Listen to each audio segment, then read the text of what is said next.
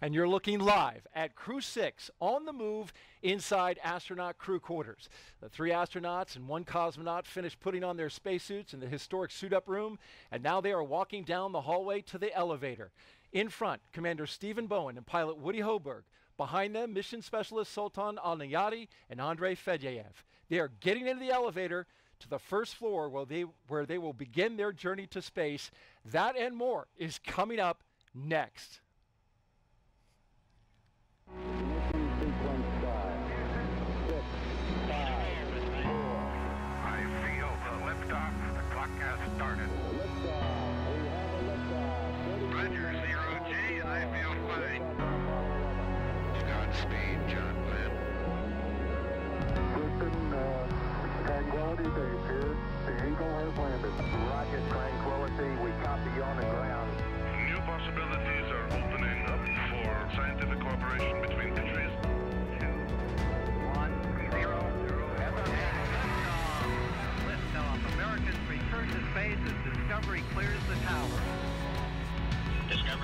Throttle up.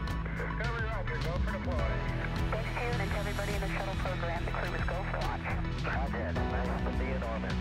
We have followed in their footsteps to get us where we are today.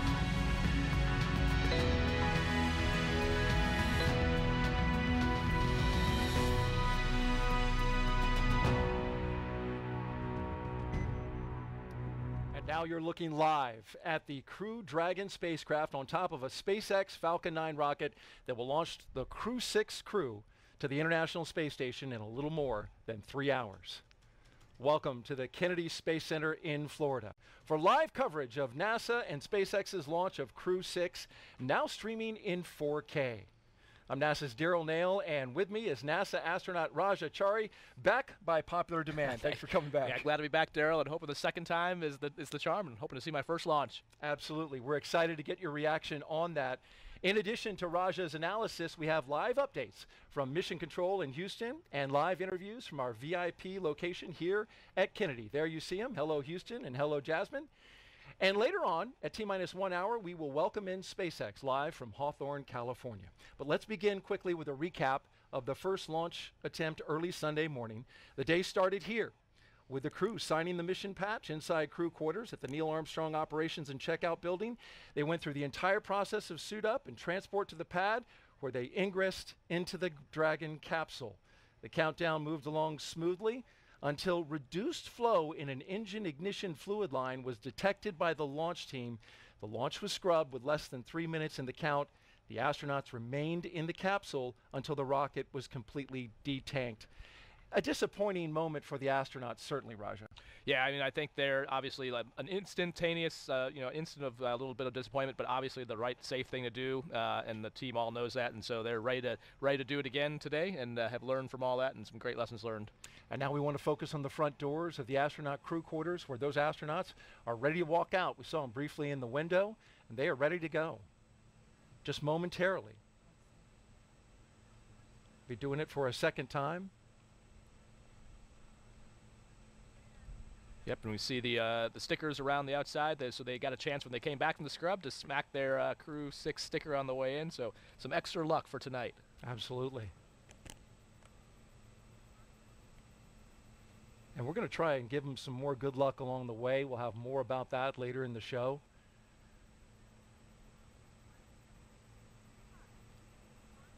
You see the sign above them with the names of Crew 6. Yep, and, uh, and one of the reasons we didn't show some earlier suit up tonight was uh, because it's their second. And here they come. Crew 6.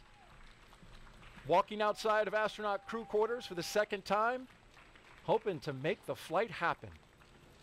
Four on countdown. Crew walk From out. left to right. walk out. displays. Crew displays are configured. Andrei Fedyaev, Woody Hoburg, Stephen Bowen, and Sultan Al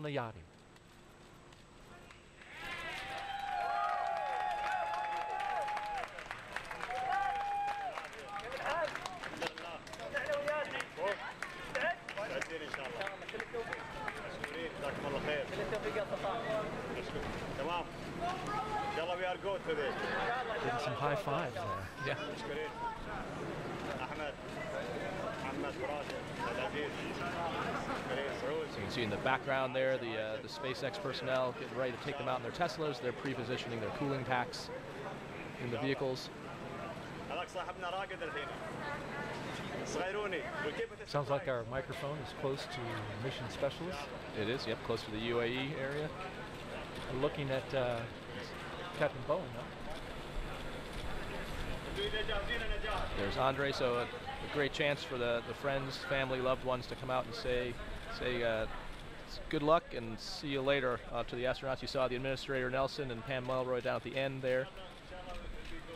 The, the back of her head, and then the administrator just to the right of her. So Raj, this is the second time they're doing this. What's the kind of the mindset now is as you see your family now for the second time? It's- It's actually kind of nice because you get a little bit of time in between that scrub, and this time to have you know, you know, you build up to a lot of it thinking you're not going to have a whole lot of time, and then you get a little bit of extra time with your family. And I sorry, I misspoke. That wasn't Pam Melroy, that's Katie Maynard down there. Um, but yeah, it's it's actually uh, it's definitely busy. Uh, so inside crew quarters, we can talk about that later. There's there's plenty of sims in there, but it's a nice chance to have a few more hours with your family on Earth. And you were able to have some communication with the commander during the downtime. What uh, what did he say about kind of their mindset? Well, so Steve uh, commented that this is, you know, essentially all in a day's life. Uh, Woody pointed out that this is almost like a free training sim for them. So, and that's kind of one of the reasons we saw them ahead of timeline tonight in the suit-up room is they've done it all before. So a lot of uh, doing something the second time makes it a lot easier. So they essentially had another another free dress rehearsal to practice it all. There's Woody Hoburg, the pilot for Crew 6, giving the wave. You can see there's a sense of familiarity as they get into the Teslas. Yep, and now you can see Administrator Nelson there, uh, the bottom right, and then Bob Cabanas just to his right. And I think that's Kelvin Manning to his right, the Deputy Kennedy Center Director. So definitely a, a sign of the importance of this mission to have the, all the headquarters folks come down here, stay down here. Uh, the crew's not the only ones that stays down here between scrubs; they do too. So it's uh, all hands on deck. So the second Tesla, the doors are closed for the commander and the pilot for the mission, and behind them, the mission specialists. In that second Tesla, they also include the flight surgeon. They ride along. And then in the third Tesla, those astronauts are with a second closeout lead. They take uh, some of the closeout team with them on the way to the pad. And take a look at the license plate. We saw this last time. Crew Dragon with a number six for the G. Yeah, and, and this time I know. So last time I was surprised to find out that it changes each time. I was thought that it always said send it with a three, but it turns out that was only for crew three. So Crew 3 was a special mission. Maybe not Maybe- special enough for uh, to put it on every single. maybe I've been watching that video too much. you see uh, Nora is at the back of that third car. She's uh, in the new class of astronaut candidates from the UAE, training with who we call the Flies, which is the 2021 class. Ah, yes. New partnership with the UAE for commercial crew, and now the families get to go up to the window. Yep, and they just saw Hazza leave the frame, who was the first astronaut from the UAE uh, to go into space. And then he and Sultan actually trained together in Russia, and then Hazza has been Sultan's backup here in the U.S. So uh, a long partnership between the two of them, training together both in Russia and here. And we'll hear from Hazza a little bit later on in the show. Our own Jasmine Hopkins is uh, going to be interviewing him again tonight. Look forward to getting the words from him and find out if he was able to catch up with Sultan in the uh, in the interim.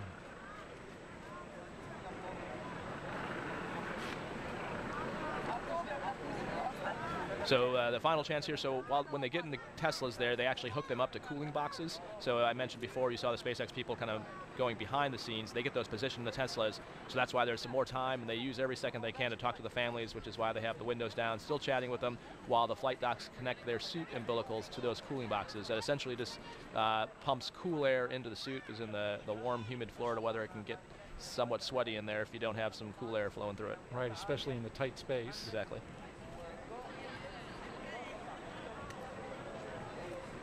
Did you roll down your window when uh, you were riding out? I, I saw during demo two, Bob and Doug rolled down the window briefly.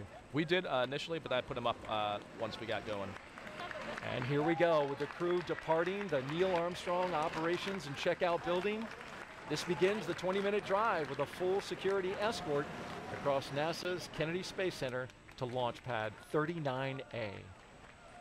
And they're firing up the playlists right now, Raj, as you know.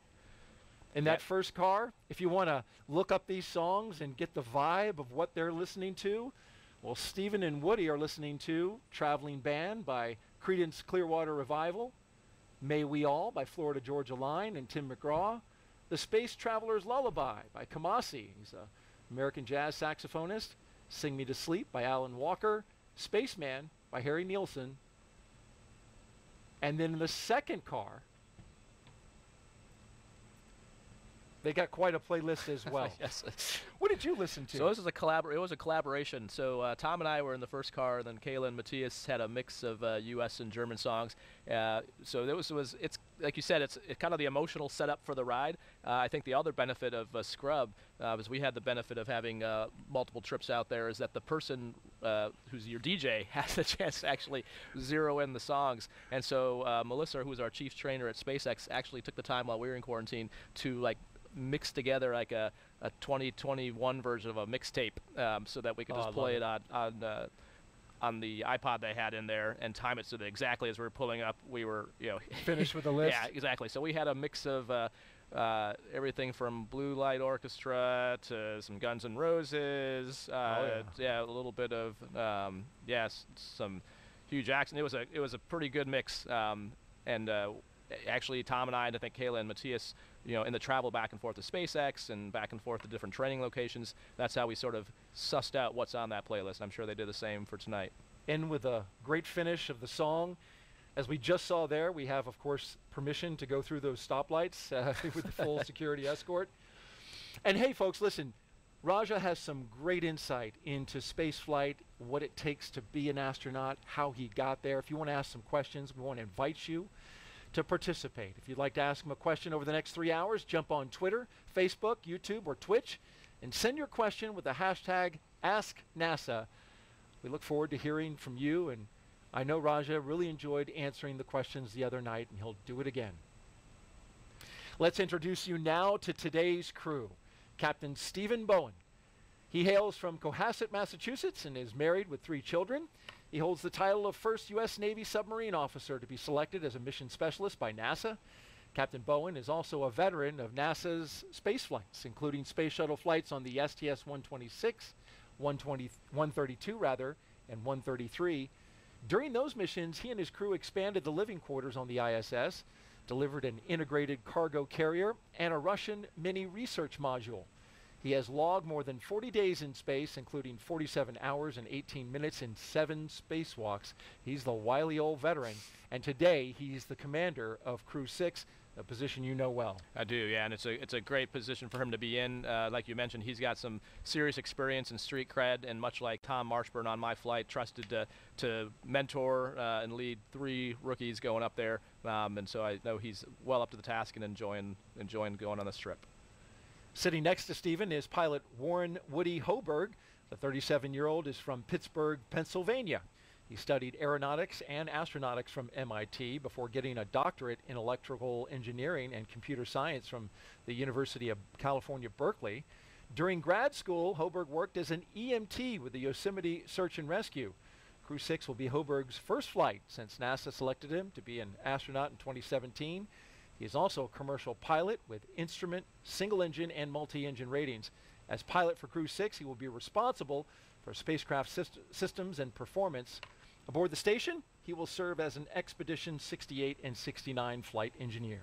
And his most important role is to continue the presence of turtles on the space station. So Woody uh, c- also commonly referred to as the smartest turtle, but also the most humble one. You wouldn't know that talking to him. But any of the things Core on on his countdown. Advanced team is bio, complete. Ready you- for crew arrival. You just heard the core call for uh, countdown uh, timing for the crew arrival, but yeah, all those things Woody's done uh, by themselves would be amazing, let alone in combination. In the role of mission specialist is astronaut Sultan Al Neyadi. He was chosen by the Mohammed bin Rashid Space Center of the United Arab Emirates to be part of Expedition 6869. The father of five spent most of his life in Al Ain and Abu Dhabi, but in 2020 traded that in for astronaut training in Houston at NASA's Johnson Space Center. This will be his first trip to space. You're familiar with flying with a bunch of rookies. Yeah, exactly. and uh, can't understate how important this is. The first UAE astronaut going up on a U.S. commercial vehicle to the U.S. segment of the station. This is uh, amazing. Uh, the fruit, you know, coming to fruition of a long partnership uh, and a lot of work to get us here. We saw a shot of the vehicle assembly building dead ahead, and uh, they'll get up, make that right-hand turn, and go right by it. Talking about the mission specialists, it's also the first trip to space for the second mission specialist, Roscosmos cosmonaut Andrei Fedyaev. Andrei was selected as a cosmonaut back in 2012. He will be working to monitor the spacecraft during the dynamic launch and reentry phases of flight. And once on board station, he will be a flight engineer for Expeditions 68 and 69. Yeah, and great to have Andre on board. I flew out here and back with uh, Christina Koch for the first launch attempt, and she knows him and just has just an amazingly big heart, and it's going to be a joy to work with on the space station. Missed getting into space on his 42nd birthday the other day, but I'm sure he'll take a belated birthday present in the form of a launch tonight. I'm sure they had some extra cake back at crew quarters for him afterwards.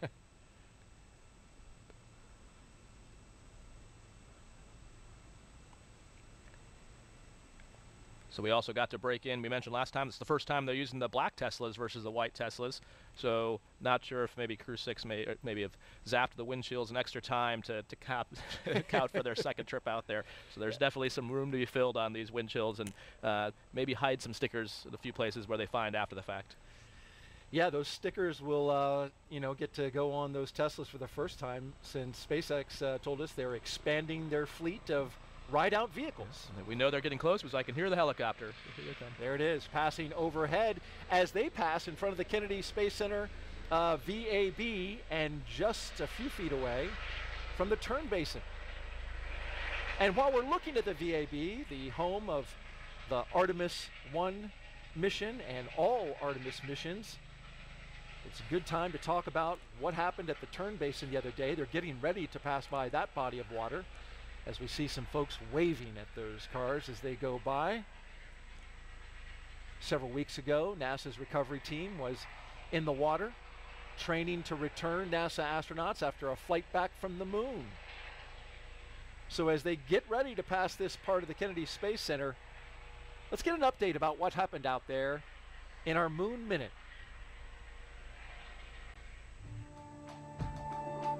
Right now, NASA scientists and engineers are preparing for Artemis 2. The mission will send four astronauts on a trip around the moon in 2024. But before that happens, test crews are practicing how to recover astronauts from the Orion spacecraft after splashing down in the Pacific Ocean. This black full scale replica capsule, named Vader, stands for Vehicle Advanced Demonstrator for Emergency Rescue. It spent the last couple of weeks in the turn basin here at the Kennedy Space Center, where it was floated on the water and tested.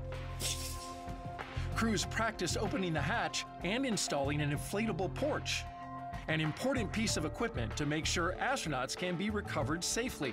If needed, adjustments will be made, and then it will be shipped to San Diego, where NASA and the Navy can perform recovery tests in the Pacific Ocean. And for more Artemis updates, check out the QR code on your screen. We're going to pop it up right there. Just scan that with your uh, smartphone, and you'll get updates from our official blog, blogs.nasa.gov forward slash Artemis. We're always updating it with frequent updates as we gear up for Artemis 2. It's nice to see them out there already working on the next mission. Yeah, it's been a, a long prog, long iteration, and since uh, Artemis, just Orion, just you know, as part of the Artemis, just like the Dragon lands in the water, a lot of training goes into making sure we're ready for that. We talked about the mission specialists, Raj, and how we've got the UAE, we've got Roscosmos. It's all a part of flying integrated crews. And for NASA, this ensures operational safety. Crew members on station are trained to do maintenance and spacewalks, and it also protects against contingencies, such as a problem with any crew spacecraft, serious crew medical issues, or an emergency aboard the station that requires a crew and the vehicle that they are assigned to to return to Earth sooner than planned. we had an issue with a spacecraft on station, a backup spacecraft. The Soyuz was flown up there, but in the interim, NASA always has a backup plan. And so the astronaut that flew up on the Soyuz um, had a ride to go home if it was needed. That's right. Yeah. So we're always uh, we always talk about the next worst failure when we're looking as kind of the, the mindset we have at uh, Johnson Space Center uh, and in the astronaut corps. And so yeah, exactly. You know, always thinking about what could go wrong and having a plan to deal with that. And that's exactly the case we're in. Uh, now have another Soyuz up there, and so now back to what I would call more nominal ops. As the caravan passes the security gate at uh, the Launch Complex 39, let's check in now for the first time with Johnson Space Center in Houston, Texas, and that's where we find Courtney Beasley with an update from Mission Control. Good evening, Courtney. Good evening. Thanks, Derrol, and welcome to the International Space Station Flight Control Room at NASA's Johnson Space Center in Houston, Texas. Mission Control is essentially the nerve center for operating the International Space Station, working in tandem with our partner agencies and providers around the globe. Together, we've ensured the station is ready to welcome Crew 6. Leading the team inside the room right now is Flight Director Judd Frieling. He will also lead the joint NASA SpaceX Go No Go polls once we're in integrated operations with Mission Control's here in Houston and at SpaceX in Hawthorne, working together to bring Crew Dragon to its new home in space. Meanwhile, the crew aboard the space station is currently in a sleep period set to wake up around midnight Central Time. When we check back in later, we'll talk a little more about what the crew on the International Space Station has been doing to prepare for Crew 6. But for now, we'll send it back to the team over at Kennedy. Derrol. All right, thank you very much, Courtney. And Mission Control ready to go. Back here at America's Spaceport, we're watching the Teslas with four or three astronauts and one cosmonaut going through the security gate at Launch Complex 39A. So this is inside the pad perimeter. It's inside the blast danger area. Yep, and you see him going by what's called the horizontal integration facility. So you saw him drive by the VAB, which is the vertical assembly building we use for Artemis. Uh, SpaceX actually integrates their vehicle horizontally, uh, and then that rolls out. You see those railroad tracks there. That's how it goes out on the the, the transport erector launcher there, that the TEL. Uh, so they actually stack the capsule and the trunk inside that vehicle and then roll it up the tracks there, and then the TEL lifts it up into position on the pad. And a cool view there from the, the lead Tesla with that out the window view uh, as they're coming up. Gotta love that as we're looking at the base of the rocket and you know, recapping again the issue from Sunday night, there was a, a problem with uh, actually a, a clogged drain line for the TEA-TEB system. This is the um, engine ignition fluid that fills the bottom there, the base of the rocket, to make sure that each each of the engines of the Falcon 9 lights up.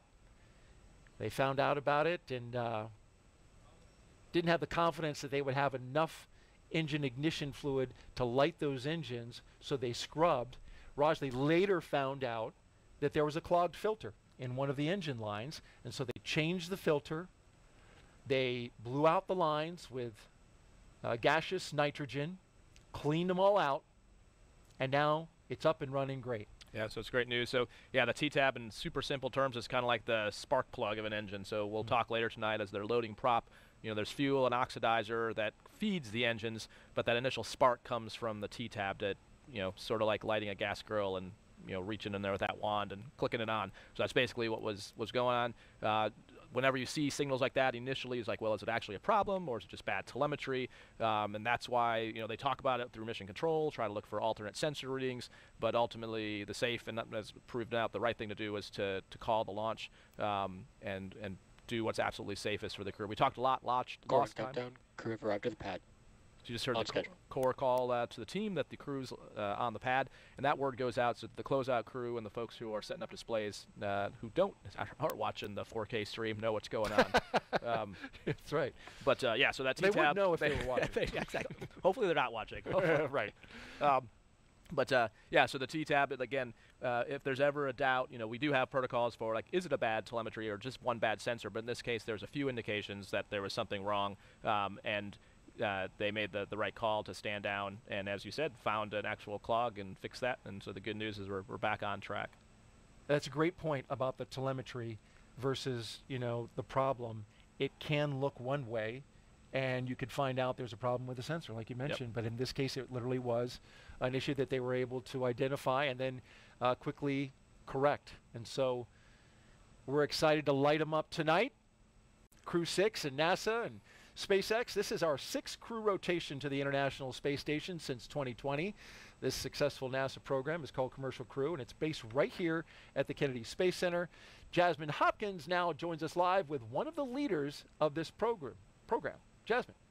Thank you so much, Derrol. Uh, we are back tonight on the balcony of the Operations Support Building number two here at Kennedy Space Center. And right now, we're so glad mm -hmm. to be Mm-hmm. joined by Kathy Lueders, the Associate Administrator for NASA's Space Operations Mission Directorate. Good evening, Kathy. Good evening. So We- happy to be here. Of course, and we are happy to have you. This is round two, as we Yes. said earlier, you know, a second time's a charm. But really, let's talk about that seriously that we prioritize safety here at NASA. We only launch when we're ready, right?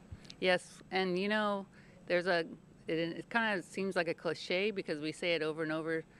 You know, space flight's hard. We say it's really, really hard.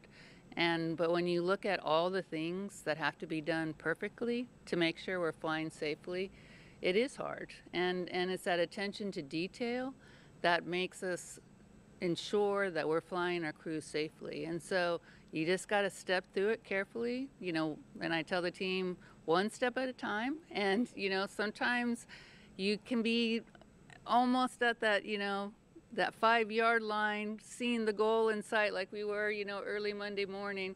Um, and you can have a clogged filter and you just got to stop and say, okay, we're not ready to go fly today and we're going to stop, take our time, get ready to go, and reset up again. And um, but it it is really I'm very proud of the team because the way they worked through that problem and the way they said, hey, we aren't ready right now to be able to say we're safe. And so we're going to stop and make sure we've got this all figured out and then come back and fly again.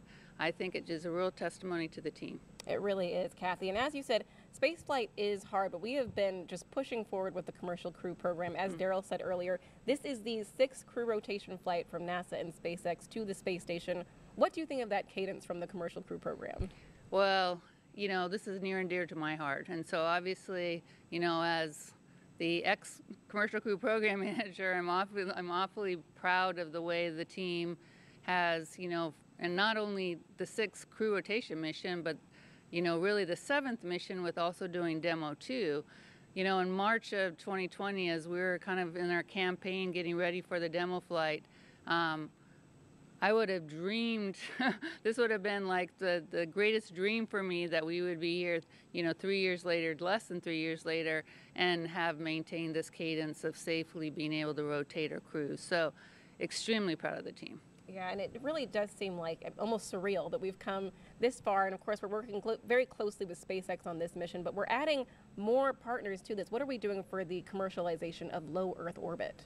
Well, this next, you know, four or five months is just going to be incredible for the International Space Station. I mean, it's a really busy port for a lot of vehicles coming up. So obviously, we've got, you know, Crew 6 coming up, but then we've got another SpaceX cargo mission also coming up in the March timeframe, and that's paving the way for our Boeing uh, first crewed flight test vehicle that will be coming up in end of April, and then we have Axiom 2, our second private astronaut mission, and following that, two more cargo vehicles in the next four or five months. So there's no rest for the wicked, and these people must be very wicked because they're not getting a break or not much of a break in here. But honestly, this is this is what we dreamed that the space station program would be doing at this stage. You know, we dreamed that we'd be having cargo vehicles and crew vehicles because this is when we get to maximize the use and the science that's created on the International Space Station. Right, we really are living the dream. It's a dream to be at NASA at this time. And we've been at this for a very long time, actually. The space station is going into its uh, 22nd year. What do you think of uh, America's continuous presence on the space station? Well, we always talk about not only staying on the space station, but not giving up our presence in low Earth orbit. And so, you know, not only are we preparing for the next eight to 10 years with the space station, but we're also preparing for our continued presence in low Earth orbit with our commercial LEO destinations. And so we have a lot of work that we have planned to do on the space station, but we also have a lot of work that we need to continue to do on our commercial LEO destinations to get us ready to buy down the human risks that we have for our exploration missions. There's really no other place except for LEO to really be buying down those crew risks, and, and we need to have those risks bought down for us to really be able to do another long duration flight like a mission to Mars will be. Exactly. We're just looking forward to the moon, forward on to Mars. Kathy, thank you so much for being here tonight. Oh, thank you. Of course. Derrol, back to you. Thank you, Jasmine, and great words from Kathy Lueders there. If you're just joining us, well, you're watching live coverage of NASA's and SpaceX's mission known as Crew 6. Good evening and welcome to Kennedy Space Center in Florida. I'm Derrol Nail, along with a recent flyer on a SpaceX Dragon, and that is Crew 3 Commander Raja Chari. Thanks. Appreciate you being Yeah, here. Thanks, Derrol. Happy to be back and to get another chance uh, to hopefully get the Crew 6 off the ground. Um, we're getting to see uh, right now that them showing up uh, to take a look at the look up the rocket. We t- talked about last time the reason they have to, to crane back like that is the way that the suit constrains you, and it's it's meant it's built to be pressurized, but when it's not pressurized, then it kind of pushes down on your head and neck just a little bit. So taking one more look at the rocket before they, they head into the elevator. And I did hear from Woody that uh, they did, in fact, change the labels on the button pad inside that. So uh, it does actually say space on the top button and Earth on the bottom button. the elevator buttons inside. Yes, if uh, folks you haven't seen that meme floating around, there's a picture that shows all the buttons inside this elevator, and they're marked out by the foot level. The top used to be the 255 foot level, but apparently it now says Yeah, it's space. been modified to say space, which is appropriate. Uh, this, this, the 39 uh, complex is historic. We've been using it since the early days of the space age, and you know, continuing to upgrade uh, even the labels. How cool was that to reach over and press space? that's, that's yeah, that's awesome, awesome to be able to hit the destination that you're going to. yeah. Uh, this is the view at the top of the elevator, so they pop out here and then they walk up a floor. Uh, you can see there's the graded floors, or for if in the event of an emergency egress, they douse this whole thing with a whole bunch of water, so you don't have to get slippery. So that's why they're f- graded floors, so the water can actually flow through.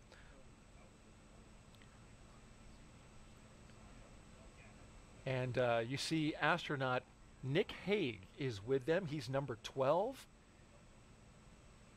See And- him turning the corner there? This is the astronaut support person. And uh, Nick Hague, of course, an experienced astronaut, been up to space station, uh, been through a launch abort himself. Great resource to the astronauts. Yeah, it's amazing. Uh, Reed Wiseman, who's the, the former chief of the office, likes to say that Nick is a unicorn. He's pretty much the only Hmm. person, uh, th- you know, right now that's, know, well, he's been to space twice, even though he only won one, min- one mission. This is the first time they aborted. They actually ballistically went into That's orbit, right, so that's he right. counts that as two, rightfully so. Okay. uh, but yeah, that's really, really unusual. There's, I don't think there's anyone else in the office that's been through a launch abort, um, which, as we know, the commercial crew program has that as a requirement. So we've got that system now with both Dragon and Starliner. But to actually have done that is a, a way, it's pretty extreme. Yeah. See Sultan and Andre heading up the elevator. Uh, you notice tonight everything's going faster, which is a testament to the fact that we practiced this once. Um, so they're, you know, now this is the second time the team's doing this, uh, and you know, Woody himself commented there's almost like a free sim that they got to do the other day. things are going a lot faster. Certainly noticed that. Just to finish the thought on the uh, launch abort, that was a Soyuz in 2018 um, that launched out of Kazakhstan. Waiting for the mission specialists, and here they come. So they'll head up the stairs as well. You saw Woody and Steve were just starting to make their phone calls. We talked uh, the last time that one of the other jobs. So Nick Hague, as the astronaut support person, one of the things they're doing is uh, like items like glasses, watches, things like that that have to be carried that they don't have room for in their pockets. He's kind of handling that uh, logistics. He's also uh, the one who dials the numbers, which is not a trivial task, calling on a government phone to the UAE or to Russia. I can Um, attest to So that. you got to figure out, yeah, the country codes. The do I dial plus nine or plus nine plus one? But uh, Yeah. it's different Which- on which every number phone. gets yeah, you out, which number gets so you to you the definitely want to yeah. make sure you've done that, and you want to make sure the person who's going to get the call knows that it's not a spam call. So you need to make sure you give them that number in advance. Uh, the chevrons on the ground there, they're going to be uh, when they go onto the spacecraft, they're walking against the chevrons, but those chevrons are meant for in a low visibility uh, egress, as I make a mention, the water system is on, so you, you would be getting doused with water, so you can look down, and that's pointing you to the egress baskets, which on the far left side of the screen, just kind of went out of view, but you can see where these slide wires are at. Um, and that's how you would get down to the ground. Now you can just see them on the left side. Yeah. They're like a super fun zip line ride uh, that you would get into a basket and then go down uh, to the bottom of the pad. And there's a loudspeaker system up there. Um, and so as you're egressing, the launch director would be giving you instructions. Most key, like how many people are still on the pad. Because as the crew, if it's just four of you, that's relatively easy. But if the closeout crew is there, you're, you got to make sure you count baskets and people to make sure everyone gets down to the ground. Want to have a full head count exactly. of everybody who's you don't want to leave anyone up there. Yep. Right. So it looks like they're cycling through the phone calls now. This is the view looking towards the crew access arm. It is behind the black door. So when they wrap up their call there, they'll be headed through the door and we'll get ready to see our first two astronauts make their way from the launch tower across the crew access arm and begin to ingress to the Dragon spacecraft. And, and besides the fact they've done this twice, the other reason things go a little quicker is all the little traditions are kind of already done. So they've already signed the patch in crew quarters. They'll have already signed the meatball here. Uh, so some of those things that take a little bit of time that are that are baked into the uh, the timeline uh, don't have to be redone. So you can see Woody and Steve just starting to head out on the crew access arm now. And there they are, coming through the crew access arm. The commander and pilot, Stephen and Woody, making their way inside Dragon. Big thumbs up and a wave from the crew. They're hoping today is the day. Core on countdown. Crew are in the white room. You see, uh, Arthur is the core at SpaceX, so they keep the shifts the same. So, um, again, we kind of talked a little bit about last time, but the importance of all the sims leading up to this are the same voices. So they'll, you know, through the slip and through the scrub retiming, all the shifts at SpaceX and at Houston actually all stayed on the same timeline, so they could be all the same people. That's Arthur Berrialt, the crew operations resource engineer with SpaceX. That's his voice coming over. You can see the ninjas helping get their. Uh, those are the shoe protectors, the boot guards coming off. Yep. So it protects for two things. FOD, FOD in the capsule is one thing, but the other thing is there's slots in the bottom of those heels, and that's what actually, when you see them get in, you'll see them put their foot up and then down, almost like putting on a like a ski boot type thing, where Ah. it locks in, and that's what keeps your feet restrained under the launch loads and reentry loads, um, which is why you'll also see them sometimes, if not during launch, uh, before they are in the launch escape system, you'll see them lock them in. Um, but that also protects the channel from any nicks uh, or dings on the bottom side of that. All right, we've got a question uh, that's coming in from social media as the Core on countdown. astronauts Ingress crawl has in. started. Arthur calling the ingress has started. which we can see on our screen. So here's the question. Space Brandon on Twitter asks, he's referencing to the view out the window. Two contract. What is it like to take in this view? Loud and clear. Seat two. Helmy. And C2 has you loud and clear as well. So I'll tell you, it's uh, it's awesome. The the view out the Dragon window, you don't really see getting in because you, as you saw as they crawl in, their head is towards the seats, and then when they f- when flip around, you can see that the white room and that crew access arm kind of blocks the view out the two windows there, which you can see uh, if you look at Ninja 10 to their right and left, you can see the Dragon windows. The view you do have is before you walk across the crew access arm, and it's per- SpaceX Dragon Seat 3 contract. Wait for Arthur. Loud and clear. Seat three. Helmy. Good evening, Arthur. I have you the same. Yeah, so the view from where Good evening, Woody and Steve. Good to hear from you. Sultan and Andre are standing is awesome. You got the water, especially on a clear night. Um, you do this during dry dress. You come up here and take in the view, but seeing Yeah, I think he's talking about taking in the yeah. view right there. So right? you can go to the corner uh, to the where that kind of white post is, kind of where Ninja 14 is at, and you can kind of hang off the edge. Don't don't do it too far. but, um, but yeah, it is it's pretty amazing. And the, seeing the clouds and the water, I think, is what's most distinctly different. Uh, so on Earth, you can see the actual individual waves and the clouds moving in from space. Uh, you definitely can't see that level of detail. Um, so yeah, trying to take all that in, I don't think you really appreciate it until you come back and see that same thing. and we can see Nick Hague now taking uh, cell phone shots of Sultan as he's on the phone, which a good fellow astronaut does. And you heard uh, Woody and Steve checking in with Arthur. Those are just the initial com checks. Uh, we'll do much more intensive ones later, but that's just to make sure that when they connect their umbilical, that it's fully seated. And so if you get a good com check, you know that the little pins that uh, connect that loop are good. Our mission specialist now getting ready to board Dragon, Sultan and Andre with a big thumbs up. Beautiful shot from high above looking into the crew access arm as they make their way aboard Dragon. And while we're watching the mission specialists in action, let's take another social question, which is relevant. And we were he's showing off, Yep. showing you know, getting the Grab it. space Texas Yep, badge. we, we yeah. So it is. So they we talked about last time they grab the the, the ninjas name tags to, to take with them, and they distribute those amongst the crew so they can fit them in their pockets and, and satchels. And the question there looks like, what's the mobility like on the pressure suit while walking around? It's actually fine. It's just a little uh, a little bit of pressure on the top of your head pulling down. Um, and as you saw, that's kind of why they arch their back to look up. You can't tilt your neck backwards, and obviously, if you turn your head side to side, your head is kind of turning inside the, the helmet as opposed to the entire helmet moving. Um, so it's just more a matter of not straining your neck. It's like traction almost. Yeah. it's just a mild traction. Yeah, and, and it can get hot, so you don't do a whole lot of action uh, unless you have cooling attached to you, especially with the the weather here. Um, but compared, again, this is a in what's called an IV, in-vehicle suit, IVA suit, not a EV or extravehicular suit. So way different than if you were trying to walk around in an EMU, which is what we use for spacewalks. That would be a way different story, and you, you probably would not be able to walk uh, in on Earth gravity, as it weighs upward of three, four hundred pounds. Uh, whereas this one is is meant to be able to move around.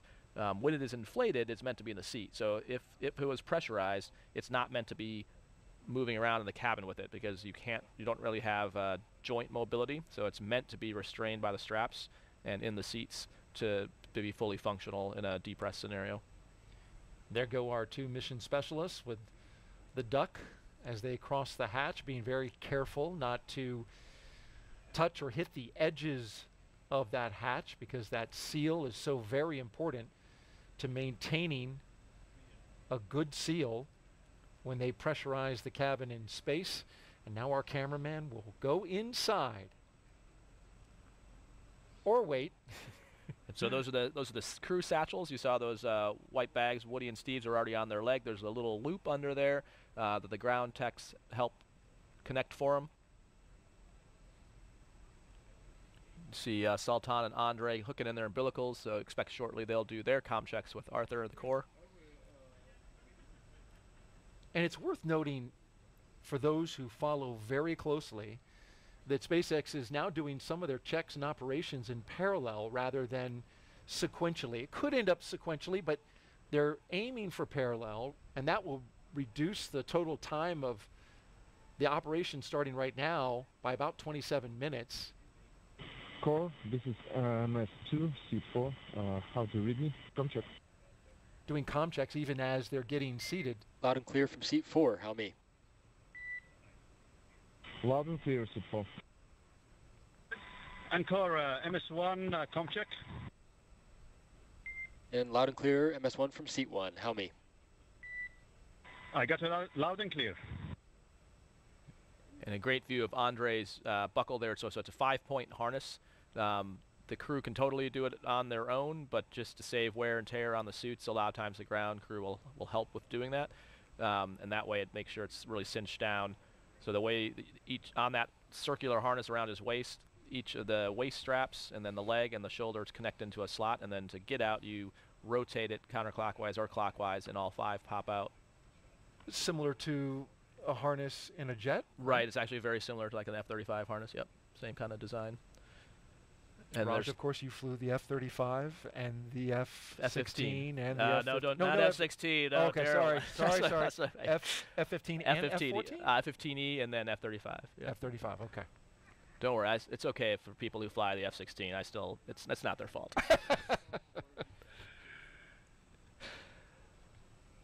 Well, the F-35 certainly the tip of the spear when it comes to the Air Force, and uh, you were involved with that program for a while. I was, yep. I think the only job I would have left that job for was this job. So. And we're glad you're here. Had an incredibly successful Crew 3 mission. You were the commander of, and you had some great uh, astronauts along with you. Yeah, so flew with uh, yeah, Tom Marshburn uh, was our, our pilot. He had been on that he had been on a shuttle on a Soyuz, so just a great asset to have some some wide breadth. Kayla Barron, a classmate of mine, uh, also a Fellow turtle. submariner. Yeah, fellow Uh-huh. turtle, fe- uh, submariner. Um, Yes. And so following in, in Steve's footsteps, and uh, and then Matthias Maurer uh, from ESA, the German astronaut, his first space flight as well, uh, and just awesome to get to work with all of them. It was, uh, yeah, it was a time of our life up there, honestly. And for those who wonder about what you mean when you talk about the turtles, it's the class of turtles, right? When you graduated uh, into being an astronaut. Right, so a, ba- a bale of turtles is the technical term. A bale a of bale is turtles, a, a herd okay. of turtles, if you will. Yeah, so the, the tradition in the astronaut office is the previous class names the incoming class. So we were named the turtles by the 2013 class um, somewhat as a. Uh, Derogatory yes, term? it was, I think slightly derogatory. it meant to be slow, but uh, we took it as quite the compliment. So when the, the vice president announced our class in 2017, he made the analogy that when he grew up, if you saw a turtle on a fence post, you knew it didn't get there by itself. So we take it as a, a definite nod to all the people that got us here. Because um, the reality is, whether it's family, friends, the trainers at the different centers, uh, we are just the doers, the eyes and the ears for the mission control, the flight controllers, the scientists, uh, and our families to, to do the work. Um, so yeah, we definitely did not get here by ourselves, and so we we love the, the turtle term and proud to be sending Woody up there to continue the. Uh, Kathy mentioned a continuous U.S. presence in space. Since for 22 years we've had a continuous turtle presence in space since 2021. so.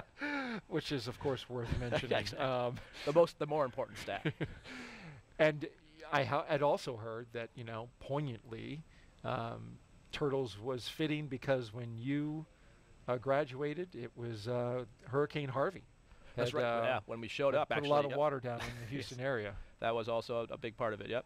You can see they're doing zipper checks right now. Um, so there's a each of the there's three main zippers, one that goes from one leg to the other, and then one on each arm. Uh, and on each of those, there's an inner bladder layer, which is the actual pressure garment, and then the outer layer is the restraint layer. And then down on the boots, they actually have a boot zipper on top of that.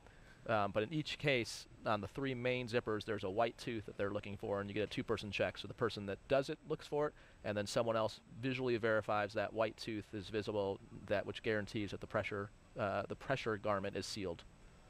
Get that good seal, critical safety component for these suits. Got another social question, Raja, and this one is about one of your fellow astronauts. At Ian Benekin asks, do you miss your German space brother, Astro Matthias, and did he teach you something in German during your six months in space? Oh yeah, we, we definitely miss Matthias. Uh, one of the weird things when you come back is so uh, we you spend you know your work day together and your downtime together for six months, and then when we came back, uh, you take a, a Gulfstream back um, to JSC or to Ellington and then JSC, and then he gets whisked away. So after seeing him for six months, all of a sudden he's gone. Uh, so it, is, it was almost like uh, having someone in your family ripped out of the house. A very uh, yeah, we definitely miss Matthias, and it's good whenever he gets back to visit us. In terms of learning German, uh, I think there's, I think he had his birthday up there, so we definitely learned that. And honestly, I forgot. Happy birthday in German? honestly, I've forgotten it. Um, I'm supposed to know how to speak Russian as well because we learned that as part of our training, and I, yeah, it's. you were working on the Russian playlist. You I- did I, give it a good I was. swing. I was able to read the, the, the songs that Andre had on his list. So I I have a little bit, but my German has escaped me. Oh well, it's but I'm understandable. I'm sure If Matthias you would don't be. use it, it but tends to exactly, yeah. away, Matthias yeah. would be disappointed, but. It tends to slip away, yeah. yeah, exactly. Yeah, yeah, right? I got yeah. So again, way ahead of schedule here. So normally on the, the timeline the crew is using but about 2:35 prior to launch would be crew ingress, and you can see they're already much pretty pretty much there already. Uh, so kind of doing some more checks here. So they're basically having the crew make sure that so you can see those white loops on their straps. They're meant so that the crew can find those and pull them tight. So that gives them leverage to, to pull down and tighten the restraints. And so there's four of them, two for their shoulders, and then you can see like Woody. You can see a little bit of better example down underneath his hands. You can see there's kind of a grouping of four of them. So two for his shoulders, two for the legs, and there's also toe loops which you can kind of see on Steve's. You can see him up near like where the uh, like the top of his foot, and that and those we talked about sliding your foot into that restraint, and then the loop goes over that that you then tighten with those straps. So that's basically what they're doing now is checking each one of those four on all four crew, uh, and making sure that they're not too tight, especially for their feet, um, and completely restrained on their shoulders. That was a great shot we just saw by the SpaceX camera team that uh, showed one of their closeout crew members exiting the spacecraft. You got to feel as he went through it just how tight that space is. We've been following the launch teams as they continue working through the countdown. Currently, no issues are in work at the moment. Earlier this evening, around 7 p.m. Eastern Time, there was a hydraulic leak detected out at the pad, but it was a minor one, one they were able to get uh, repaired pretty quickly and uh, didn't disturb the count as we see our crew waving goodbye before uh, the SpaceX cameraman exits the capsule. You see over Woody's right shoulder the uh, three previous stickers of the crews that have flown in Endeavour. So once they get on orbit, I'm sure they've got a sticker in one of their pockets to, to add to that that bulkhead back there. It's a great uh, observation there, Raja, because this is the fourth SpaceX flight. Dragon, the crew is ready for com checks. The fourth flight for the Dragon Endeavour. SpaceX copies. Stand by for umbilical com check. The first three were D- Demo 2, Crew 2, and Axiom 1, which was up at station when you were there. They were, which the first uh, private mission to the U.S. segment. Uh, first time we've launched private astronauts from the U.S. So yeah, a pretty historic mission and and just the start of things to come. You heard Kathy Lueders mention Axiom 2 will be launching in the near future. So we're definitely uh, take incorporating the lessons learned and, and moving forward. Yeah, what was that like? You, you've got you know your NASA job to do up in space, and then you're also helping private astronauts. Yeah, we enjoyed it. I think the the key, the key is partnering on the science. So they bring. Uh, I think the interesting thing is you've got uh, private. a- I'll Commander, pilot, I'll MS1, stand by MS2, do their uh, com com checks. Uh, Commander has you loud and clear.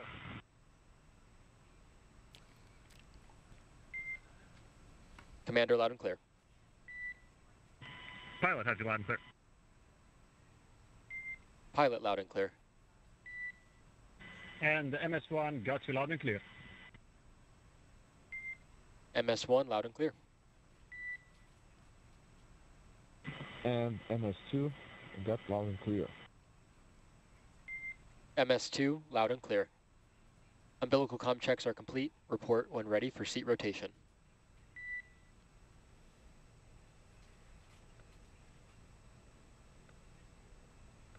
As we get ready for the seat rotation, watching all four articulate upwards so they can get into launch position. Want to make a correction. It's uh, camera woman with SpaceX who's getting those fabulous shots. Relying on her to give us SpaceX Dragon, the crew is ready for seat rotation. these great views that we see. And this view right here, in fact, she's shooting it right now. SpaceX copies. Initiating seat rotation. I'm sure it's a challenge to not only maintain that steady shot in that very small hatch, but she also has to maneuver around the team, making Right, sure yep. that she doesn't interfere with the with the operation. She's doing a great job. Exactly. Yeah, so there you can see the seats moving. So they're in uh, procedure 4.100 on the display. So that's what Woody was interacting with there a second ago. That com check they did before was just checking the hardline communications, so their umbilicals through the spacecraft, through the umbilical to the ground. Uh, then they are now in 4.100 for seat rotation. So you saw them talking before Steve said they're ready. That was just making sure they verified visually that all their arms and everything was clear of the translation path of the seats. You don't want anything getting pinched. And then what they're watching now on the displays is what's called a tach count, which is the motor that's running the seats to see if anything uh, is out of limits. Looks like it was a good rotation, and they'll probably report that here shortly from the core. And you can Does see it make a cool motor high you tech sound? can't like, actually hear it. no? You know, you can. You, Oh, it's more like, "Nee," like Yeah. Dragon SpaceX seats are in the launch position. SpaceX Dragon copies and concurs. Now you can see a great view underneath their seats of what else they're taking up to the space station with them. So those central ones there, those are cold lockers. So definitely some kind of science in there uh, that that has to be preserved at a particular temperature. The left side, uh, the aft two look like it's some kind of cargo. The forward two, which we can't quite see, is survival equipment. That'd be the red. And then the right side looks like a, uh, like a semi-larger piece of cargo. We call all those things CTBs, uh, those containers, um, and they are referred to by the Dragon size. SpaceX, you are go for section two, suit leak check preparation. And SpaceX Dragon copies go for section two, suit leak check preparation. So that bag is red for a reason. Right, so it'd be easy to spot, gear. exactly. So uh, spot that real quick. the timeline, so they have two displays, uh, well, three displays, but the two they're probably looking at uh, is one's called a, a timeline, or event details, we call it. Um, normally start, be ready for suit leak checks about 2.14 from launch, so again, running ahead, which is good.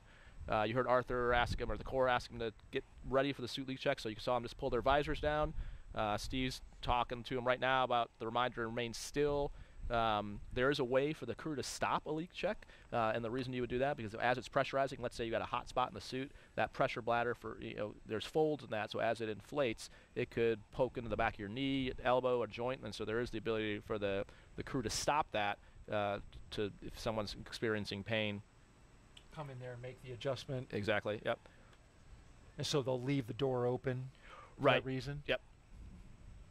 Yeah, and also if they're if the suit fails the leak check, they've got some components up in the white room there where they could come try to fix something. But the reason they did the Uh, SpaceX Dragon tear is complete. We are ready for leak checks. SpaceX copies, you are go for section three, suit leak check. And we are go for section three, suit leak check. That's in work. So the whole reason they do the leak checks in the suit room is to find any gross malfunction uh, and know that the suit is fine. So if there were something between the suit room and now, you would suspect it was probably a zipper just not being fully sealed versus something actually wrong with the suit. So right and now, we're seeing those suits inflate. Uh, not quite yet. Not so quite we'll yet? them. Yeah, the way you'll know is you'll see their arms kind of go out like zombies eventually, which they're just kind of they're stretching out right now. Um, they're looking at uh, what's called a suit transducer. So they have they're wanting to make sure it's in zero. You'll hear Steve tell them that the tear is done.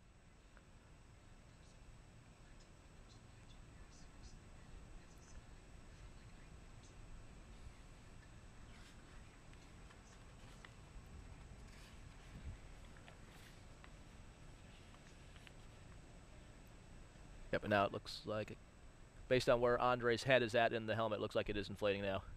As you can see, you can see the the neck ring kind of expanding, which is why on the ground uh, you see that helmet down on the top of their head, but now once it's inflating, you can see why the suit is built that way and restrained. As you can see now, you can just see his nose before you can see his mouth.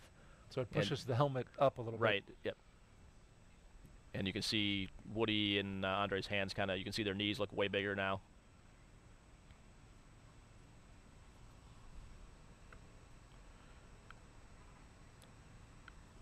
And so they have an indication of what the suit pressure in each seat is at by, by individual, uh, and they're waiting to see if it holds steady at full pressure.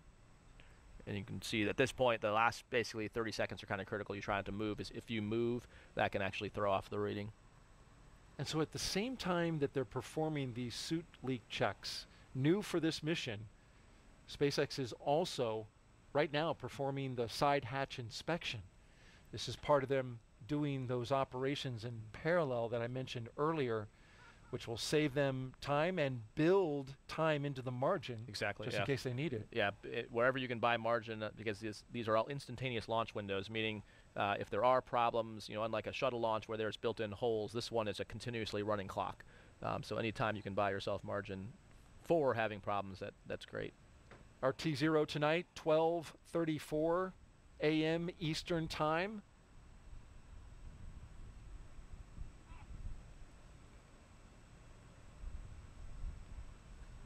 The range continues to report no issues, so we're looking good there. Also, Raja, the weather forecast continues to be acceptable. Take a look at this. Just like on Sunday, only a 5% chance of violation for weather.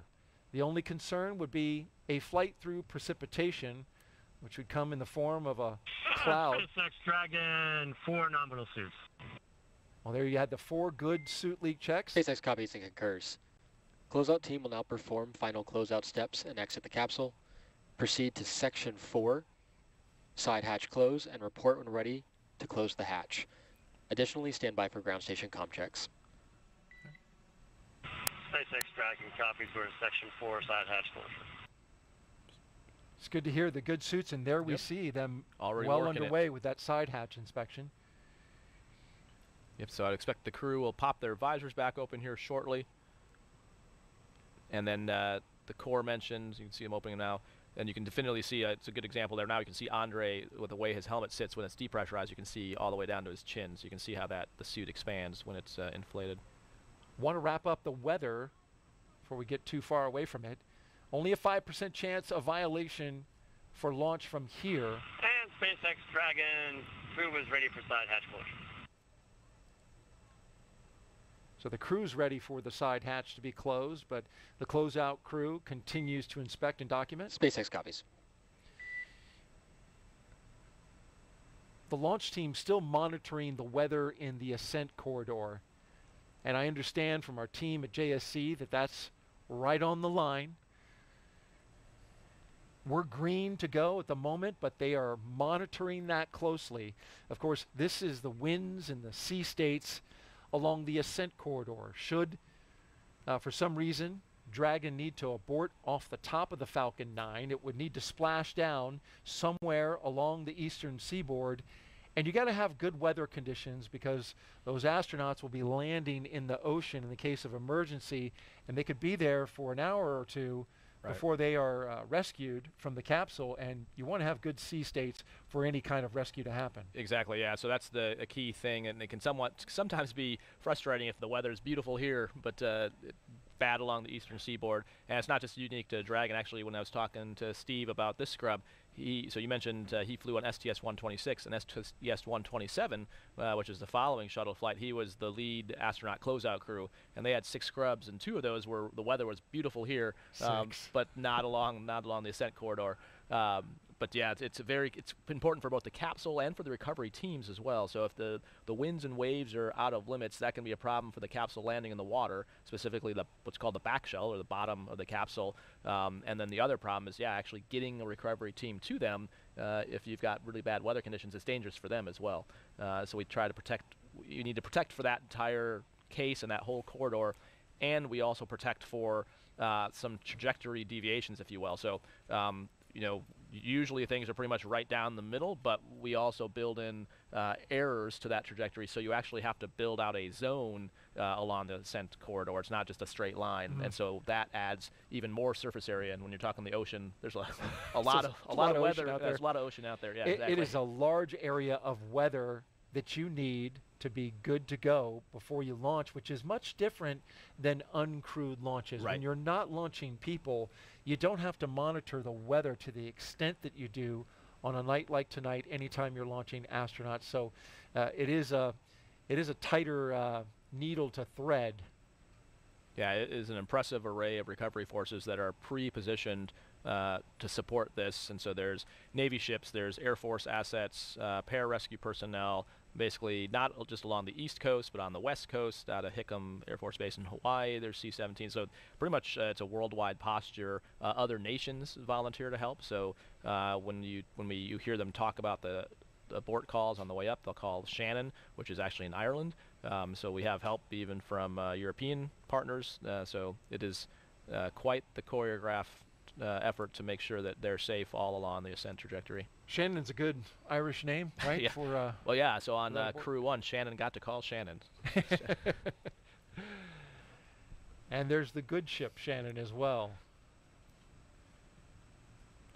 So you can see uh, they're taking a look at the hatch seals uh, on the hatch side. So they already looked at the spacecraft side while they're getting in. That's why you see a Ninja 35 kind of holding in position and someone be tucked behind there. They're looking at the hatch side seals as part of the inspection before they close it up. And while they take a look at that, we want to talk a little bit about the beginning of this program and the history that was made, as well as quite the honor that was bestowed on Raja's fellow astronauts. We're launching, of course, American astronauts on American rockets from American soil, and it all began with those two trailblazers of the commercial crew program, Bob and Doug, who recently received the highest civilian honor an astronaut can achieve. Dragon, SpaceX. Closeout team is taking final steps in prep for side hatch closure. Stand by for transition to pad hatch closed. And please ensure that all items are secure from now through launch.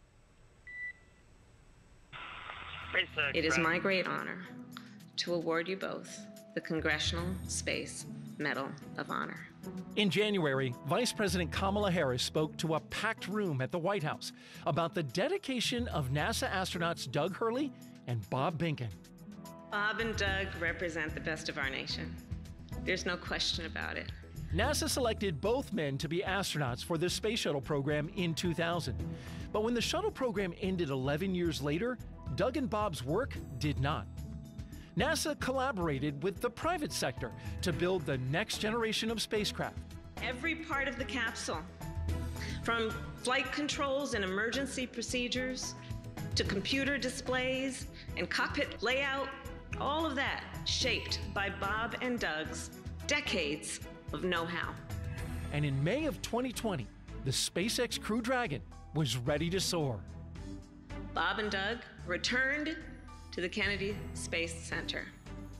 They suited up, they waved to their families, and they rode an elevator up nearly 20 stories.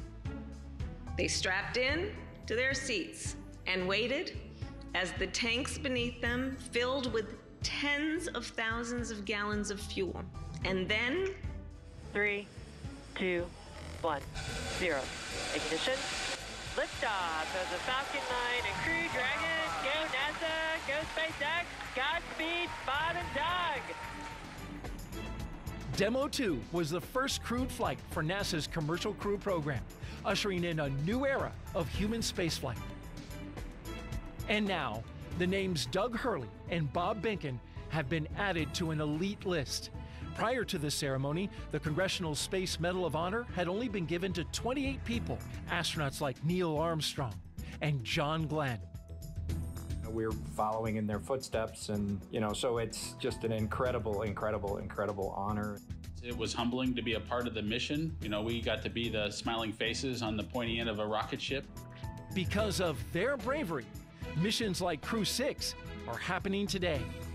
Bob and Doug together have written the first page of a new chapter in the history of American space flight.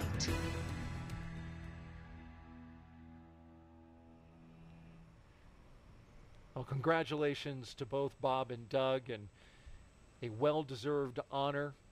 Doug Hurley recently retiring uh, from the astronaut corps. Bob Behnken still cranking it along. In fact, he came out and was an astronaut co host sitting in your seat, Raja, for Crew 5. And it's a. Um, it's a great contribution. I like the soundbite where he said, you know, the smiling faces on the pointy end of a rocket ship. But they often, you know, gave a lot of credit to those around them who helped build build the rocket, build the spacecraft, train them, get them to where they needed to be in order to have the confidence to ride a space vehicle for the very first time and make that historic flight. Yeah, they were re- they were really leaders of the team. There's no doubt about that. And I I can't repeat enough what the vice president said. Like they, it literally is a new era of space flight. I mean, uh, you know, Kathy Lueders mentioned like here we are on Crew Six. Who would have thought that then? I mean, Mm. um, and just the way they design that team. There's still things in training. It's very common to hear, even as we talk about Starship design and stuff like that for lunar lander with SpaceX, but definitely during Dragon training flows of like, uh, wh- why is the display this way, or how you know this seems like a great solution. How did how did we come up with that? Like, oh, Bob and Doug, um, and they were. Uh, so inclusive on the in training as well. I distinctly remember getting to come out on some trips and, and Doug and Bob having me sit in the capsule with them and them taking the time not only they're doing the sim but also showing me like you know this is what this means and this is why this display is doing that. So I mean they brought every one along with them um, and so I yeah it wasn't they're being very humble saying yeah they they are riding the rocket but they they brought that team along and um, they spent many many years before demo 2 developing the work, working with SpaceX, working with the NASA teams. I mean, over a decade of work to get to where they were, and so very well deserved, and, and couldn't be prouder of them. And they have left a lasting mark on the astronaut office, on the agency, and really on the nation. I mean, we have now an entire industry that, that didn't exist, you know, mm-hmm. before this commercial crew program. I mean, it's it's quite amazing when you look at uh, like going to SpaceX, going to Boeing, going to these places that are doing these programs, and seeing all these engineers that have a place that they're proud to go to after college and want to go to. It's inspiring, um, and yeah, it's it is an exciting time coming down here to the Cape. You just see the buzz down here. There's so much going on, and they kicked all this off. It there is a launch now every six days here at America's Spaceport, and you're you're absolutely right, Raja. Uh, you know it's a we've never been this busy. Yeah. Um, you know, aiming for more than 100 launches this year, just SpaceX alone. Um, so, an incredible amount of activity. I like from the story that you just told that they took the time with you, the commander for Crew 3, even though your mission was three missions away from where their, theirs was, right? Well, there might have been an ulterior motive. So, I, so Oh. well, I, I don't know. Doug probably doesn't want me to tell you this, but so I was, I had my. Ah, he's not here. he's not here. so my, my phone fell out of my pocket while I was in the capsule. Uh, in, the, in the Oh, mock-up, no yeah, kidding. and so I then owed some adult beverages to the crew that had to fish that thing out. But and so I got quite a bit of hard time. Come to find out later that that had happened to one Doug Hurley a little while earlier. So I think maybe he was just trying to swing that spotlight to me. So maybe, that's my theory. He didn't give you an extra hard time, did he? Uh, he might have. Oh, yeah. he might. Oh, even so. Okay. No, but yeah, it was awesome though. No, I mean, Yeah. it just it was, uh, and you're exactly right. That that kind of mentorship is exactly uh, what we lean on in our office. Um, we have a term called IAs, which are instructor astronauts, and, and those two epitomize that, bringing bringing the whole corps along with them, and and uh, they had the lessons from shuttle and you know what worked, what didn't work. Um, they'd seen uh, Soyuz over the years, so I mean they had such a wide breadth of experience to to pull into what SpaceX and NASA designed. And while we're speaking about uh, honors that come out of the White House, Raja, you were nominated by the President of the United States for the appointment to grade of Air Force Brigadier General. It's a nomination, so you're still waiting, uh, you know, Senate uh, approval. But uh, congratulations. Thanks very much. Yeah, we're very humbled and proud to get to continue serving uh, in that next grade. So yeah, excited to get to do that here at NASA. NASA's military astronauts. We have uh, a number of them here, you being one of them. Very proud to have you both serving our country and helping us explore space. Yeah, and we're yeah we love we love our jobs. And I can see why. This is an exciting time. Uh, certainly, we talked about that. And we're taking a long look at uh, the hatch at the moment, probably making some uh, final uploads of the seal there. And as we do that, let's check back in with our Courtney Beasley at the Johnson Space Center in Houston, Texas. Courtney. Thanks, Derrol. As we said earlier, the team here in Mission Control Houston is actively monitoring the International Space Station as they await Dragon's arrival. The crew aboard the International Space Station is currently in a sleep period and they are scheduled to wake up at midnight Central Time. They have completed a number of tasks to prepare the station for Crew 6, like setting up tools to monitor Dragon's arrival and prepping the sleep stations for the new residents. Many of their clothes and other belongings launched on a previous cargo resupply mission. And then back here in Mission Control Houston, Flight Director Judd Frieling and his, his team are in constant communication with the SpaceX mission director for Crew 6's launch to the space station. Once we get into integrated operations, the NASA flight director will be conducting the series of go no go polls at the predetermined checkpoints for Dragon's approach. We'll continue to follow along from here in Mission Control Houston. And during our launch coverage, we like to highlight employees in the commercial crew, crew program who are working behind the scenes to make today's mission possible. Earlier this week, Kennedy's Jasmine Hopkins spoke to NASA's recovery director for Crew 5. Let's take a look. Joining us now is NASA Recovery Director Brian Barry. Thanks for being here. Of course, thank you. Of course. So, uh, Brian, we understand that you are the NASA Recovery Director for Crew 5, but you've actually done a lot of things for human spaceflight. Can you tell us more about that? Sure, yeah, that's right. So I started my career as a flight controller for the ISS program. Uh, my team was responsible for maintenance on the space station. So I had the opportunity to uh, work directly with the astronauts, train them on tools and repair procedures. Um, so that was a lot of fun and something I never thought I would do when I was studying to be an engineer.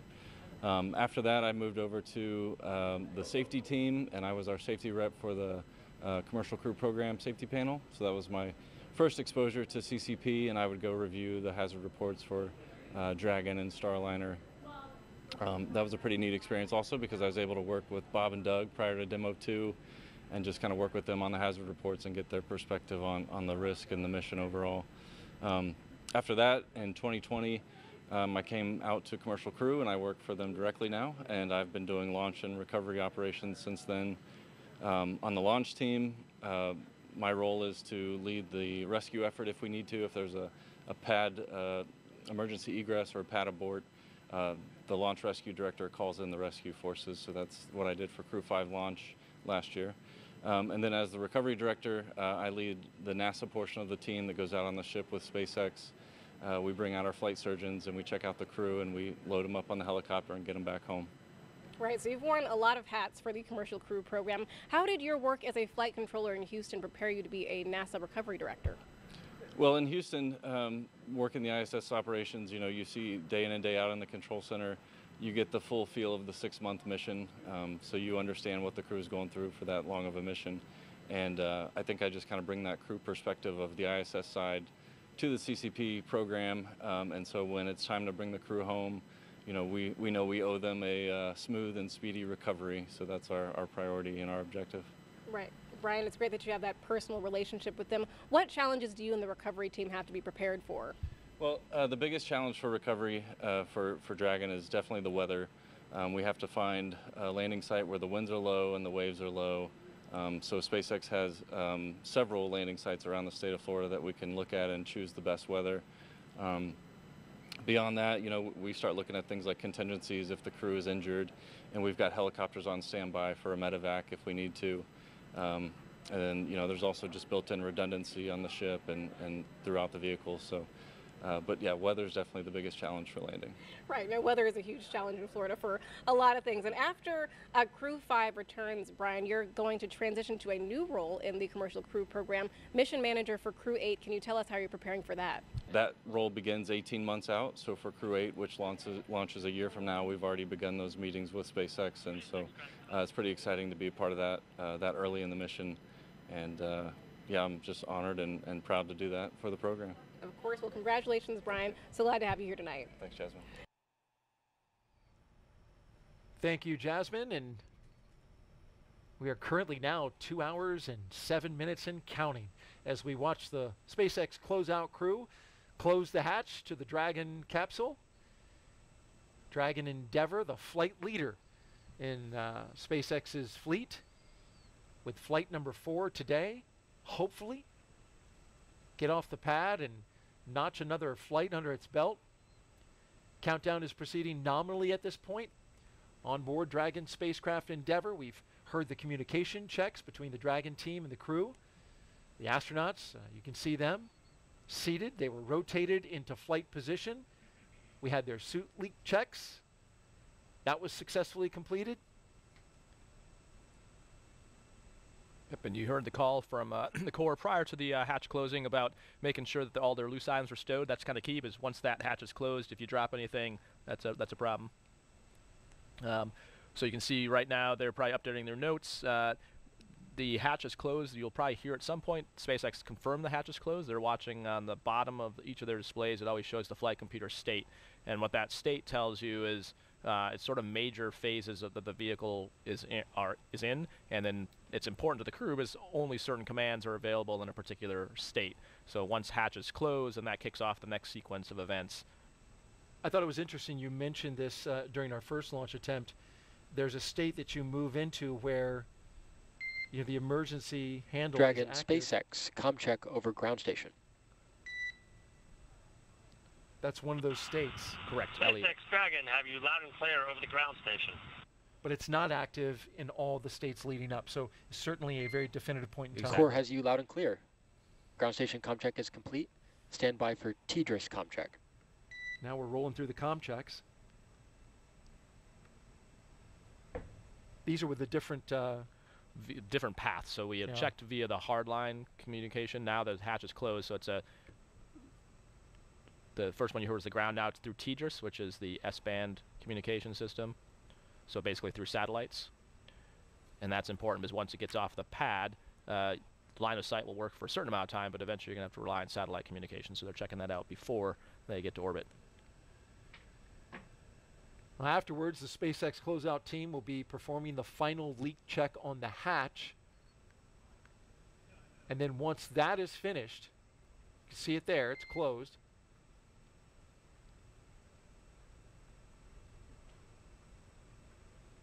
The team will begin steps to ready the access arm for Dragon, leak track. SpaceX, ComCheck. SpaceX Dragon, have you loud and clear? Core, loud and clear. TDRS ComCheck is complete. Stand by for ComChecks with DC, MD, and LD in the launch configuration. And so what they're checking now, the MD is mission director, LD is launch director. Dragon DC on countdown one, com check. DC Dragon, have you loud and clear on countdown one? DC loud and clear. Stand by for com checks with MD. Now, while this is Dragon, happening, MD on countdown one, com check.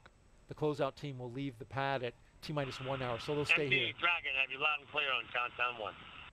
They'll be with them for the next hour, and then leave at T MD loud 60 and clear. minutes. Stand by for com check over Dragon to ground.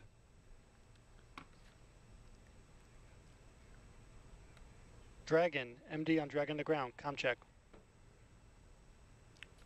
MD Dragon, have you loud and clear over Dragon to ground? MD loud and clear. Stand by for com checks with LD. Dragon, LD on countdown one, com check. LD Dragon, have you loud and clear on countdown one? LD, loud and clear. Stand by for com check over Dragon to ground. Dragon, LD on Dragon to ground, com check. LD Dragon, have you loud and clear over Dragon to ground? LD, loud and clear. Dragon, SpaceX. Launch configuration, com checks are now complete. SpaceX Dragon copies. And so those two nets you heard him talk about, uh, as you can imagine, in, in both Mission Control, MCCX, which is in Hawthorne, and then MCC Houston, uh, each of the flight controllers has a whole bunch of different channels they can be on. So Dragon to ground is what the crew is typically talking on, and there's a whole lot of other comms going on that the crew doesn't need to hear. But those key people uh, have a net that does talk directly to the crew that's not Dragon the ground. Countdown one is what they're talking on. And so for the launch, they tie those two nets together for the period of launch itself, uh, specifically to be able to tell the crew to initiate a launch escape. And uh, to your point, Derrol, you're exactly right. The handle that's between uh, Woody and Steve that you can't see in this view, it's up by the displays, is essentially like an ejection handle. So you can pull that and it'll initiate a launch escape. But exactly like you said, it wouldn't do it right now. You could pull the handle, nothing would happen. Um, so it is only armed, and that's we'll hear that later in the in the count uh, when they say LES armed, and that's why that's such a key thing. Was that handle is hot, which is the manual initiation, but that also means the automated system is hot, meaning if the vehicle detected something, it would also automatically initiate uh, a launch escape. Um, but the reason they tie all those people together uh, is, especially during ascent, um, you want the quickest word to the crew if there's something that would tell them they should manual initiate escape, and that's why they make sure that those uh, those loops are properly tied. So it's on the ground that they're doing that. It's pretty much Dragon, transparent to the crew. Commencing health check for launch escape system. Expect momentary flight computer state change, followed by transition back to pad hatch closed. There's that state change we were talking about. Right. SpaceX Dragon will be watching, thank you. And so why that's so they're not arming it yet, but what they're doing is checking the automated parameters. So they put it uh, into a mode to, to look at the automated triggers to make sure none of them are showing out of limits. Because right now, sitting on the pad, it looks it should be fine. So if there was something that's like a bad sensor or bad telemetry, you'd want to know that now Before. before you put it into automated mode and then inadvertently trigger an escape. So that's what they're checking. So just like we talked earlier in the broadcast about the TEA-TEB, you know, is it a bad sensor or is it actually a bad thing? That's what they're checking now, just to make sure there's no bad sensors in uh, the system that would initiate a launch escape. Curious, in your training, Raj, what what would constitute a, a moment where you would pull that handle versus it going off automatically? Uh, it'd be for like a something uh, where so there are, there could be some situations where the rate is low enough that you they you know you know something's wrong, but it hasn't hit the threshold yet to Mhm. trigger it. So waiting for the automatic system is just taking extra time, so you might as well manually initiate. There could be some cases of fires where you would do it, where you recognize it before. Uh, so especially like a fire, that might not trigger the automated system. I see, that or you can clearly see exactly, uh, or if there's a failure of the this, the communications, not the communication like talking system, but basically the communication path, the interface between the vehicles, Mhm. where essentially it eliminates the automation, and then you would manually do it.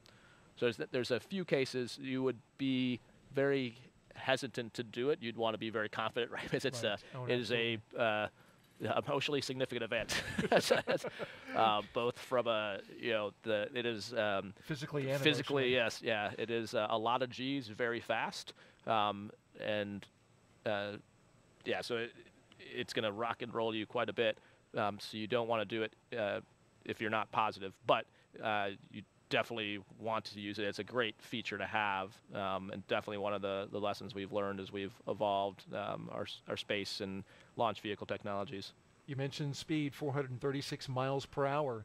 That system can get up and go, take you two and a half miles off the coast of uh, you know Florida here into the Atlantic Ocean, and uh, it could be a lifesaver uh, if the situation were to arrive. So this is certainly not child's play we're talking about here. This is uh, this is big time stuff uh, when it comes to space flight. But you know every Dragon astronaut crew, even though it's not child's play, does bring a stuffed toy with them.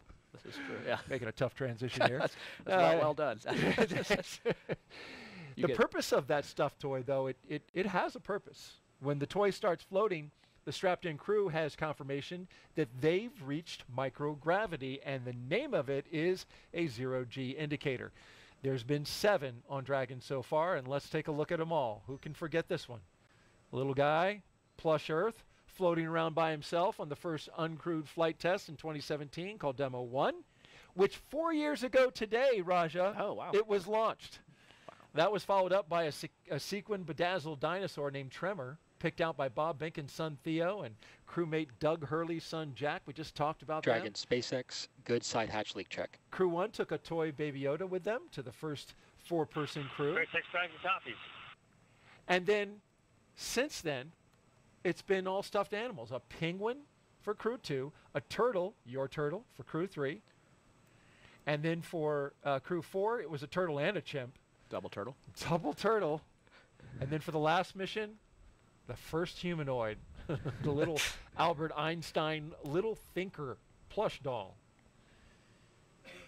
And so we didn't get to find out in our first attempt what Crew 6 is doing. Well, I'll be honest. I know.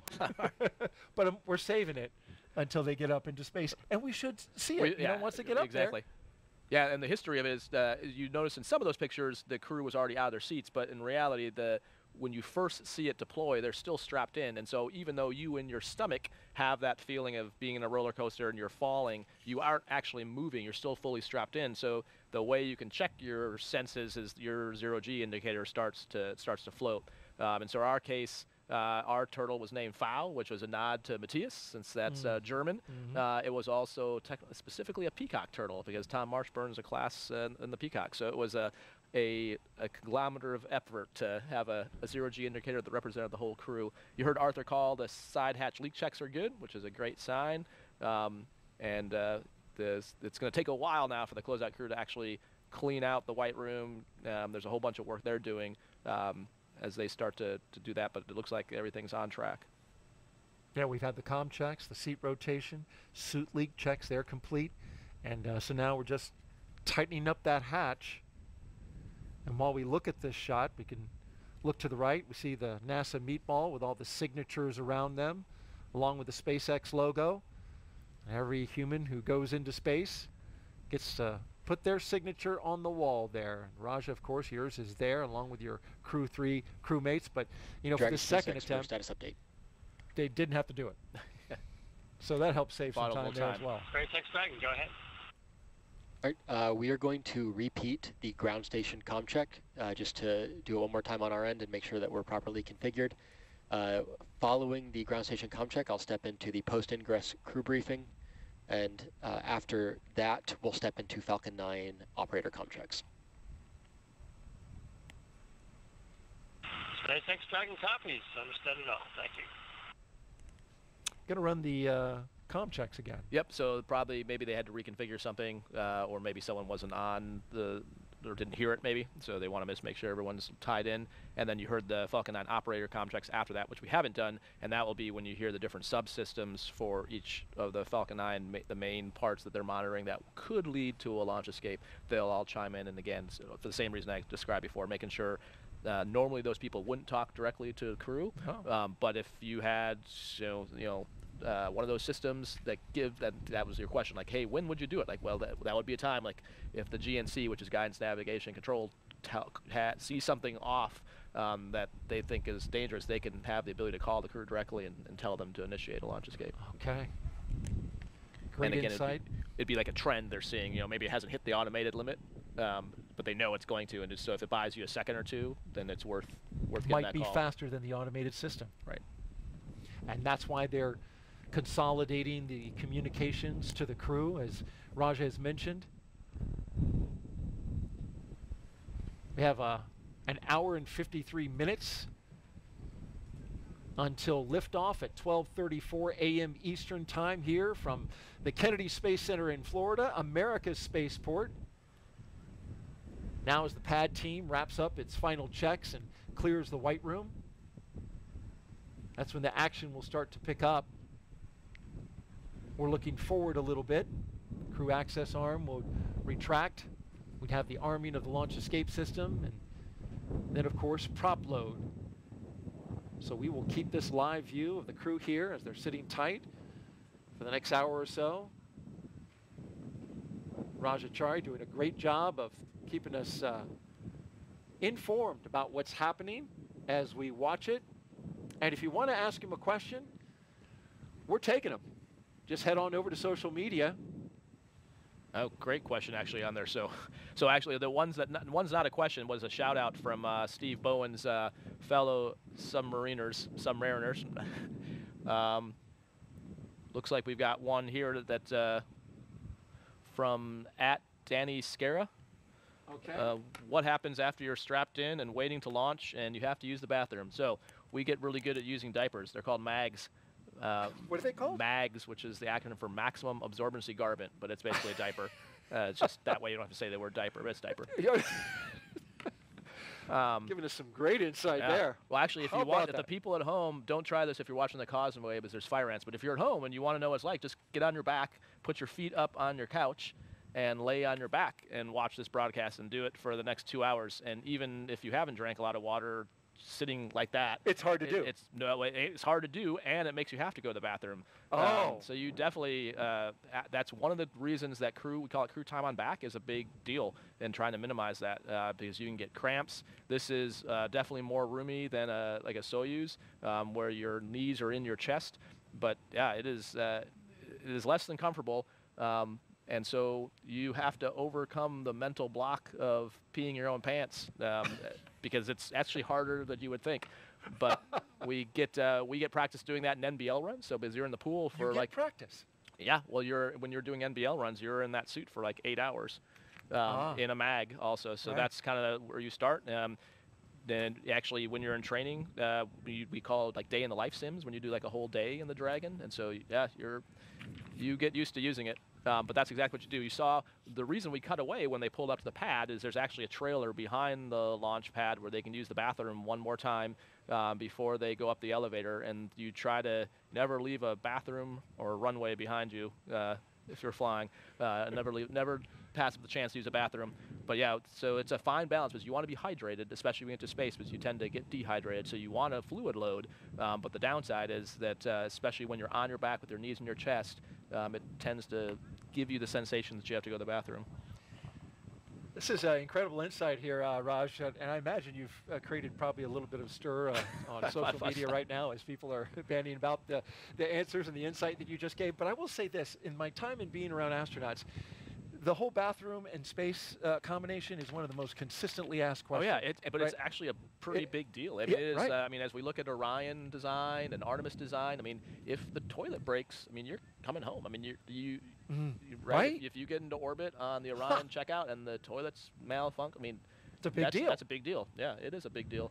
Um, I mean, it's if you look at uh, on the space station, that's one of the you know if the toilet goes down, that is all hands on deck to fix it because that is a big deal. I mean, if you've got seven people that can't go to the bathroom, things are you only have so many diapers. I can only imagine. Well, with that, let's head over now to Houston for a closer look at what the crew will be doing when they reach their destination, and that's where we turn to Courtney Beasley. Courtney? Thanks, Derrol. Once Crew 6 arrives at the International Space Station, they'll officially become Expedition 68 flight engineers. Once on board, they'll do something known as a direct handover, basically saying that Crew 5 and Crew 6 will be aboard the space station all together until Crew 5 comes home. Crew 5 will be able to give Crew 6 an orientation and show them the ropes, which might be particularly helpful for the three first time spaceflyers on this flight NASA's Woody Hoburg, UAE astronaut Sultan Al Neyadi, and Roscosmos cosmonaut Andrey Fedyaev. A direct handover also helps ensure a continuous U.S. presence on the space station, which is a record we've held for more than 22 years now. And as the station is first and foremost a laboratory, the crew will jump right into conducting experiments with new research still to be delivered on upcoming cargo flights. But for now, we'll toss it back over to Jasmine Hopkins, who's with NASA Administrator Bill Nelson. Jasmine. Thank you so much, Courtney. Yes, we're back here at Kennedy on the balcony of OSB2, and right now, so honored to be joined by Administrator Bill Nelson. Thank you for being here. It's another pleasure. Of course, we're always glad to have you back at Kennedy. And Bill, right before uh, we were tossed to you, actually just mentioned that you've been in the shoes of these astronauts before. That when you were flying on shuttle, you scrubbed it scrubbed four times. Uh, so, do you have any words of wisdom, any words of encouragement for the astronauts tonight? Well, um, words of encouragement. Enjoy yourself while you're laying there strapped in on your back, uh, trying to get off the face of the earth. But the serious words of encouragement is we don't fly until we think it's safe. And that was what was important about the first scrub. Uh, because it just didn't feel right. And NASA made the call. It was the right call. Uh, everything's looking good. Uh, the supposed uh, problems that they had before have all been fixed. And so I expect we're going to see a launch tonight. Right, we're all looking forward to seeing that launch tonight, Bill. And all the work that we're doing in low Earth orbit on the space station is really paving the way for deep space. So, what is next for Artemis? Well, we uh, have just this unbelievable opportunity now to go back to the moon, but this time it's different. First of all, we're going to a different place on the moon. It's the South Pole. And that's where we think the water is. And if you get to harvest water, all of a sudden you have hydrogen and oxygen. You've got rocket fuel. Uh, we're also going back for a different reason. We're going to stay there. We're going to learn to live, to work there, to invent, to create, all for the purpose that we're going to Mars. And uh, you know, the moon's just a few days away. Mars is months and months away. And so that's why uh, this is so important for us to get back to the moon. It really is important. And right now, we're also focusing on going together. Uh, in the Commercial Crew Program, this is the second time that we've partnered with uh, Roscosmos, but the first time that we have a UAE astronaut on board. Can you talk about how these international partnerships really help NASA's mission? Uh, it's a different uh, mission. You pointed it out, not only, by the way, with our international partners, but with our commercial partners. Because when we go to the moon with the NASA rocket, we're going to go into lunar orbit and we're going to join up with a SpaceX lander. And then our crew will then go down to the surface for six days. Uh, so it's, it's a whole new kind of program. Now, internationally, this has become a big deal. You just can't imagine the enthusiasm around this globe with our foreign friends how popular NASA is. And they all want to be a part of this program, and most of them are. So tonight we have UAE and Russian astronauts, but uh, look up on the station right now. Uh, they're not only Russians, but there are uh, there's also a Japanese astronaut up there. And so uh, it is a very international program, particularly on the space station, uh, because there we've got 16 international partners. Right, it really is important. We go further when we go together. Administrator Nelson, thank you so much for being here tonight. Thanks so much. Of course. Derrol, back to you. Thank you, Jasmine and Administrator Nelson. And we are now T minus one hour and 44 minutes from launch as we uh, look at the pad here. Dragon on top of a Falcon 9 with the crew access arm attached at the moment, but getting ready to retract. As we look at it now, we want to also take a closer look at some of the life-changing science that astronauts are performing aboard the destination, the International Space Station. The International Space Station is a state of the art microgravity laboratory that is unlocking discoveries not possible on Earth and helping us push farther into deep space. Every single day, we are answering big questions about Earth and about space, about where we came from and about where we're going. But the other thing that we're doing is we're learning more questions to ask. Microgravity turns almost everything we know upside down. Liquids behave completely differently. Fire burns in new ways. Biological systems reveal surprises. There's a few things that have made me gasp out loud up on board space station. Watching heart cells actually beat has been a pretty big one. We're studying ways to grow food in microgravity. I got to tell you, these uh, these are pretty amazing. We're learning how human bodies react to life in space and how to keep crew members safe and strong on long duration exploration missions. Deadlifts are awesome on Earth. They're also awesome in zero gravity. We're testing technologies that will be critical to our return to the moon and great leap to Mars. Our research has contributed to medical and social benefits on our home planet, allowing us to find new ways to combat disease back on Earth and develop technologies to deliver clean water to remote communities in need. The spectacular vantage point of more than 200 miles above our planet supports our monitoring of Earth's climate, natural disasters, and plant life. The orbital perspective that we have here on the ISS is just absolutely amazing. Earth is gorgeous. The growing new space economy, so vital to our continued progress in space, is flourishing in low Earth orbit. We're inspiring future generations from a platform that is one of the largest international collaborations of our time. We're doing science at 17,500 miles per hour. Come along for the ride.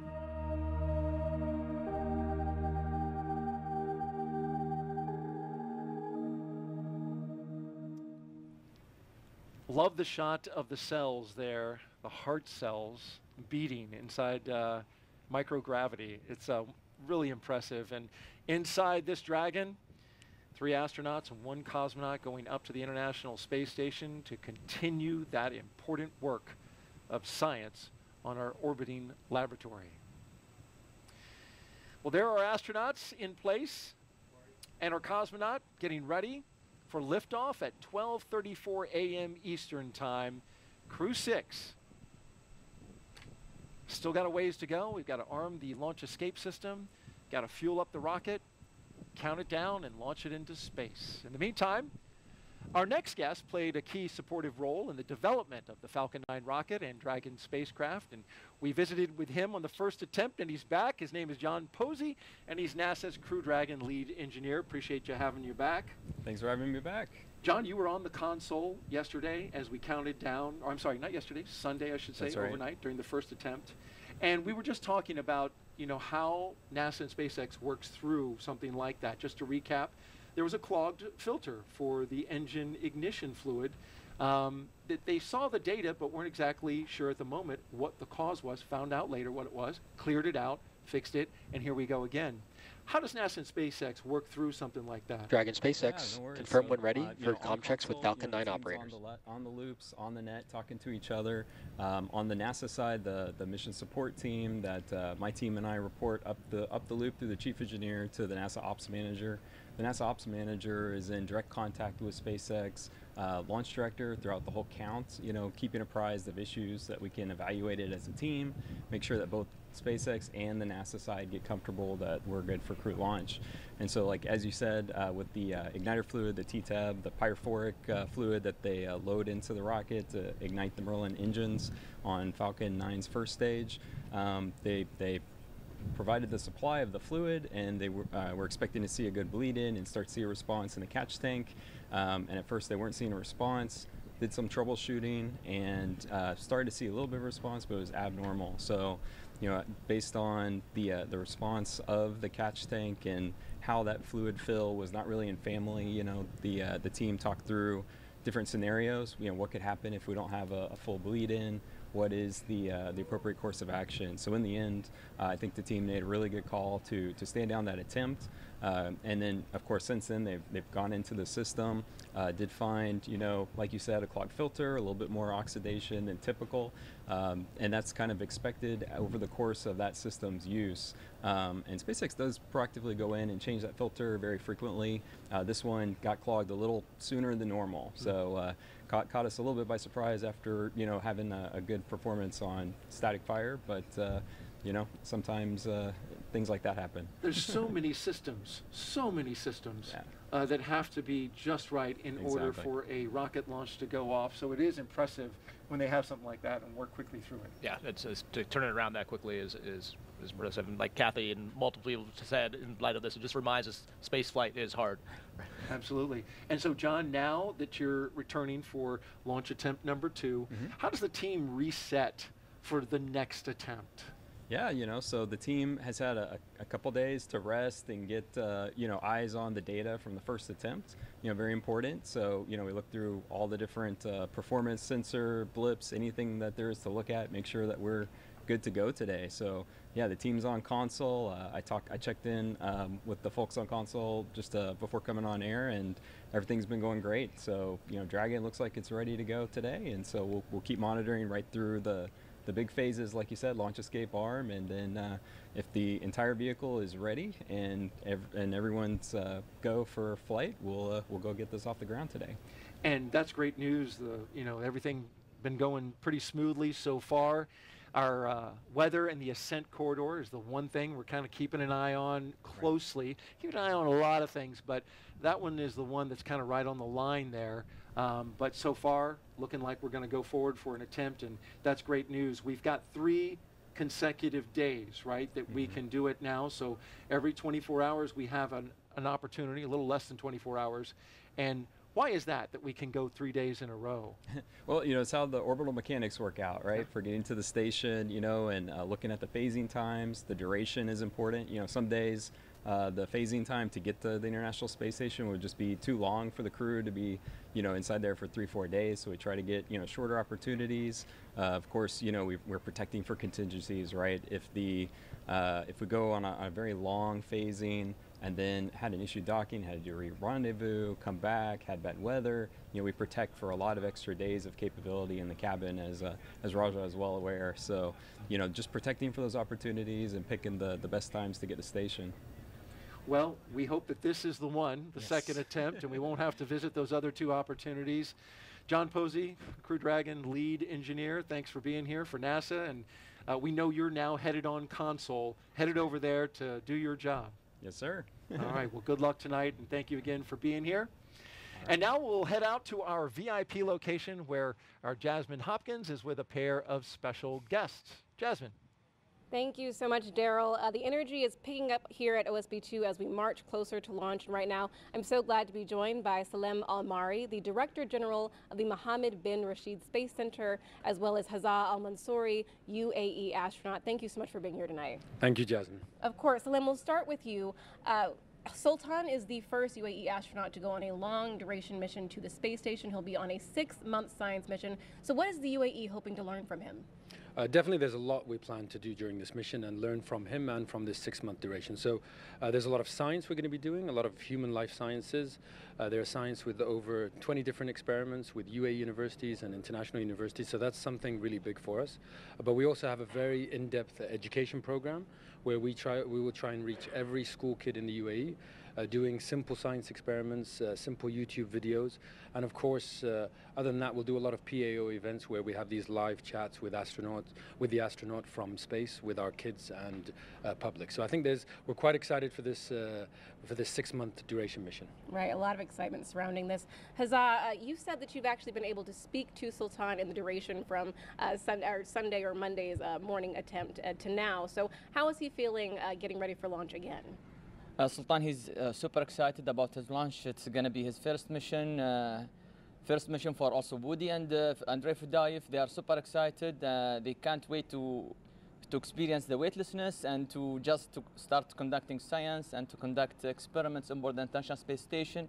It is a really beautiful night for launch, so hopefully it's going to happen today, and uh, we are looking forward to see them floating within a couple of hours.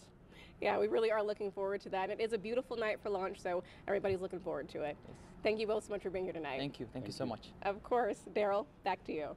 All right. Thank you, Jasmine. And we are now T minus one hour and 33 minutes until liftoff of Crew 6 from the Kennedy Space Center here in Florida. You're watching live coverage of the Crew 6 launch. We monitoring heard. the crew inside, and uh, we've had some great, great interviews. But in the interim during that time, we heard that we're working no issues, and the team is moving forward through the countdown. Yep, and we heard uh, good com checks. You heard uh, earlier, right before we interviewed uh, John, that they were going to redo the ground checks. So it sounds like those were done successfully, and uh, all checks were good. And uh, yeah, as you saw, you know, we mentioned in that ISS video the science going on there, and you can see underneath Woody's feet just some of the science.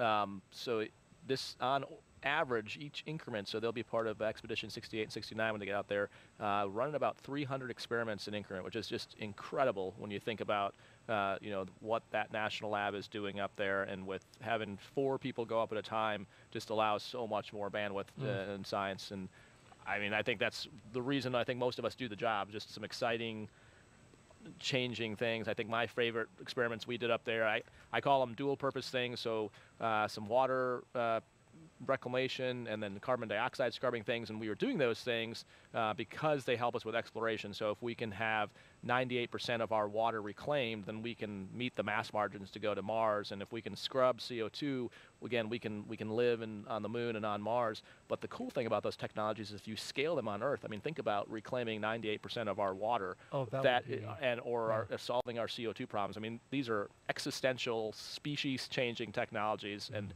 just to the you know that we're just starting to get into the fundamentals of. And if we can solve some of those problems, I mean, the the impact uh, NASA can have just on, on the world, let alone the solar system, is, is mind-boggling. So I think that's, to me, why I love this job and why I think so much of us love doing this and the things you can discover in a microgravity environment. Um, even even simple things like uh, we did a concrete hardening experiment when I was up there. I remember that. which. I thought at the time was like, how? Why are we I'm sorry for whoever the poor scientist. Like, how lame is this? Watching literally watching concrete harden. But Matthias, who's a brilliant materials uh, scientist, explained to me. So that the, the reason we were doing it was to be able to use regolith on the surface of the moon to build structures. But the other cool Earth science part is apparently concrete hardening releases CO2, and it's a ridiculous amount of carbon we put in the in the atmosphere on the Earth Huh. just from the process of it hardening. So one of the side benefits is this is figuring out better ways for concrete to harden. And you think about all the developing places in the world, if we just gave them a simpler concrete formulation that didn't emit greenhouse gases, again, just game-changing stuff. So uh, really cool that you know each increment is going to do that, and this national lab is just paying huge dividends. Besides teaching us how to live and work in space and get to the moon and Mars, but also changing our life uh, every day. There have been spin-offs from space ever since you know the space program came into existence and it's amazing to hear just how many continue to come and benefit not just us but humanity Yeah, and it's uh, I mean that's actually more data than we know what to do with. One of the common problems, or not About problems, but people are like, "What's what's the most important experiment you did?" Like, I, it's hard to say. I mean, every every day we're doing someone's life's work, some university's you know, years of research, and we get to be the ones that actually finish the execution of it. So it's just an amazing experience up there. And what a privilege to Yeah. be able to do that. We are currently at T minus one hour and 30 minutes until Dragon flies its next four person crew to the International Space Station. The astronauts, as we can see earlier, and now as we look at the spacecraft, there they are. Commander Stephen Bowen, pilot Woody Hoburg, and mission specialist Sultan Al Neyadi and Andrey Fedyaev. In their seats, they're strapped in, ready to go. And along our, launch, our launch timeline at the moment, we're getting ready to have those launch escape system and communication checks conducted by the Falcon launch team. And we'll be listening in for that call out. Yeah, so the closeout crew is presumably still working uh, items there, and we expect around uh, at T minus an hours when they would probably start departing, um, and then that, that gives them time to clear out the uh, what we call the hazard zone uh, before they start working the, the the launch escape systems.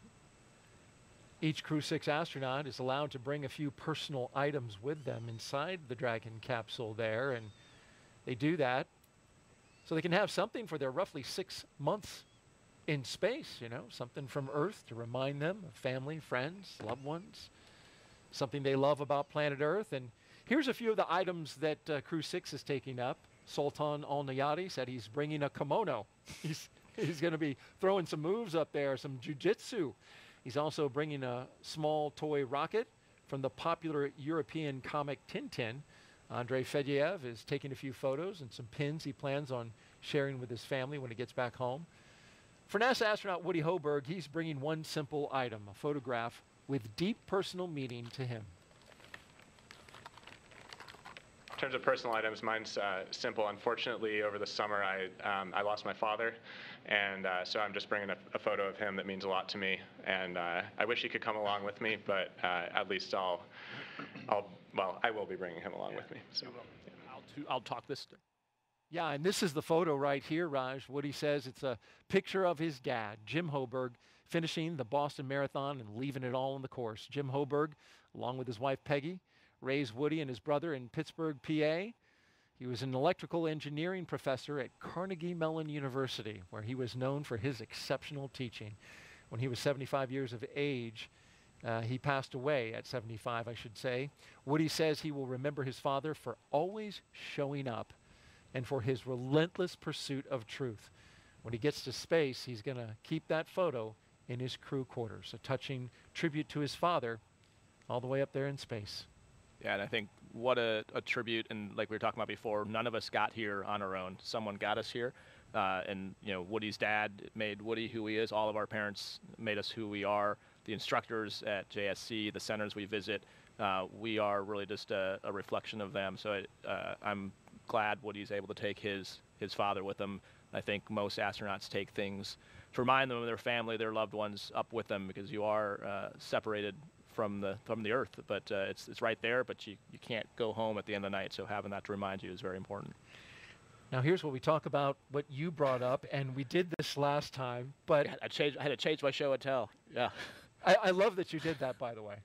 What do you have? So uh, I, I, last time I had my academy shirt, I also had a high school shirt. So uh, my, you brought two shirts. I had two shirts. Yeah. Okay. So what, what, do we have? Columbus here? Sailor. So from from okay. Waterloo, Iowa. Yeah. So I grew up Waterloo, in Iowa. Iowa. That's right. My high school shirt. One thing. So we sh- we showed these last time. Yeah. The, um, showed my space retainer, retainer. which my, I was that. also not supposed to bring back. How can I forget? Um, so I did. I showed last time we had uh, the RMO for our mission. The other one I brought up. So my wife works for the Department of Veterans Affairs, and that's obviously near and dear to my heart, the Oh. agency itself. So Yeah. I brought up uh, an RMO or a s- coin. I'll say it out loud, but uh, from from the Department of Veterans Affairs.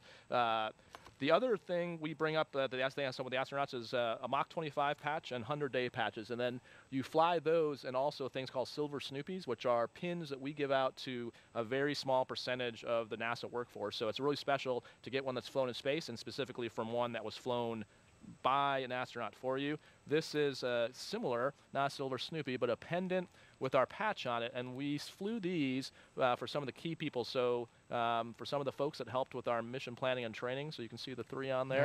Yeah. Um, and so That's ones that are sharp yeah, ones that are flown in space are obviously highly sought after. Uh, cards for my kids, I had lots. Oh, of I didn't see this Yeah, one. these are different ones. I, I, I had lots. My my my wife is, is definitely my better half, and so I had all kinds of cards and notes for my kids, including look at this, look at uh, what this one says right here. Can't wait. Yep, and a little landing one in the water. This one's the planets, complete with the rings of Saturn. yeah. Yeah. Well, you know she loves her daddy because right here, this is the capsule. It says Crew Three on it, and here are the kids at the bottom, and they have a little. They're saying, "It's Dad coming home." oh my gosh. And then an interesting one we didn't talk about. We talked about what uh, Nick Hague Ninja 12 is helping, uh, but so a lot of us fly up with glasses. I don't wear glasses, but um, people have heard the term SANS. So your eyes, your vision shifts in space, and so what happens? It shifts. It shifts. So what happens is the fluid in your body pushes up. And what can happen? Or This is the leading theory. So we're actually still trying to figure out exactly what what happens. Hmm. But the leading theory is that that fluid pushes against the back of your cornea and it changes the shape of your eye. And so they fly us up. So I actually these are glasses I had with me in the Dragon. Uh, in the event that my vision shifted enough that I would have a hard time reading the Wanna displays. Put those on real quick and show us what that uh, look is I think like. you're just trying to humiliate me now. Yes. I, now I can't see the screen though, the teleprompter, so I'm going Oh, to take them back yeah, off. But yeah, quite, I can see uh, up close really well. That's what it's meant for is is up close vision. Yeah. And and the strap, of course, to hold it on your face. Exactly. This, this uh, is the space the space strap. the yeah, space of exactly. Well, space modified glasses. But did you have to use them? Uh, so actually, I used about my my near vision did get worse, but not bad enough I couldn't see dragon displays. But it would stress, it would fatigue my eyes using the laptops on station. So for about the first, from like uh, like the first month, I'd wear them, and then my eyes adjusted and I stopped wearing them. But for about a month, I would just to avoid eye fatigue. And then once I got back, they they generally go back to normal. And well, that's good. And uh, we continue to work on finding out. We do, yes. What exactly the cause is. Uh, Well, especially because that we know they well they generally go back to normal, but that's why we need more long-term data because we don't know on a two-year mission to Mars like would it would it go back to normal? Are we are we confident? But what would happen there? Well, Exactly. That's good stuff. Thank you for sharing Yeah, the no problem. new. I don't. Hopefully, we won't have to get to a third Hopefully one. not. We have to dig up some more stuff. But we appreciate your wife giving us a fresh supply of stuff you took to space. Thank you very Yeah. much. Well, when they aren't launching into space or working hard to prepare to go into space, the NASA Astronaut Corps, well, they try to find time to watch their friends go into space. And uh, you would know that. Yeah, so even so, I'm here, but uh, you know, we saw Nick uh, as Ninja 12. We saw Ike Glover helping with the family sport. We saw Joe Acaba, the chief. Sharon. Uh, This is when they were getting ready to right, go exactly. out, yeah. So the office is spread out doing all kinds of things. You have, uh, you know, last time Reid was up with the administrator. Reid um, Wiseman? Yeah. Exactly. So we are all over the place. But even if you're not, you're probably online or at home watching. And so I was going to try to dial in. So Woody, as we talked about, uh, is sitting in a seat that's been used before. So I was going to try to get. You're not calling Woody, are you? I'm not. Well, I don't think I could try call. I don't know the answer. I'm She's a- I'm she's on the line. Awesome. Let's try. All right. Yeah. Okay. So we got Megan McArthur on the line, who flew on Crew Two that I got to train with. And so, M- Megan, can you can you hear me? Okay. Hey, Russ, I got you loud and clear. Hey, awesome to talk to you. Thanks for calling. so Megan's at home in Houston watching the launch, um, and we're yeah. You might have better ideas about what they're doing. Uh, I think you guys came up with a game to kill some time while you're waiting for the closeout crew to leave. Yeah, well, it's been it's been enough time that you know when you first get in, of course, you're all business and you go through your checklist and you review the nominal timeline and you you uh, of course review the contingency actions that you might have to take. But uh, but now you're into just the wait. You're just and uh, you know I was lucky enough to fly with a really fun and fun-loving crew, and so um, we just we set about entertaining each other. and, uh, we had Thomas, kind of our Julie, the cruise director, and he had us playing a, a variety of different games that I'm not sure if he made them up or these are French games or what, but he, he kept us well entertained. It looked like the French version of rock paper scissors. I'm not sure if that's what it was, but well, that's what yeah, so it's called the game of thumbs, and I won't I won't um, strain anybody by trying to say that en français, but uh, the game of thumbs, and so yeah, it's a little bit like rock paper scissors. Well, Megan, you're watching us. Uh, you know, get ready to launch Crew Six, and uh, of course, you know you were you were on Crew Two, and and what a mission that was. And uh, uh, what's it like to to be where you are, kind of relaxing, uh, getting ready to watch the astronauts go up? It's it's so exciting. It's so much fun to see your friends go into space.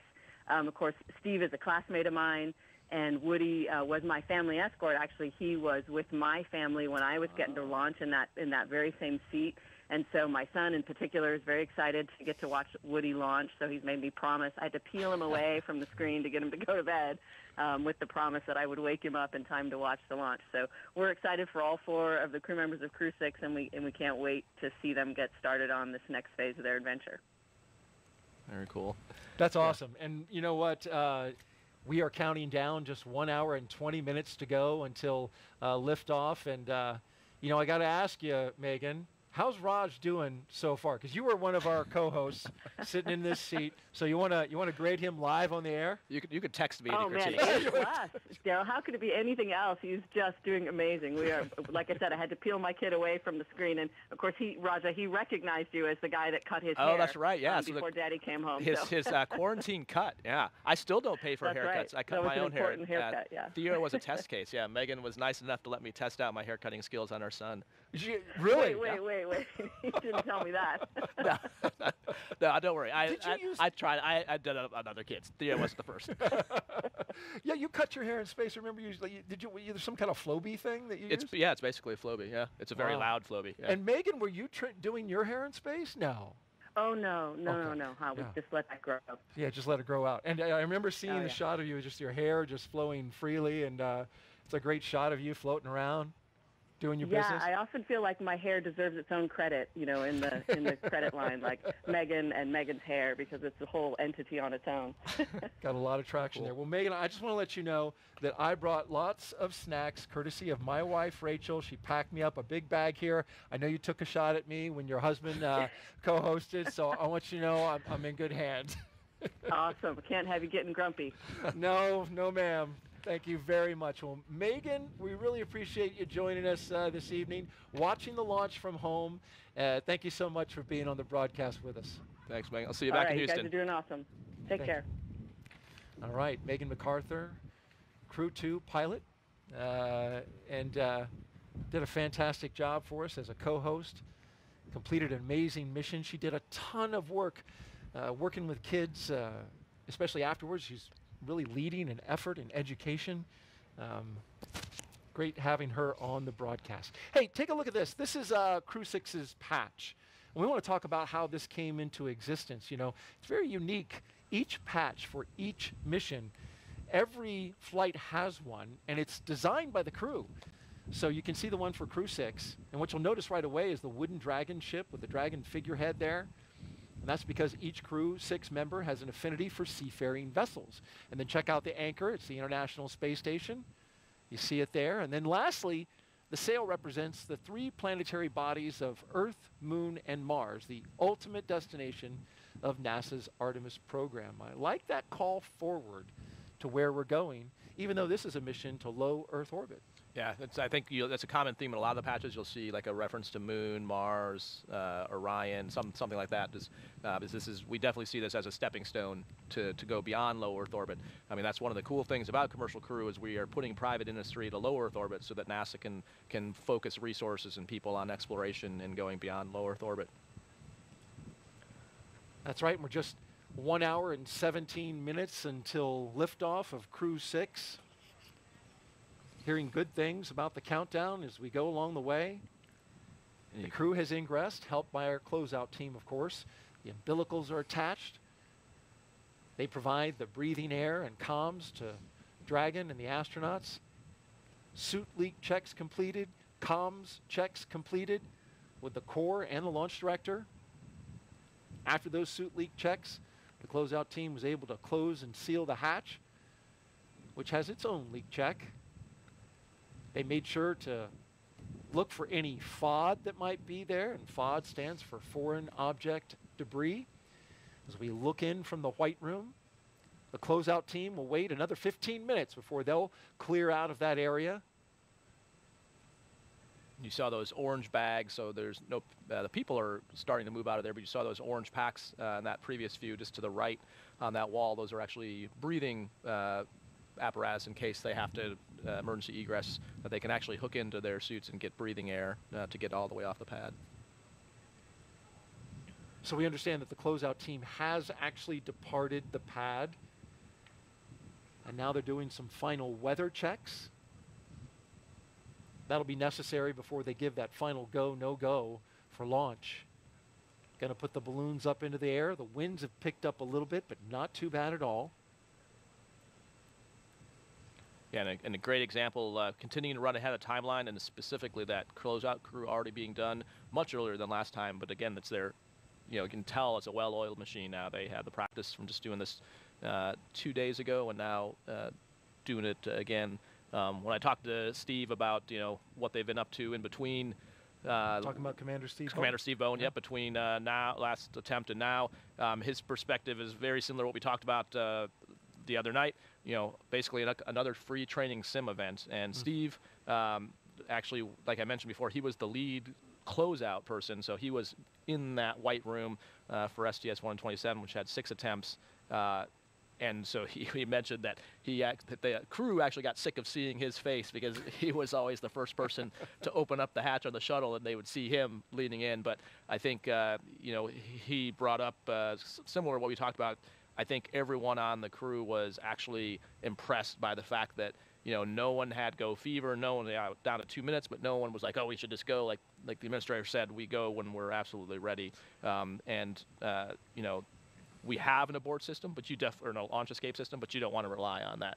Uh, you want to rely on making the right engineering decision. Um, and so he actually, you know, talked about the fact that uh, you know, yes, it's the sixth operational crew mission, but every one of these missions is really a test flight. We're always learning new things. Now we learned about uh, you know oxidation rates of TEA-TEB right. line filters you know? So you're always learning something new. Um, we talked last time about like even the the procedures they're using. So they're in a procedure called 4.100 and just in the last launch to now they've changed the section numbers of that. So we're always iterating and improving and trying to figure out ways to to do it better and more efficiently like you mentioned tonight we're doing things in parallel which is why now we have some time so um, it seems like we're ahead, but if we had had a problem with the side hatch closer or had had a problem with the leak checks, we, this would all be time that we could use now to, to not be rushed. Um, so it's, uh, it's great to keep iterating and practicing and learning.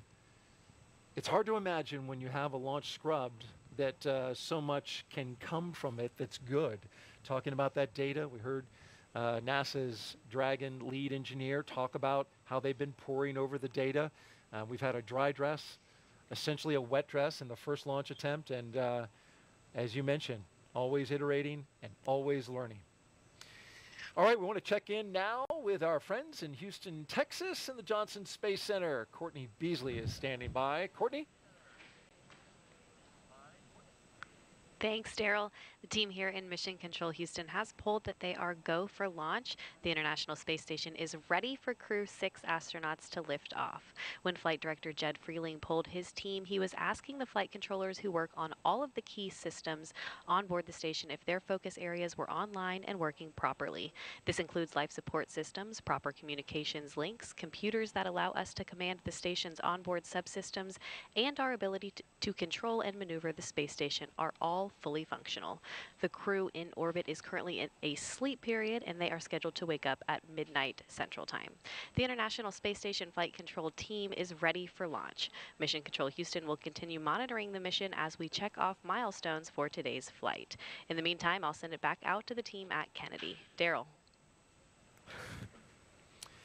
All right, a beautiful shot from uh, high above the Kennedy Space Center, going by the VAB as we look out at Launch Complex 39A. During the previous launch attempt, I want to recall this. Roger told us that dragonflies during dry dress is a good luck charm. Well, after the scrub, I was watching you know, the Yes. Starlink launch. What do you see there? Looks like some looks like some insects flying by, maybe dragonflies. Yeah, I can't tell if they're uh, insects on the screen or there you go. There- Yeah, there you a buzz. Right, they were they were buzzing my phone. I thought it'd be a good idea to put some dragonflies in For the some show. good luck. I like it. Yeah. Is that going to bring us some good luck? I sure hope so. Well, let's hope so indeed. One hour and 11 minutes, uh, counting until liftoff. Let's check back in with Jasmine Hopkins, who has a special guest. Thank you so much, Derrol. Joining us now is Kennedy Space Center Director Janet Petro. Thanks so much for being here, Janet. Thank you, Jasmine, for having me. We're always happy to have you. And you know, right now we're, we're preparing for Take Two, second launch attempt of Crew 6, but this is something that the Kennedy workforce is built for, really. I mean, we're very agile. Can you speak to that? Yeah, sure. So, uh, you know, last year, 60th anniversary, we went through this with Artemis, not just uh, uh, two times, but we did it three times successfully, launching the third time on November um, 16th. So, launch is hard, the whole process, and we got to get it right. Um, you know, they say, you know, you'd rather fix a problem on the ground than um, launch and then have a problem in the air. So the team, um, you know, the NASA team along with the SpaceX team has worked really hard. We had our uh, Delta launch readiness review um, late yesterday evening, worked through the issues that we experienced on the first one, and we're ready to go tonight, Jasmine. That is what we want to hear. It's good to hear that we are looking good for launch tonight, Jan. And you just mentioned that 60th anniversary. Was our diamond anniversary last year. Uh, to think that we've been here six decades, what is Kennedy doing uh, to continue growing and improving? So the first 60 years, you know, it started, Kennedy was with Apollo, and then Diamond Anniversary last year, Artemis, first launch of Artemis, going back to the moon. But, you know, as a spaceport, we really have come into our own. We've really um, brought a lot of the commercial industry here to launch. Um, 97, uh, 94 launches on the manifest this year. Um, we had 57 last year, like you mentioned, 31 the year before that. So we are growing. We obviously are a very popular place, not just because of the geography, but the services that we're providing at the center to our commercial partners and customers. Um, we're working very hard to make it easy for them to launch and to provide them the best services. And I got to brag for a moment. Uh, we have a spaceport integration team. They coordinate with the um, uh, 45th uh, SLD, the Space Force side.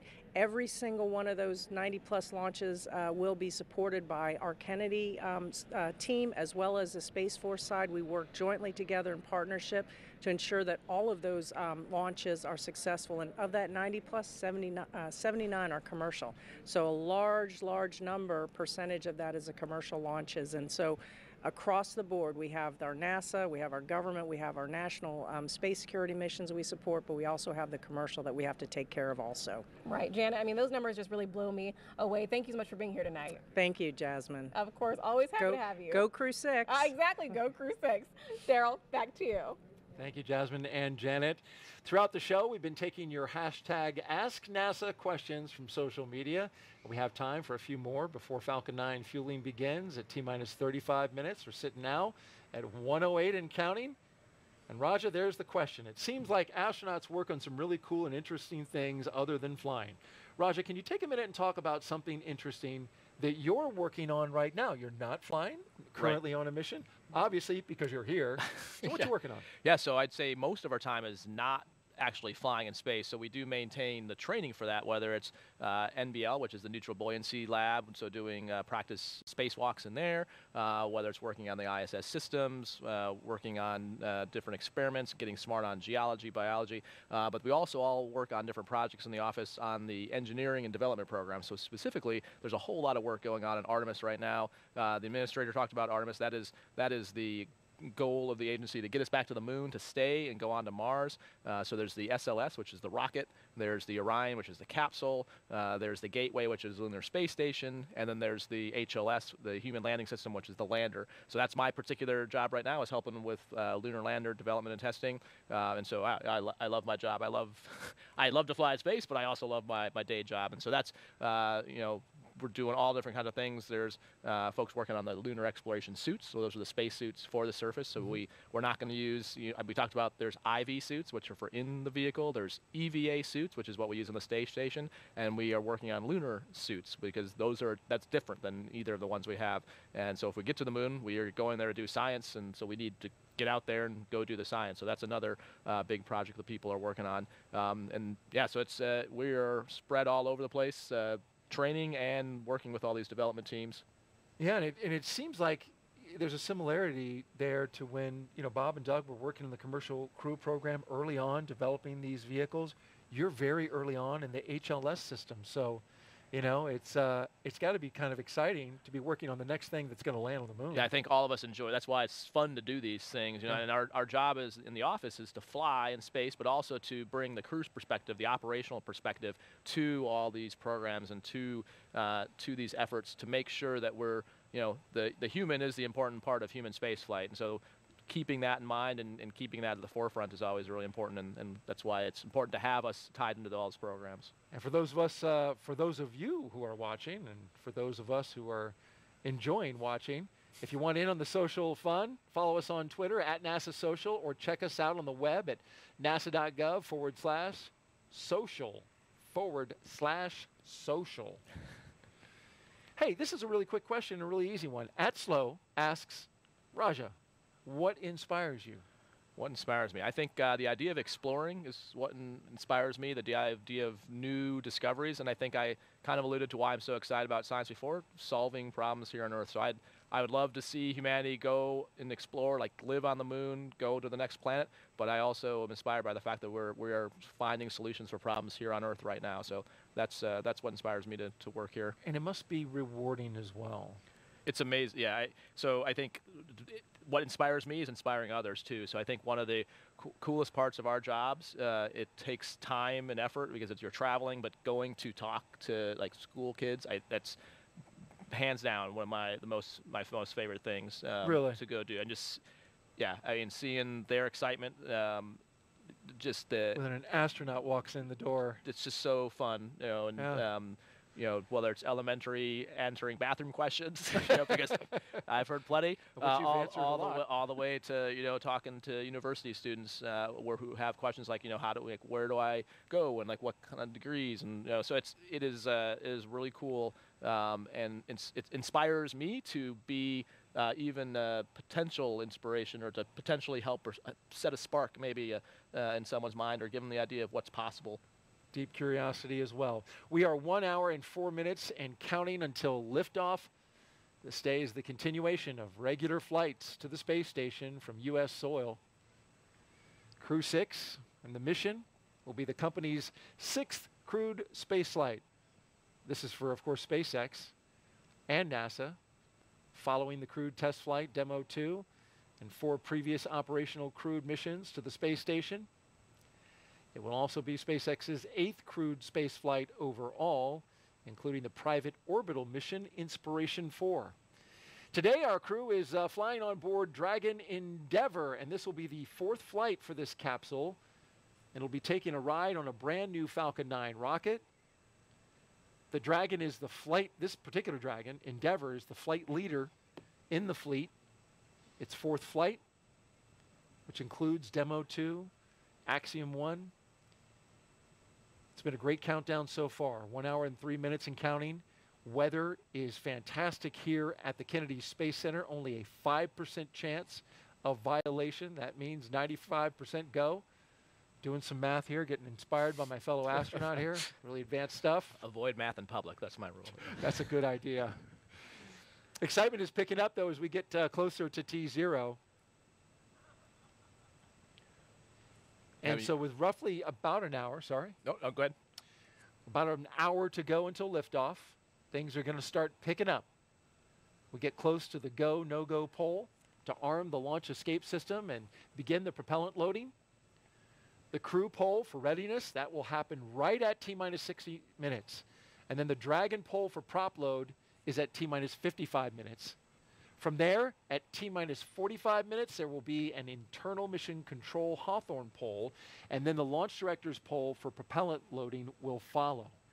When we get to about T minus 40 minutes, the crew access arm will retract, and the crew will get the call to close their visors and to arm the launch escape system. I'm going to walk you all the way through it.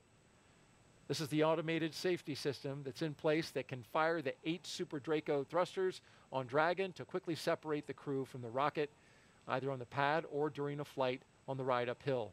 And then, once we reach about T minus 35 minutes, propellant loading for the Falcon 9 will begin.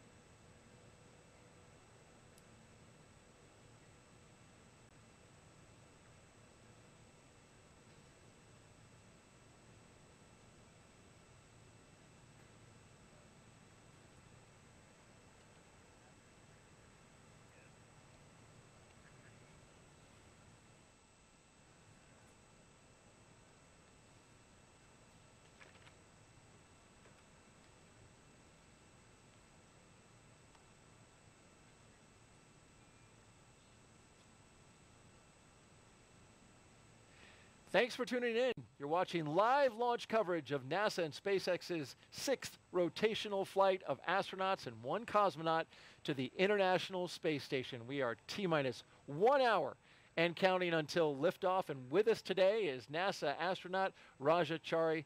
Raja, thanks for coming back. Yeah, glad to be back. Hoping to see my first launch. Indeed. And if you didn't know, Raja is getting ready to witness his first launch. He rode on a rocket as we turn the corner from the vehicle assembly building to show off the launch pad just beyond it. Oh, this is a great shot. The big reveal. Look at that. It certainly oh, is. cool. There it is, the Launch Complex 39A, holding for a 12:34 a.m. Eastern Time liftoff. And so right now the crew is uh, going through kind of mentally, uh, you know, probably looking forward to the prop Dragon timeline. SpaceX, and you can cycling them about to orbit tank isolation valves to equalize low flow pressure. SpaceX Dragon copies for Washington. Quickly explain what that is. So give them that call. So uh, a lot of times, whenever they're going to do something with any prop loading or valves, they'll give the crew a heads up. So if they hear the sound or feel the vibration, that they know that that's planned. So they usually give them a call prior. Uh, you mentioned that it's about to get a lot busier on the loops as they start going through some go no go polls and uh, talking to the crew. And so they are looking ahead in what's called the event details, and they have probably two displays up. One that's event details, one that's in procedure 4.100. They're sitting in 4.100 waiting for the poll to say that they can arm the LES, the launch escape system. And on the timeline, they're probably looking at what the prop loading steps are and just kind of anticipating what's coming up next, probably scrolling ahead to kind of talk through the launch sequence and using this time to basically what we call chair fly, uh, talk through. Dragon uh, SpaceX, you are go for section five. When ready, report go for launch. All right, picking up Sector 5, preparation for LES arming.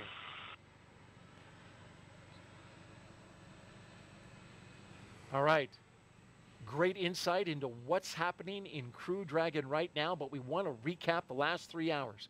Our crew of Stephen Bowen, Woody Hoburg, Sultan Al Neyadi, and Andrey Fedyaev have been getting ready to launch into space after waking up and having a meal.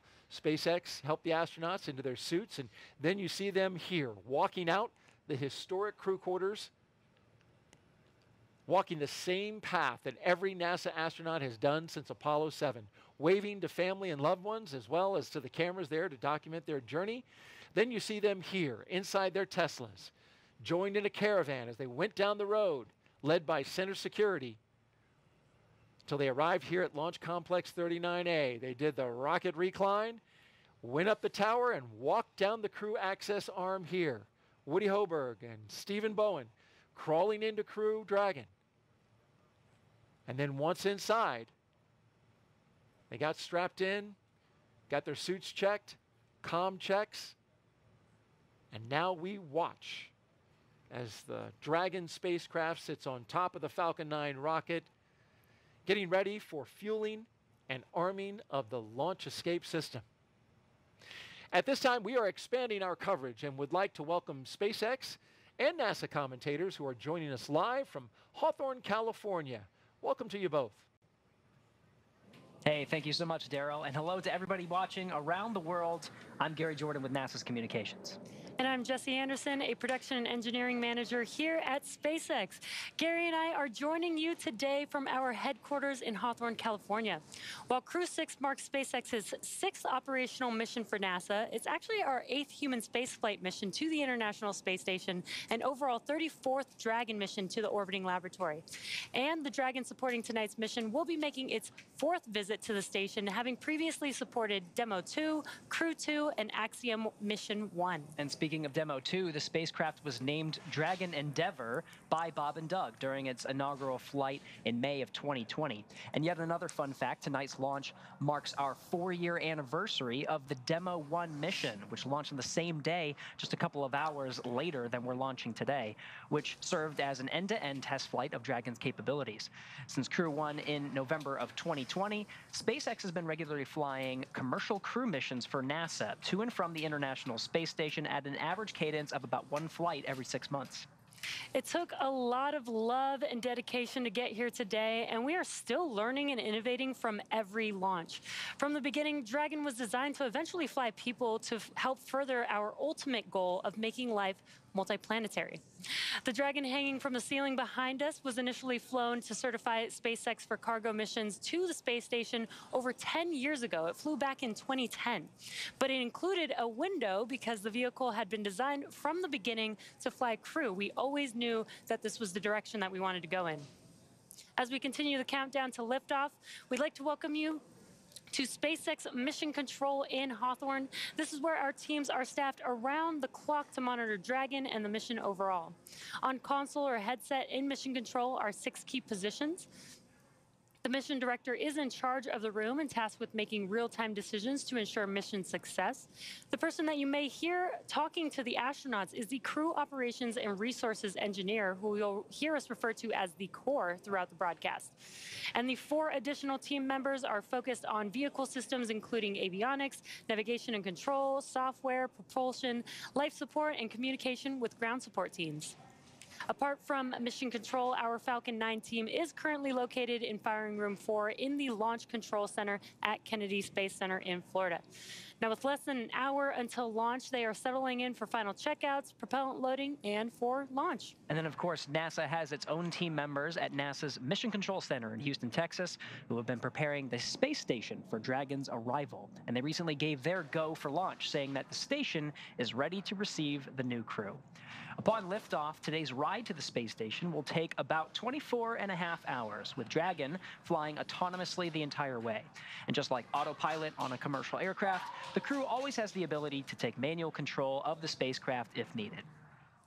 Now at under T minus 55 minutes, we are looking good for an on-time liftoff, and our very own incredible Kate Tice has been monitoring the progress of the countdown.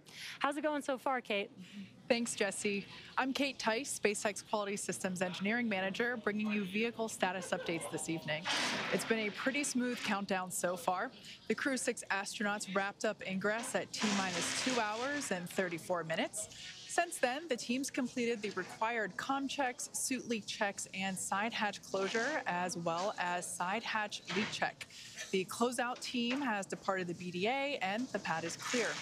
Now, as for Falcon 9, our two-stage reusable rocket that you see there on your screen, final propulsion checkouts of first and second stages began a few minutes ago in preparation for propellant loading. This involves testing valves and engine pneumatic pressurization.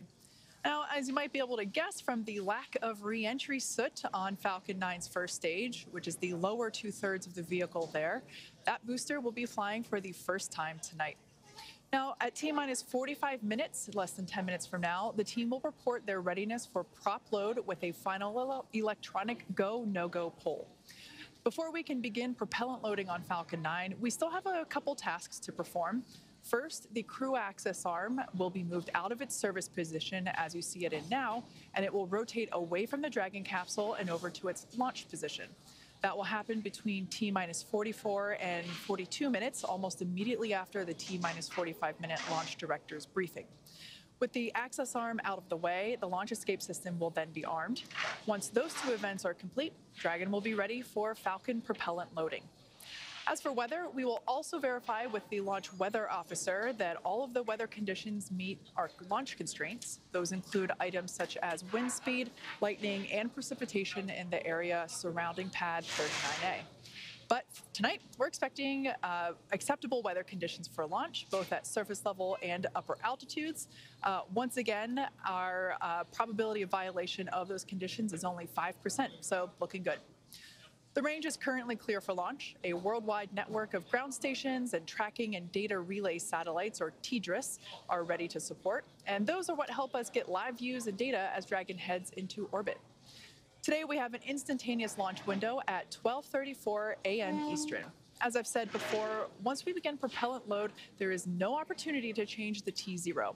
The timing for Dragon to rendezvous with the International Space Station is down to the exact second. So today we only get one chance. But the good news at T minus 51 minutes and 32 seconds, uh, we and counting, uh, we are go for launch. Great news. Thanks, Kate. Today's launch marks the sixth time a rotational crew will fly on a commercial spacecraft. And much like our previous crews, today's crew has been training with our teams at SpaceX for the last several months, running nominal and emergency simulations of what the full mission will look like while seated inside of Dragon. And as with every mission, each one of our crew members brings a diverse set of experience to today's flight. That's right. And let's start with the mission's commander. Steve Bowen was born in Cohasset, Massachusetts. He holds a bachelor's degree in electrical engineering from the U.S. Naval Academy and a master's in ocean engineering from the Joint Program in Applied Ocean Science and Engineering at MIT and Woods Hole Oceanographic Institution. In July 2000, Bowen became the first submarine officer selected as an astronaut by NASA. This will be Bowen's fourth trip into space as a veteran of three space shuttle missions STS-126 in 2008, STS-132 in 2010, and STS-133 in 2011. Bowen has logged more than 40 days in space, including 47 hours, 18 minutes during seven spacewalks. As mission commander, he'll be responsible for all phases of flight aboard Dragon, from launch to reentry. Warren Woody Hoburg is from Pittsburgh, Pennsylvania. He earned a bachelor's degree in aeronautics and astronautics from MIT and a doctorate in electrical engineering and computer science from the University of California, Berkeley. He is also a commercial pilot with instrument, single engine, and multi engine ratings. The mission will be Hoburg's first flight since his selection as an astronaut in 2017. As pilot, he will be responsible for spacecraft systems and performance on Dragon. Sultan Al Neyadi will be making his first trip to space, representing the Mohammed bin Rashid Space Center of the United Arab Emirates. Aboard Dragon, he'll serve as a mission specialist, working to monitor the spacecraft during the dynamic launch and re entry phases of flight. He spent time in the UAE military prior to becoming one of the first two individuals selected by his country when they started their space program just a few years ago in 2017. Al Niyadi will be the first UAE astronaut to fly on a commercial spacecraft. Andrey Fedyaev will be making his first trip to space and will also serve as a mission specialist, monitoring the spacecraft during the dynamic launch and reentry phases of flight. He was selected as a cosmonaut in 2012 and will be the second cosmonaut to fly aboard a SpaceX Dragon. Each of these crew members will be a part of Expedition 68 upon their arrival to the International Space Station. Now let's head over to Kate Tice for another status update on the countdown. How's it going, Kate? Thanks, Jesse. Uh, we're coming up to T minus 48 minutes and 40 seconds. The SpaceX launch teams are finishing final review of data from all the checkouts of Falcon 9 over the last hour. The launch director has confirmed with the launch weather officer that weather meets propellant loading constraints. So, up next will be to poll the team for readiness, both to load propellant and to launch. That will be the final poll prior to liftoff. The seven SpaceX responsible engineers, often called REs, indicate that they are go by electronically voting on the online countdown procedure. The launch director, or LD, also checks with the Dragon mission director, MD, and the NASA launch manager to make sure they are ready. Earlier, you saw the vehicle assembly building called the VAB. The Falcon and Dragon launch team, uh, as well as key NASA launch members, are in the Launch Control Center adjacent to the VAB. You can actually see where they are right now on the right-hand side of your screen. They have a view straight towards pad 39A through those large windows of firing room 4. On your screen, you see there the Dragon capsule with the crew access arm still in the service position. The crew is on board Dragon waiting for the next instructions, which will be to stow the crew arm for launch and to arm the launch escape system. Once the launch director gives the final instructions to the launch team in that T minus 45 minute briefing, uh, immediately afterward, the crew arm sequence, uh, excuse me, the crew access arm sequence will be armed and initiated. We should get a good view of that access arm as it swings away from the capsule. That will take about two minutes to complete its rotation to move out of the way. The range continues to be go for launch. They continue to monitor uh, the clearance area around the launch pad as well as the air and sea space around that uh, downward, uh, uh upstream or uh, the flight corridor downstream from uh, the launch pad. As we mentioned before, we have to make sure that all areas are secure in the unlikely event of a, an abort. There at Kennedy Space Center, the conditions are predicted to be acceptable for launch. Um, you can, if we had daylight, you'd be able to see that uh, conditions are pretty calm. There's uh, 13 mile per hour winds from the south southwest, uh, so pretty mild all in all. The downrange landing zones, as I mentioned before, are also within uh, the conditions as needed, uh, if needed for an escape. So everything also looking go downrange. Now, in about a minute, we will hear the uh, briefing from the launch director. As I mentioned before, uh, the readiness poll that is uh, underway is the final go for propellant load and for launch. There on screen, you can see the four crew members of Crew 6 waiting patiently to go to space. Not much for them to do at this moment, but wait for that LD briefing, which will be coming up in about 35 seconds.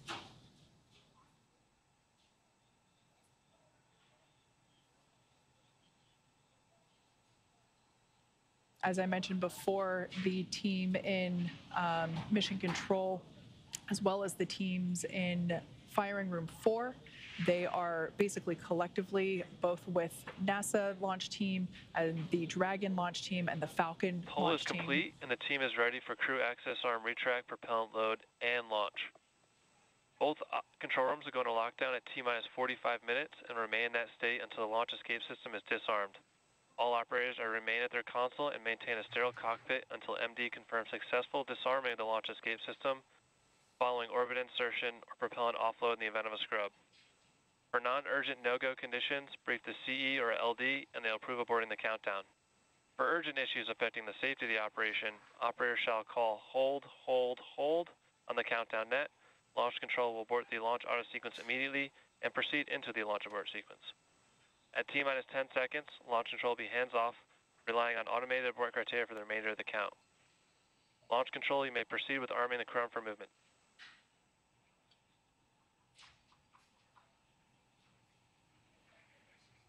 There we heard that final go for launch and prop load from launch director having stow. Get started. And there we just heard the call out that the crew access arm retraction is underway. So let's head back to Derrol over at Kennedy as they have a live view of that retraction as it happens and uh, will be the major final physical reconfiguration of the pad prior to launch. Derrol, how's it going?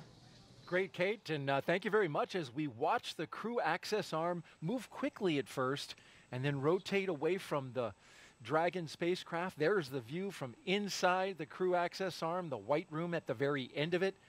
As we can see, uh, the water tower out there. Hitting another milestone here, Raja, on our way to liftoff. Yep, and the, the crew is definitely tracking through all this on a uh, timeline. Um, so they're uh, procedurally in 4.100, uh, following that SpaceX is retracting the crew arm and then starting to prepare. Uh, the next big step they'll be taking is launching, or sorry, arming the launch escape system. And then looking forward uh, on the timeline to basically go through the steps for the prop loading.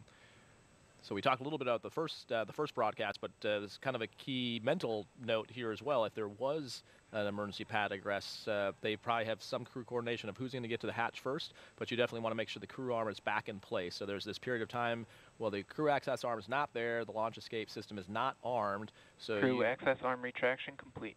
you need the arm to swing back to the capsule before you can actually egress. You need to make sure that's there before you, you step out.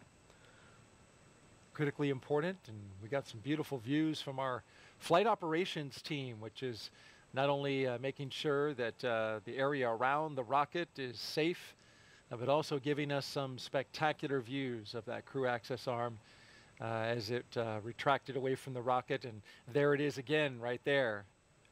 Yeah, it's a, it's a great view where you can see the, the both the strong back, which is the structural piece uh, holding the rocket uh, up there now, and then the crew access arm swung back. Open now to the air and the atmosphere. Hopefully, no dragonflies that far up. And We had our own dragonflies earlier, Raj. So We- we're, we're working. We're, yeah, we're, we we have successfully had good luck here at the, the launch broadcast desk. Okay, We've done our part. It's feeling good. We're doing exactly doing what we can. There's a great view too of the trunk, so you can see the side, which is the part just below the capsule. That's got the the avionics radiators for cooling, uh, and then the left side that looks black in the picture here is actually the solar panels that generates the power for the, uh, the capsule on orbit.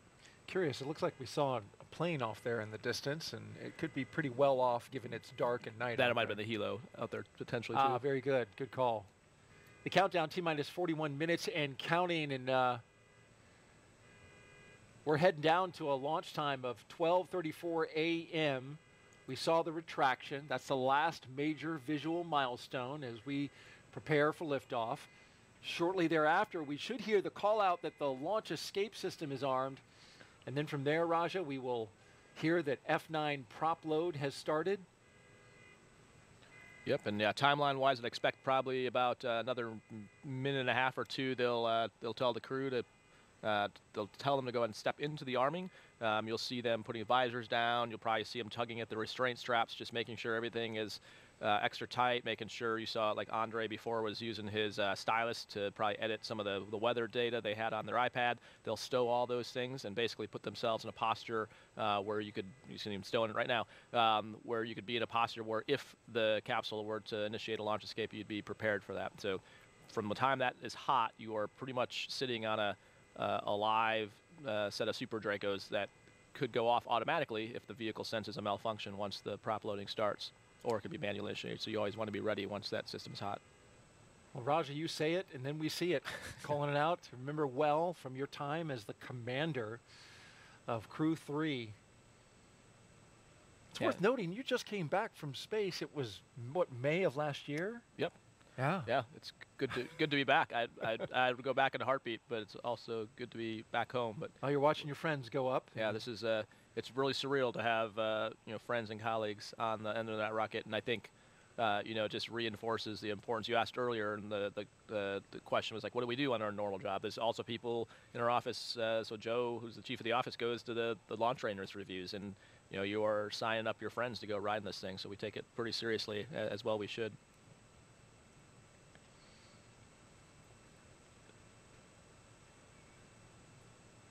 You Crew kinda- strapped in? Yep, you can see just by Andrey's left leg the red of that bag. We were talking about that earlier, but you couldn't see. Dragon SpaceX, go for Section 6, close visors, armed launch escape system.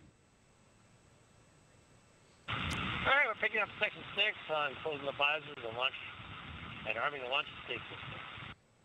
All right, so you see them reaching up to the displays. They're stepping to that section of the procedure, all verbalizing now with the visors down, that the Vox settings are correct so they can hear each other. SpaceX Dragon, visors are closed. We're arming the launch escape system.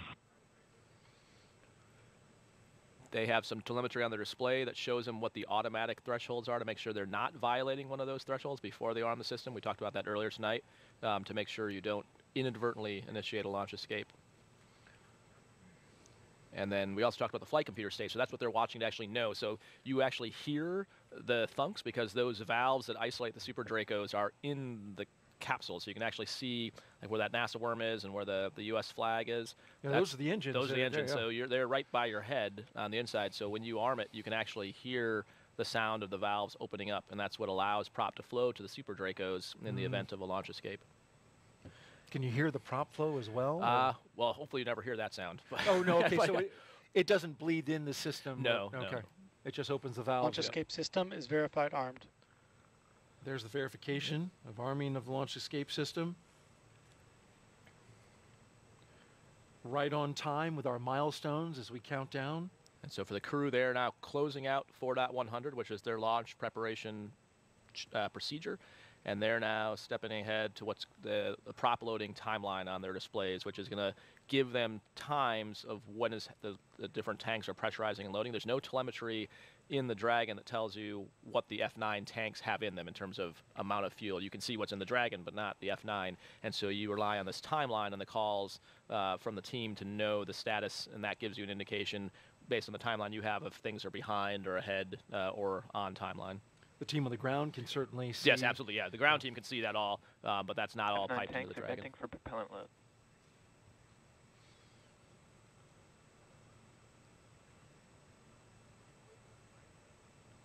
We'll start venting. These would be the tanks on the ground. Right. So the, the, as they start to, the, they have what's called these giant accumulators that are full of the fuel that they then pump into the into the drag into the F9. And the, the two things I learned on our, our first broadcast attempt, one is that the license plate changes every time. The, the second that I also learned from you is that you can tell out here how full the rocket is by looking at the level that the condensation comes off the outside of the rocket, which you uh, yeah, you can't see that on the inside, but that's a, a, good technique for if you're watching on the outside and don't have the benefit of having the displays the crew has or the telemetry the ground has to just get a look at binoculars if you're standing on the causeway or on TV and know how full the tank is. Outdoor fuel gauge. Yeah. Only wow. if you launch in the humidity of Florida. I don't know if it'd work in the desert as well. But. Well, we get to want, we get to see launches out at Vandenberg, California, and uh, it's a little drier out there. It still is on the coast, so we have some humidity. But uh, it is quite a sight. It's a definite pro tip. I, I didn't know that. I've been oh well. I've been in I, the office for five years. No, no one taught me that. Told so. an astronaut something yeah. new. I'm feeling proud. but I tell you what, you haven't learned nearly as much as I've learned in my time uh, being in these two uh, launch attempts, and so happy you could come back and count this down. We know our astronauts all around the country are watching. Checked in with Megan McArthur earlier. Had a nice little chat with her. She's watching. Other astronauts from the Corps. The astronaut corps is roughly, what, about 42 astronauts? Yep, about that, yep. And then a, a new class called, uh, they're named the Flies, the 2021 the class. The Flies, they, about, that's about their name? halfway through their training, yep, and looking okay. forward to, they're cr crushing it as you would expect. started. There's the call from the Corps. Yeah, here we go.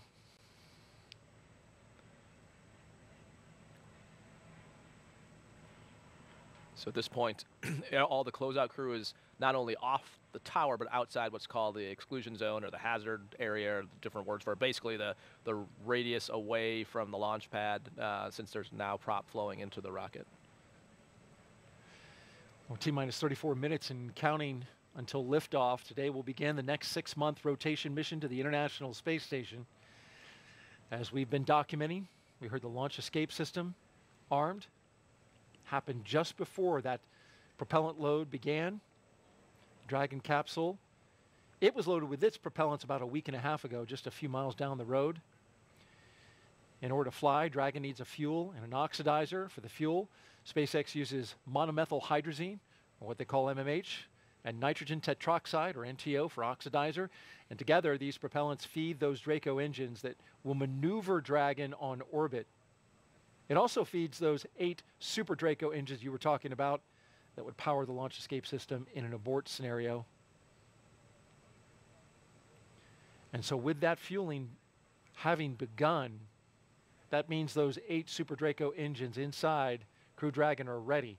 We heard, or rather Raja relayed that the astronauts can hear those valves turning, getting that system ready to go should there be any kind of emergency associated with the rocket or the pad.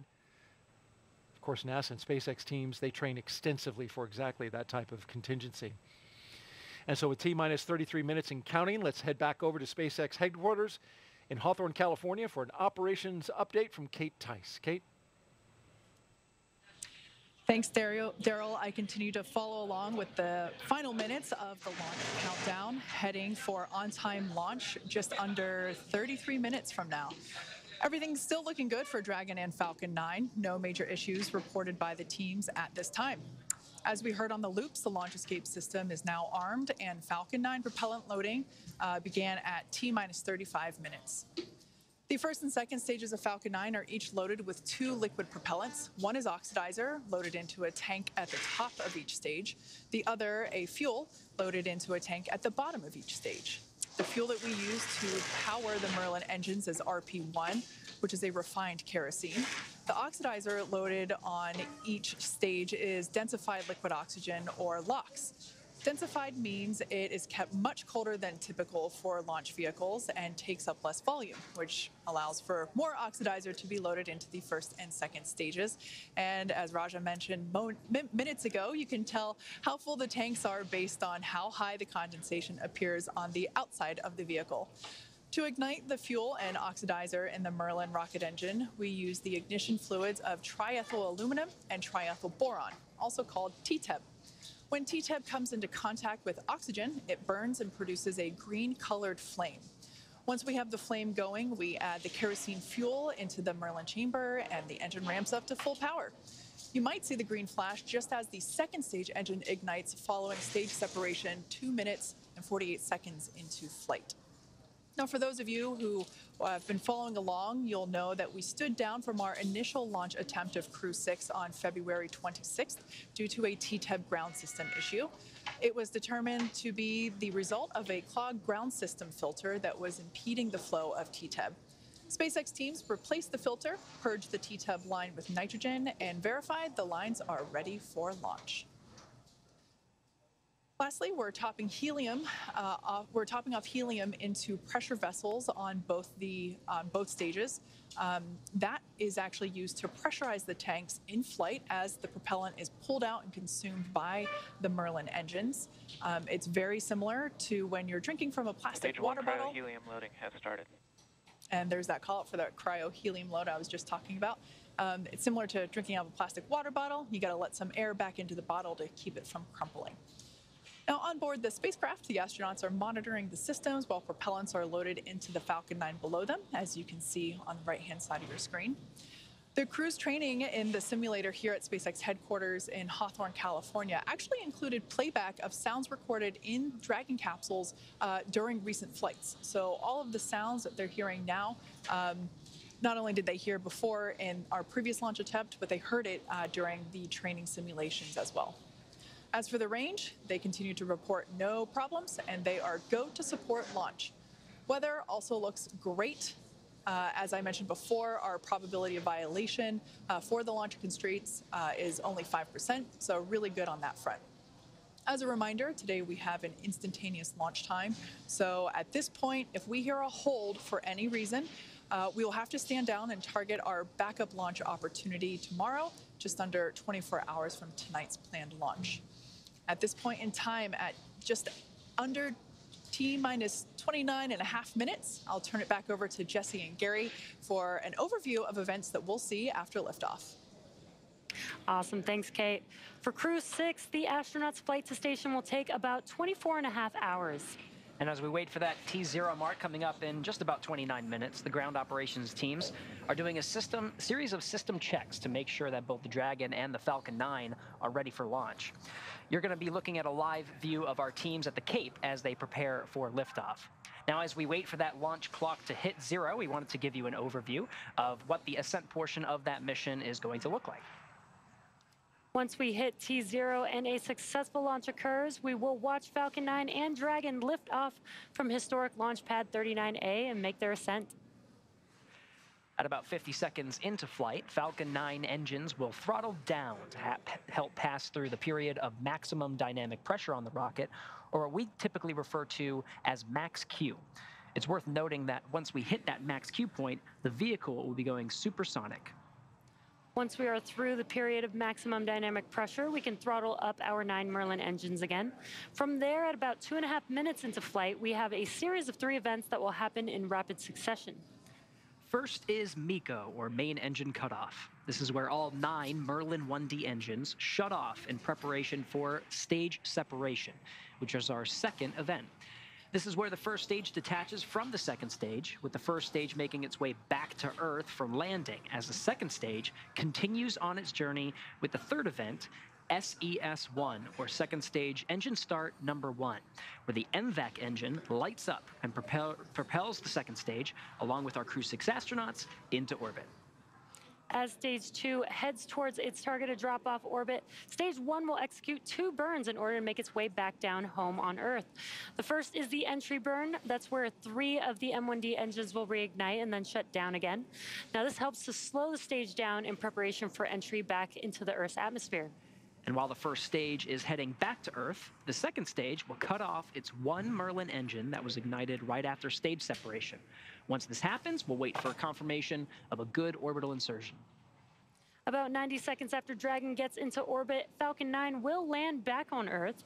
The landing burn is just a single engine burn, but it's powerful enough to bring the vehicle's speed down rapidly in order to land on our drone ship at about nine and a half minutes into the mission. And while the Falcon 9 first stage is landing, Dragon is preparing to separate from the second stage.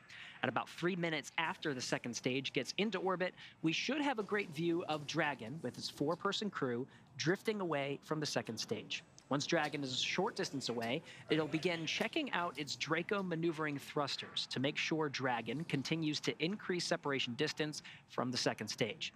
It's worth noting that these are not the Super Draco engines that would be used during an abort scenario. About 40 seconds after separation, Dragon's nose cone deploy sequence will begin. It will take roughly four minutes for the nose cone hooks to unlatch and open, exposing its guidance navigation controls that will help Dragon autonomously fly to the space station. And lastly, once the nose cone is deployed, the remaining Draco thrusters on the forward bulkhead will be checked. From there, over the next 24-ish hours, Dragon will be in its rendezvous and approach phases, undergoing a number of phasing burns as it makes its way to station. All of that will be coming up soon, but for now, let's check back in with Courtney in Mission Control Houston. Courtney.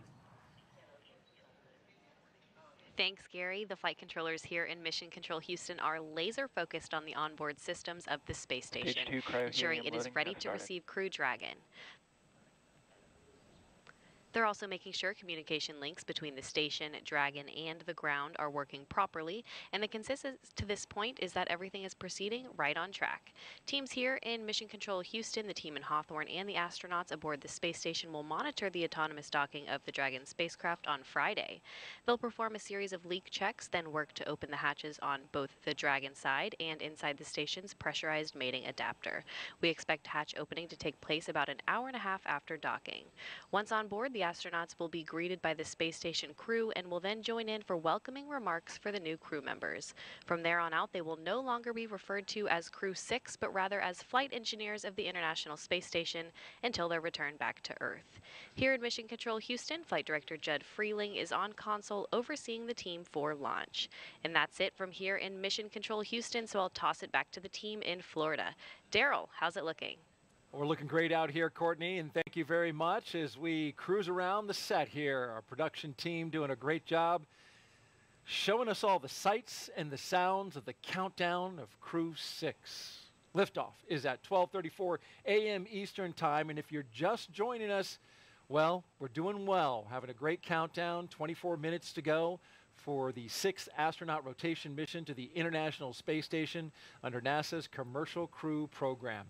Commander Stephen Bowen, pilot Woody Hoburg, and mission specialist Sultan Al Neyadi and Andrey Fedyaev are strapped into the seats, as you can see them here inside Dragon Endeavour. The Falcon 9 rocket fueling operation well underway. The launch escape system is armed. That means Dragon is prepared to launch itself away from the Falcon 9 in case of an emergency on the pad or after liftoff. So far, operations looking and sounding as we would expect. And you can see on the rocket, we're filling her up. The condensation of the warm, humid Florida air down there shows you that, uh, well, my guess would be about a third but uh, I have no actual uh, telemetry to tell me that. Just going by uh, the condensation coming off the rocket. It really super chills the skin on the outside of the rocket, and then that, uh, that uh, you know, condenses the air in the atmosphere, the water that's in the air. And it really is something to look at once it's ready to go, all the way up and down the rocket.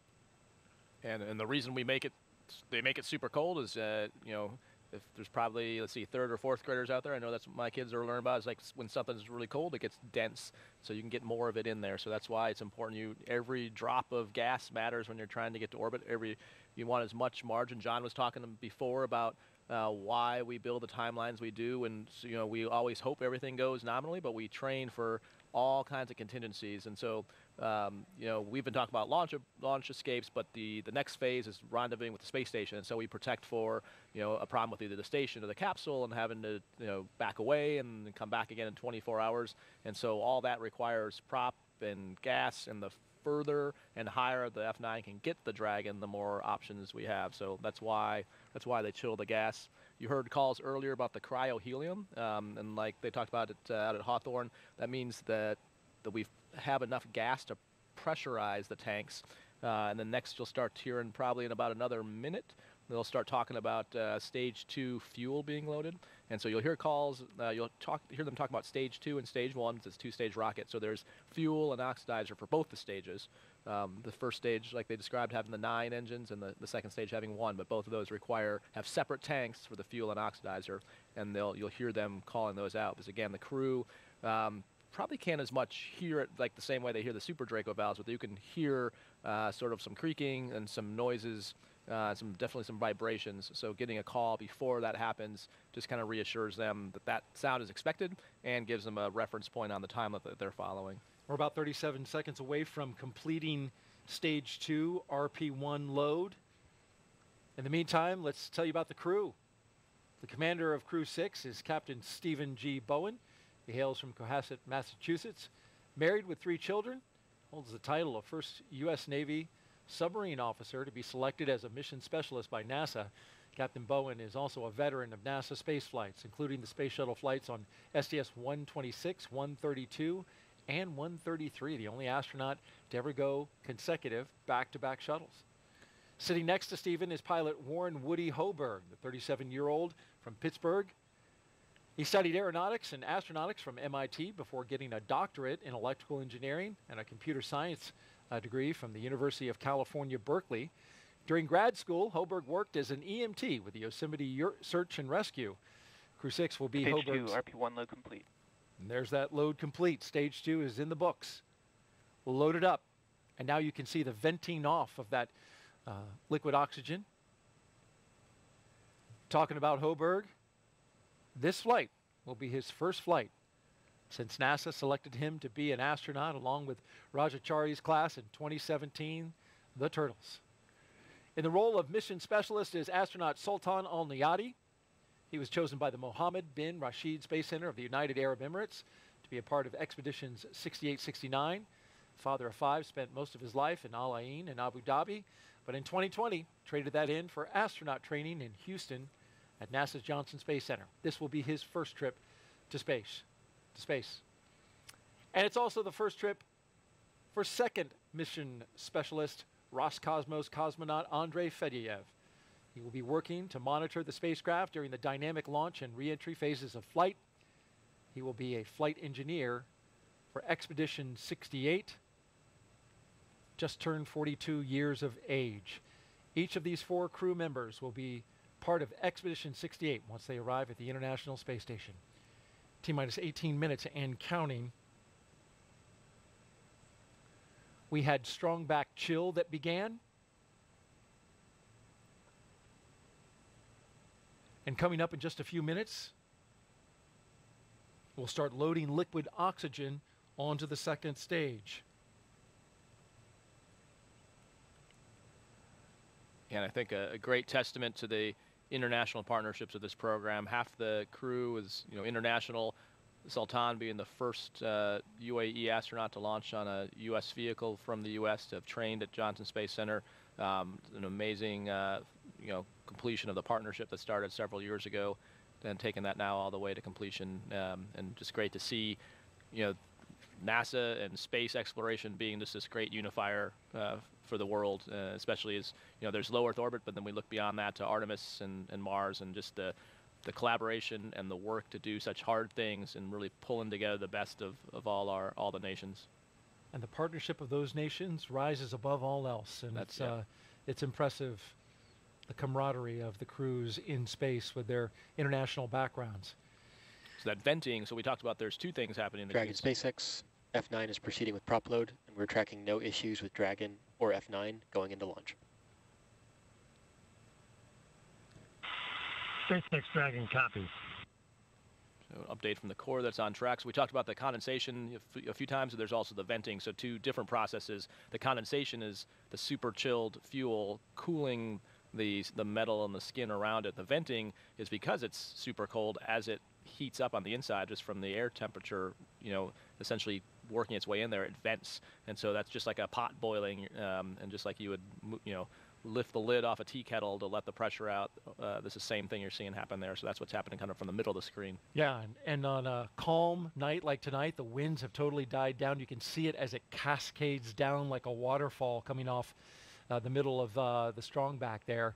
Want to make a quick note about the, the radio and how you can hear if you're on uh, local amateur radio on the VHF radio frequency, turn into 146.940 megahertz and UHF radio frequency 444.925 megahertz on the FM mode. You can hear this all around the Space Coast. load has started.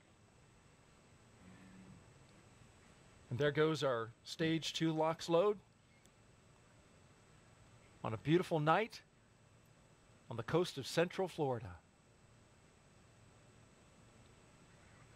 For stage one, that's going to continue to load, and we'll see that go all the way down to T minus six minutes in terms of uh,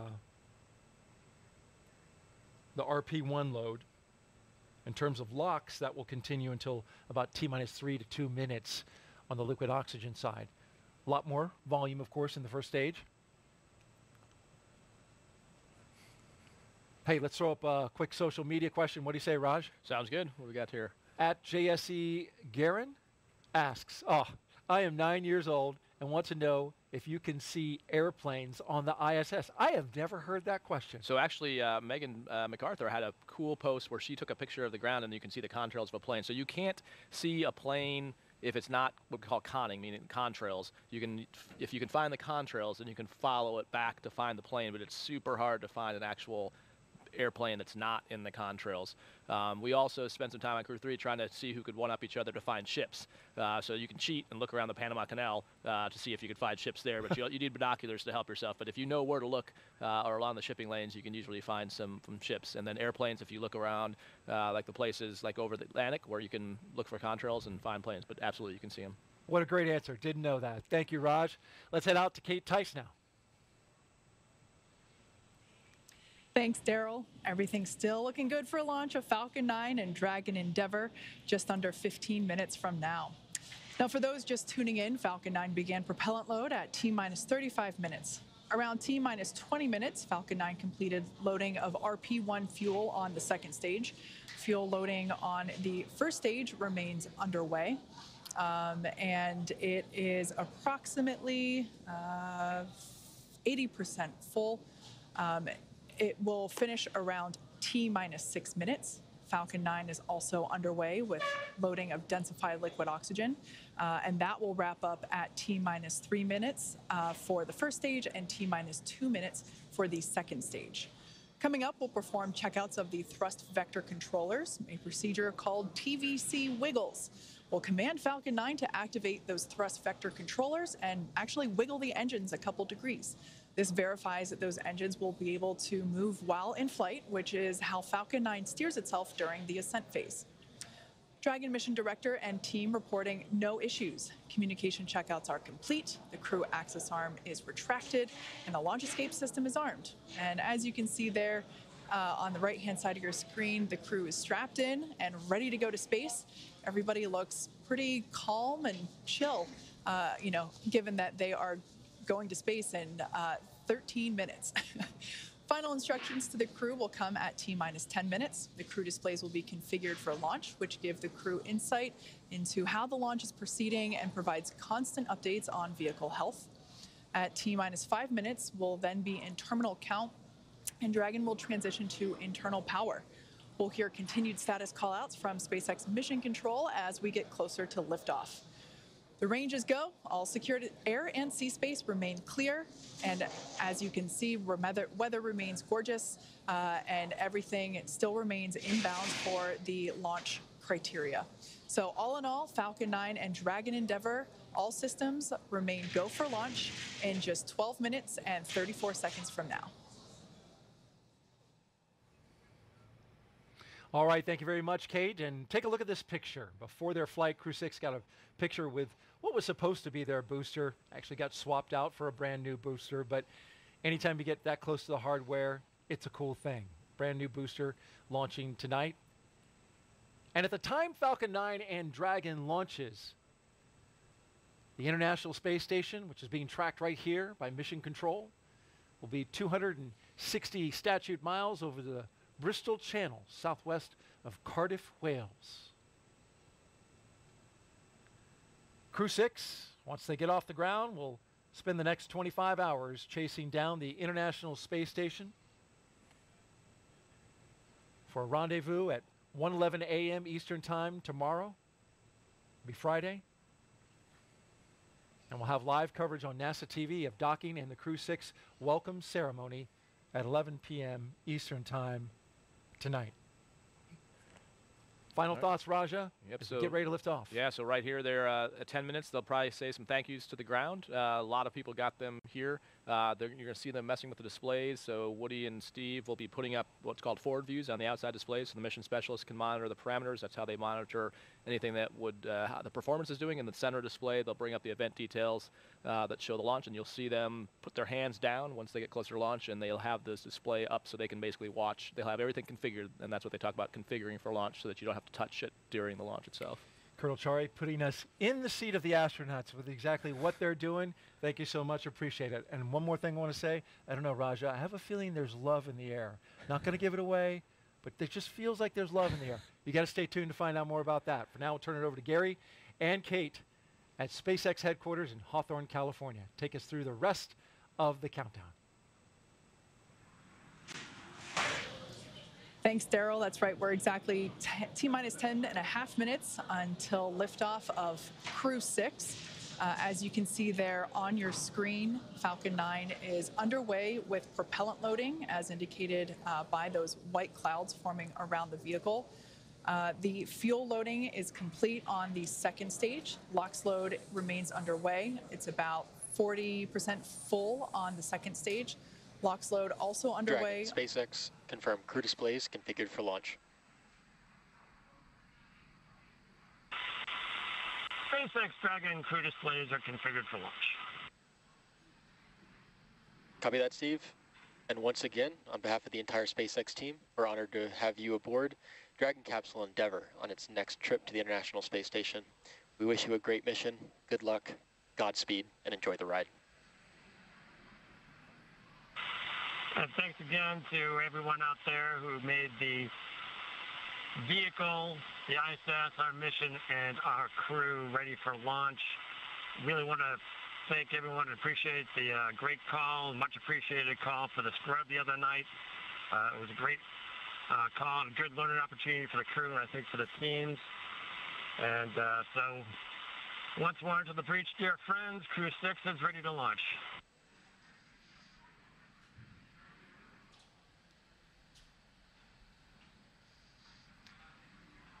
Some nice words there between the crew, as you see there on your screen, and SpaceX Core, uh, located here at SpaceX Mission Control, which a live view uh, there on your screen, as you can tell by perhaps the, the ambient noise around me, the energy is starting to grow uh, in anticipation for launch coming up about eight and a half minutes from now.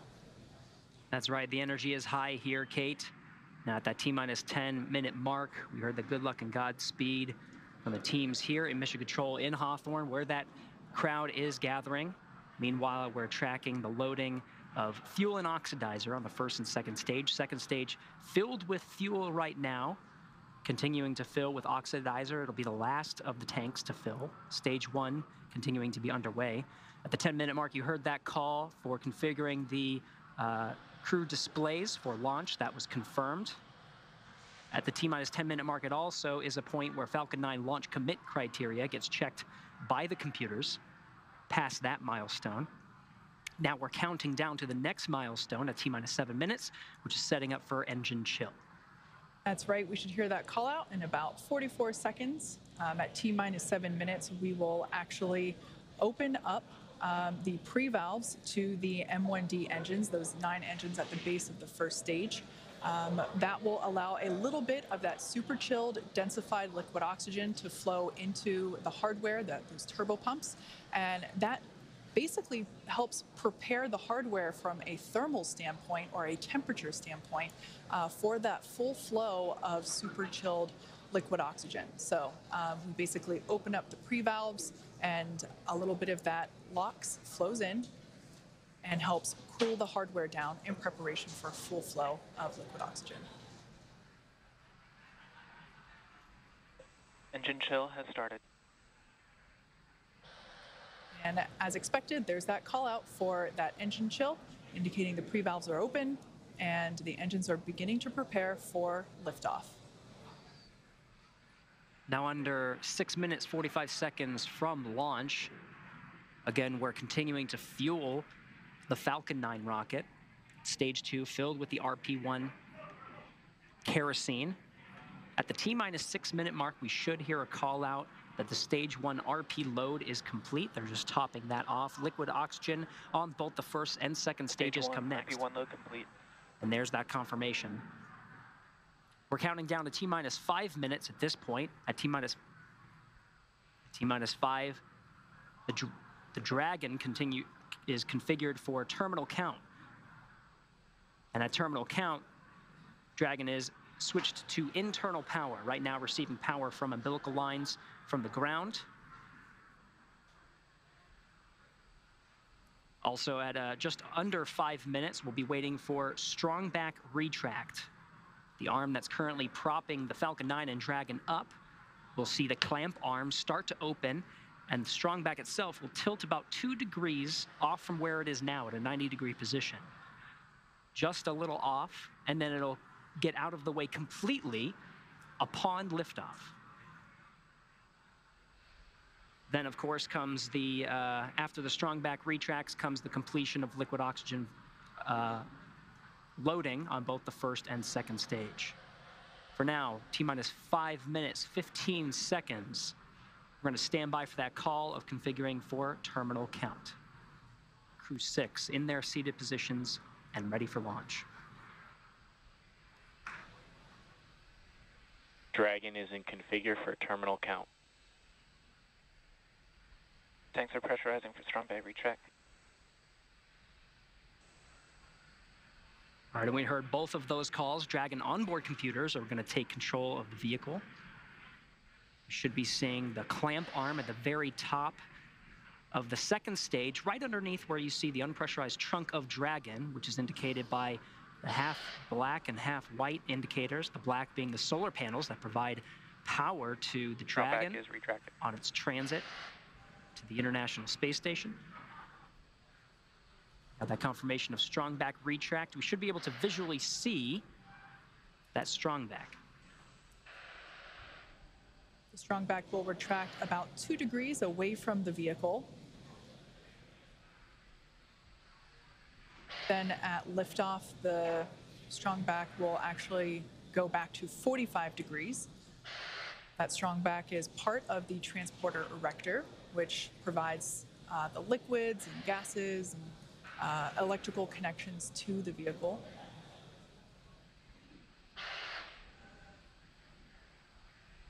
As Gary pointed out, those clamp arms opened up underneath the trunk, just above the first stage. And you can see that action happening now as that initial retraction just a couple degrees away from the vehicle.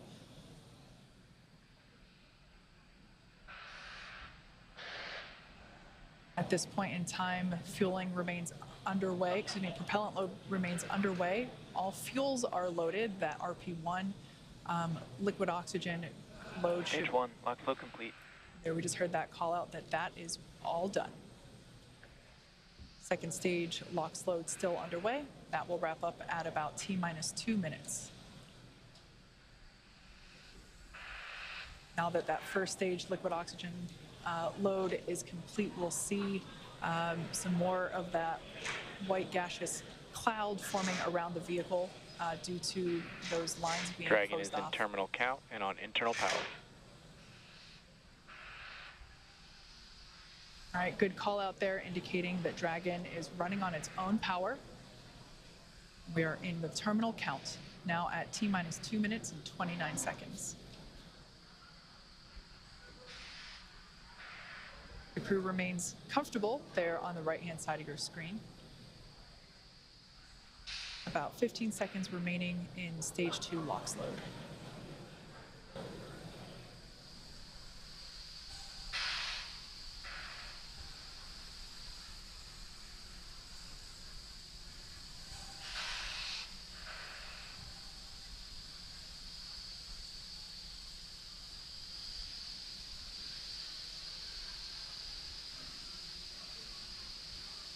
Stage two, lock flow complete. Dragon is an auto idle. You heard those calls. The Falcon 9 fully fueled with RP-1, rocket fuel, as well as the liquid oxygen. That call of Dragon is an auto idle. There's going to be a se series Gas of calls. started. Expect.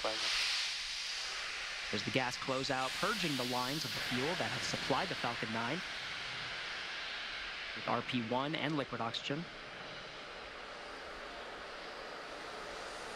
We'll also wait for a call of the arming of the flight termination system. The Dragon flight computers are configured for launch. Flight termination system will allow Falcon 9 to talk to Dragon on the ride uphill. Terminate the flight, issuing an abort. Startup. Dragon is in countdown. T-minus one minute and counting. Dragon is in countdown. Everything's looking good for launch.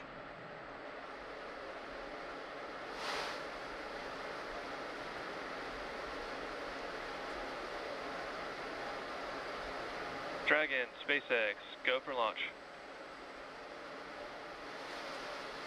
SpaceX Dragon copy. Go for launch. T minus 30 seconds. T-minus 30 seconds and counting. All teams pulled go.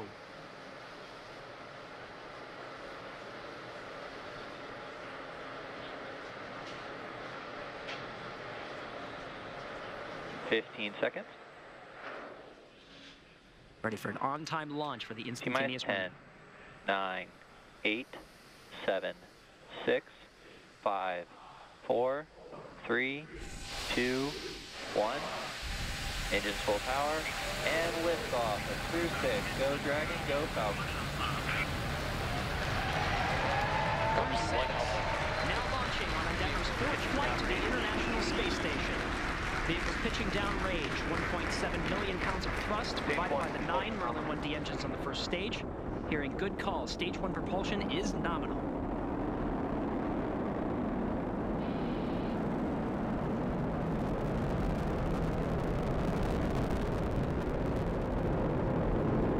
We're now at T plus 34 seconds into the sixth rotational crew mission on board Dragon and Falcon 9. Power and telemetry nominal.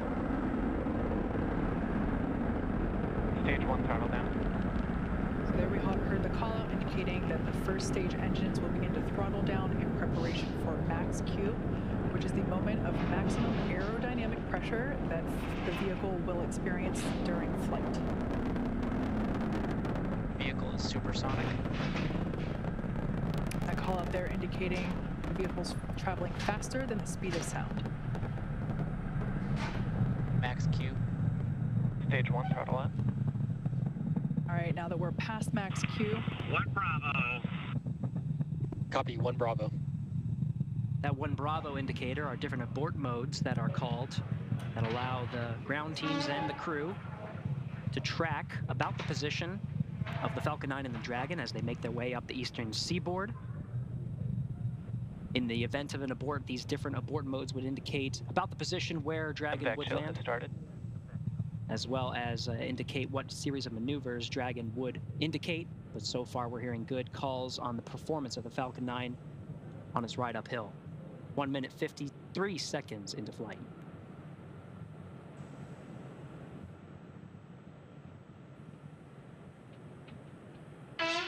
we're about 30 seconds away from main engine cutoff, which will be followed quickly by stage separation and second engine start, which is the ignition of that MVAC engine on the second stage.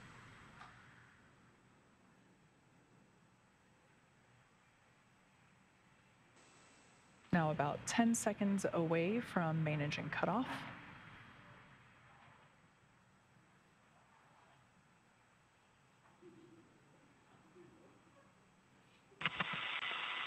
Two Alpha.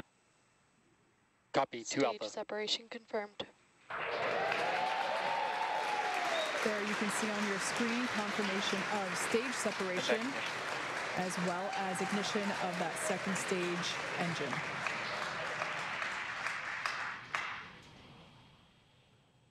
Second stage is now carrying the Crew 6 astronauts to orbit. Beautiful view there on the left-hand side of your screen coming from the first stage which, as you can see, is still gaining in altitude. It has not yet uh, reached its apogee, a beautiful view of the Florida Space Coast there in the background. Meanwhile, we're tracking good performance on that MVAC engine. On the screen to your right, we'll be hearing periodic performance calls about once every minute of the status of the trajectory of the second stage and the Crew 6 astronauts that are inside Crew Dragon Endeavour. We'll also be hearing call outs. Bermuda. Just like you heard just there, as we pass over the various ground stations along the ascent track. Dragon, SpaceX, nominal trajectory. There's that performance call out. Dragon acknowledges nominal trajectory. As for the first stage there on the left-hand side of your screen, that first stage still gaining in altitude, although um, that gain is slowing down. Um, it will be making its way back down to Earth, landing, uh, attempting a, a landing on our drone ship. Just read the instructions, which is located um, off the Florida coast by a couple hundred miles.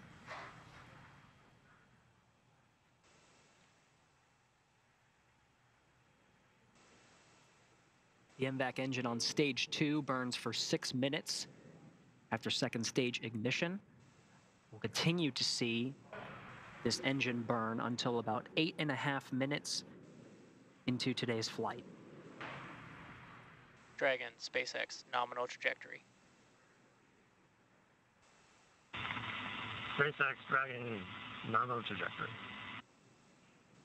Again, these performance calls happen once a minute. Flight teams continuing to track the Falcon 9 and its ascent. Everything's looking good so far. You'll also continue to hear those check ins of the ground stations as we pass them. At this point in time, we're roughly two minutes away from the next major event, which will be the entry burn for the first stage. We will relight three engines, uh, three M1D engines on that first stage to help slow the vehicle down uh, as it re enters the Earth's atmosphere. We're approaching 200 kilometers in altitude. It's about 124 miles. Meanwhile, velocity, Dragon, SpaceX, nominal trajectory. good trajectory calls, about to pass 12,000 kilometers per hour. SpaceX Dragon acknowledges nominal trajectory. It's about 7,500 miles per hour.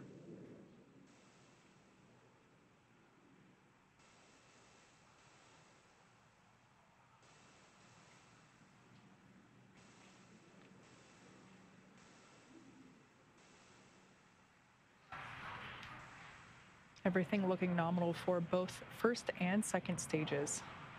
Now coming up to T plus six and a half minutes into flight.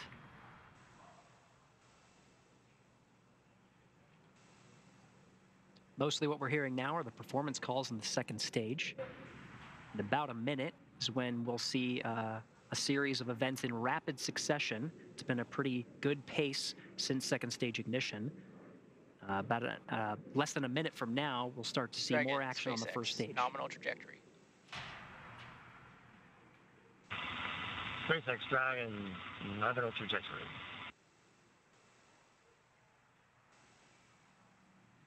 As Gary mentioned, those callouts occurring about once every minute. Now we're about 20 seconds away from the first stage entry burn. That burn will last about 30 seconds and help slow the vehicle down as it re-enters back into the Earth's atmosphere. Stage one entry run startup. And there you can see Stage 2, FTS has safed. on your screen that first stage entry burn has begun. That booster sees high drag, which actually scrubs roughly 70% of the velocity by the time that the landing burn begins. So about another 10 seconds of this entry burn.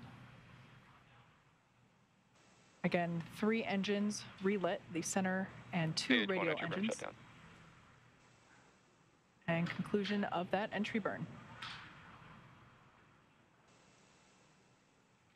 Meanwhile, good performance on the second stage. Since second stage ignition, we've been in a 2 alpha abort mode. The next abort modes will happen in rapid succession to Bravo, to Charlie, Delta, Terminal and Echo. guidance. Each indicating different series of maneuvers in the event of an abort scenario. But as you've been hearing through the periodic checks, we're seeing good trajectory, good performance on the Dragon and Falcon 9. Seco, second stage engine cutoff, would be coming at 8 minutes 48 seconds. We're coming up on that event. SpaceX Dragon Shannon. Shannon. Copy, Shannon. Now off the coast of Shannon, Ireland. Standing by for Seco.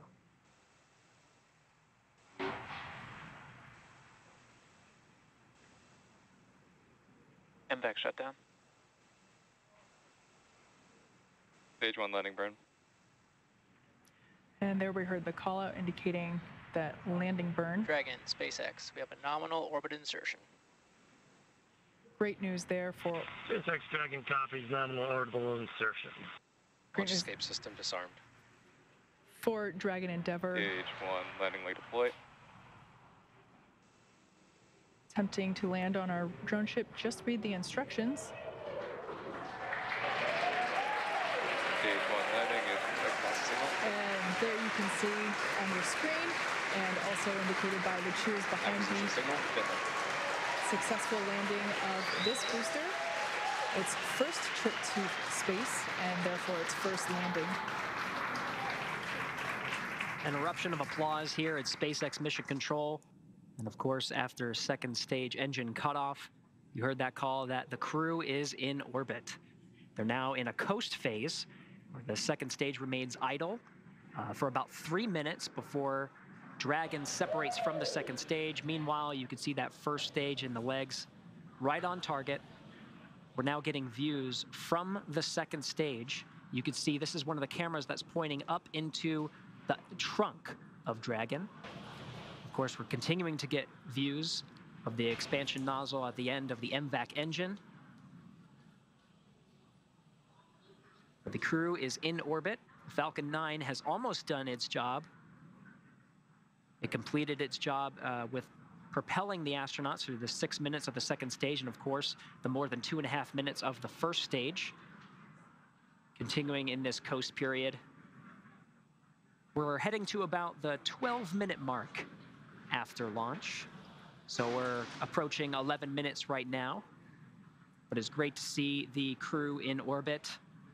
Uh, of course, we are waiting for that separation. You can see this view right here of the MVAC engine. The second stage really in just an idle position, really just coasting, not many commands being issued from the Falcon 9. But of course, at the very end, we'll actually issue the command for separating the Dragon from the Falcon 9. You'll see a series, you may see a series of burns. The Draco engines uh, on the service section of the Draco will fire and uh, increase uh, separation distance from the second stage. Once again, live view there from the second stage looking up into the trunk, which of course is the unpressurized section um, that goes along with the Dragon capsule to the International Space Station. That's where we are able to store uh, basically cargo that is able to be exposed to the vacuum of space. So, a great view there looking up into the trunk. That will be hopefully the first views that we get um, of that separation event, which we're expecting here uh, any second.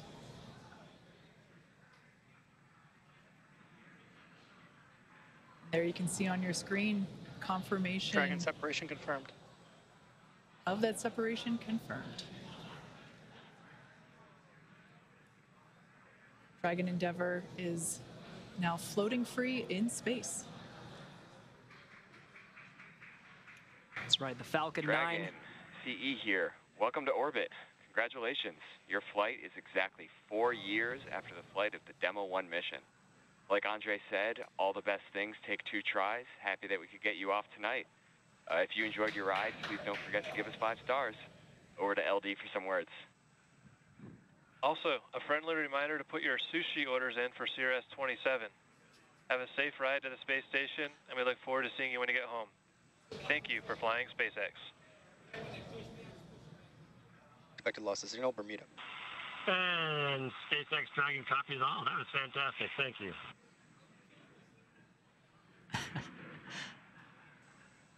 Crew, the Crew 6 astronauts, of course, uh, having a strong bond. And SpaceX Dragon, we'd like to really, for the great ride to orbit today, uh, is greatly appreciated. May have taken two rides, but at two times, but it was worth the trip.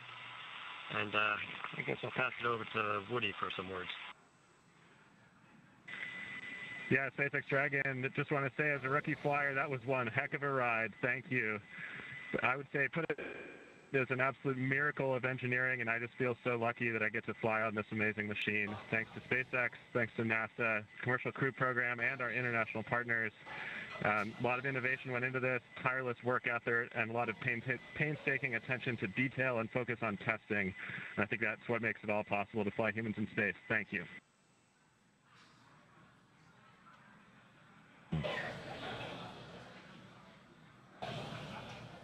Some really nice words.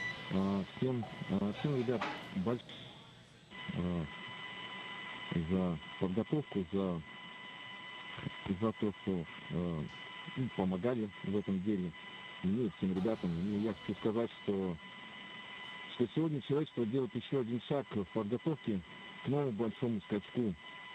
И для меня огромная честь быть частью такой большой и дружной семьи, величайшей международной команды, как Международной космической станции, работая вместе на благо всего человечества.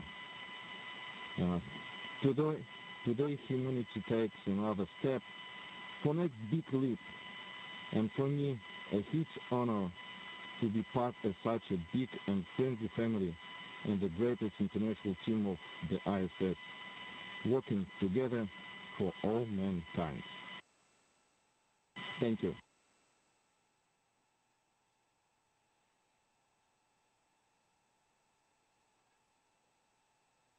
Well said, everybody. Uh, allow me to say a few words in Arabic first. السلام عليكم ورحمة الله وبركاته. الحمد لله وصلنا الفضاء. بس بغيت أشكر أمي وأبوي وأشكر عائلتي. شكرا للقيادة الرشيدة. وشكرا لمركز محمد بن راشد للفضاء اللي أعطوني الثقة هذه. وكذلك أشكر كل من جهزنا ودربنا لهذه اللحظة التاريخية من مختلف وكالات الفضاء في أنحاء العالم شكرا لكم جزيلا شكرا سبيس اكس لايصالنا للفضاء I would like to say thank you to, for everybody. Thanks to my parents, my family, thanks to our leadership, the Mohammed Bin Rashid Space Center for their trust. Thank you for everybody who trained us and got us ready for this mission. This is incredible. Launch with incredible, amazing. Thank you so much. And last but not least, thank you NASA. Thank you SpaceX for flying us to space.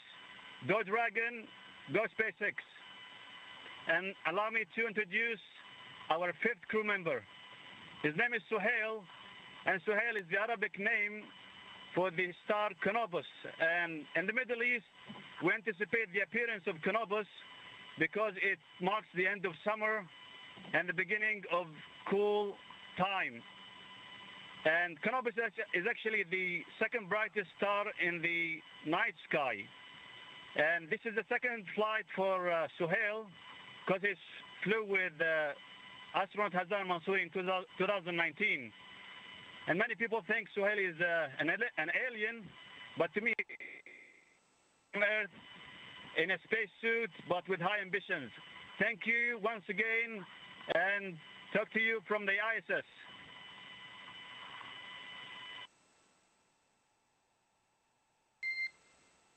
And Dragon SpaceX, we copy all those words.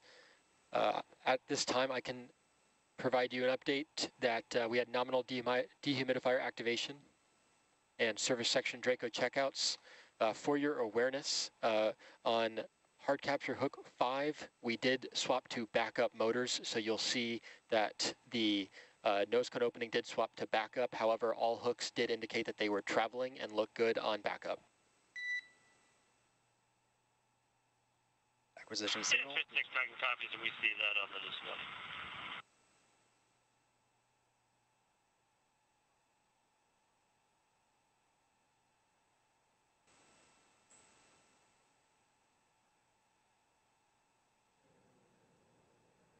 All right.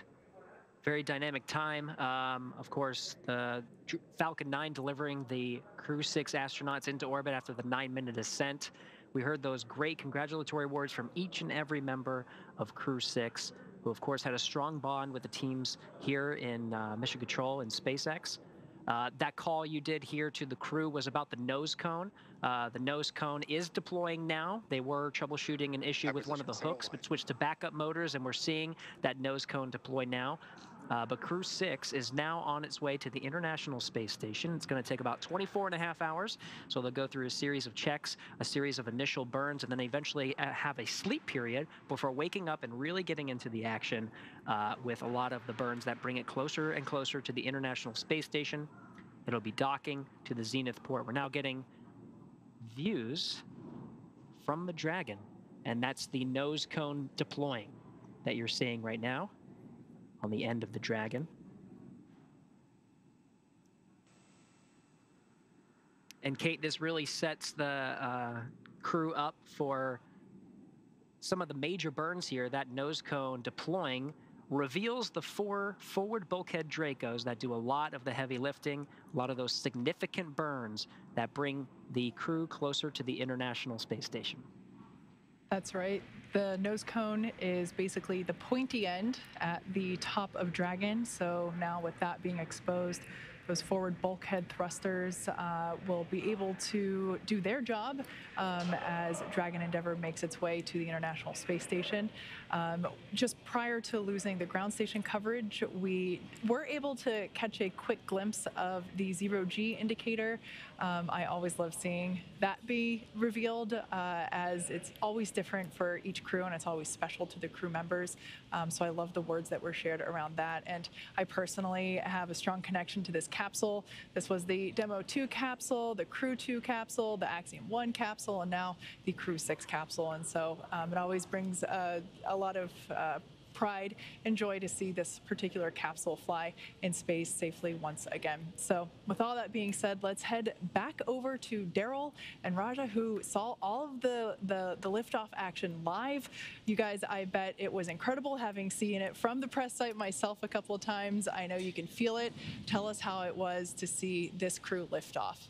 Absolutely, Kate, and uh, thank you for the toss back here to the Kennedy Space Center. And on that point, we got to get Raja's reaction first because it was his first launch. He's he's been on a rocket. He's been to space. To see the outside. First time watching a launch. Yeah, that, How that was was awesome, Derrol. Uh, it was uh, better than I expected. So I think uh, much uh, a much more throaty, rumbling sound once it started to pitch over, uh, and a beautiful night here. So we could see the second stage light. We could actually see the throttle down for uh, from stage one to stage B, which was really cool. Uh, saw the separation, saw the light go out when the first stage separated. Saw the second stage light, and got to watch it. Uh, all, pretty much all the way to two Bravo. It was it was pretty impressive. To so two that- Bravo. What- yeah. what- what- Sorry, those are those are different launch escape phases. So yeah, it was uh, it was awesome seeing it from the ground and just kind of thinking through what that ride was like a while ago. But uh, I'd, rather, I'd rather be on the inside than the outside. but it's pretty imp- here with us. But it's pretty it's pretty impressive uh, from both views. Yeah, it was, Well, we're so cool glad to we see them and share it with exciting. That, yeah, exciting that they're on the way to the space station. So Um, happy for them.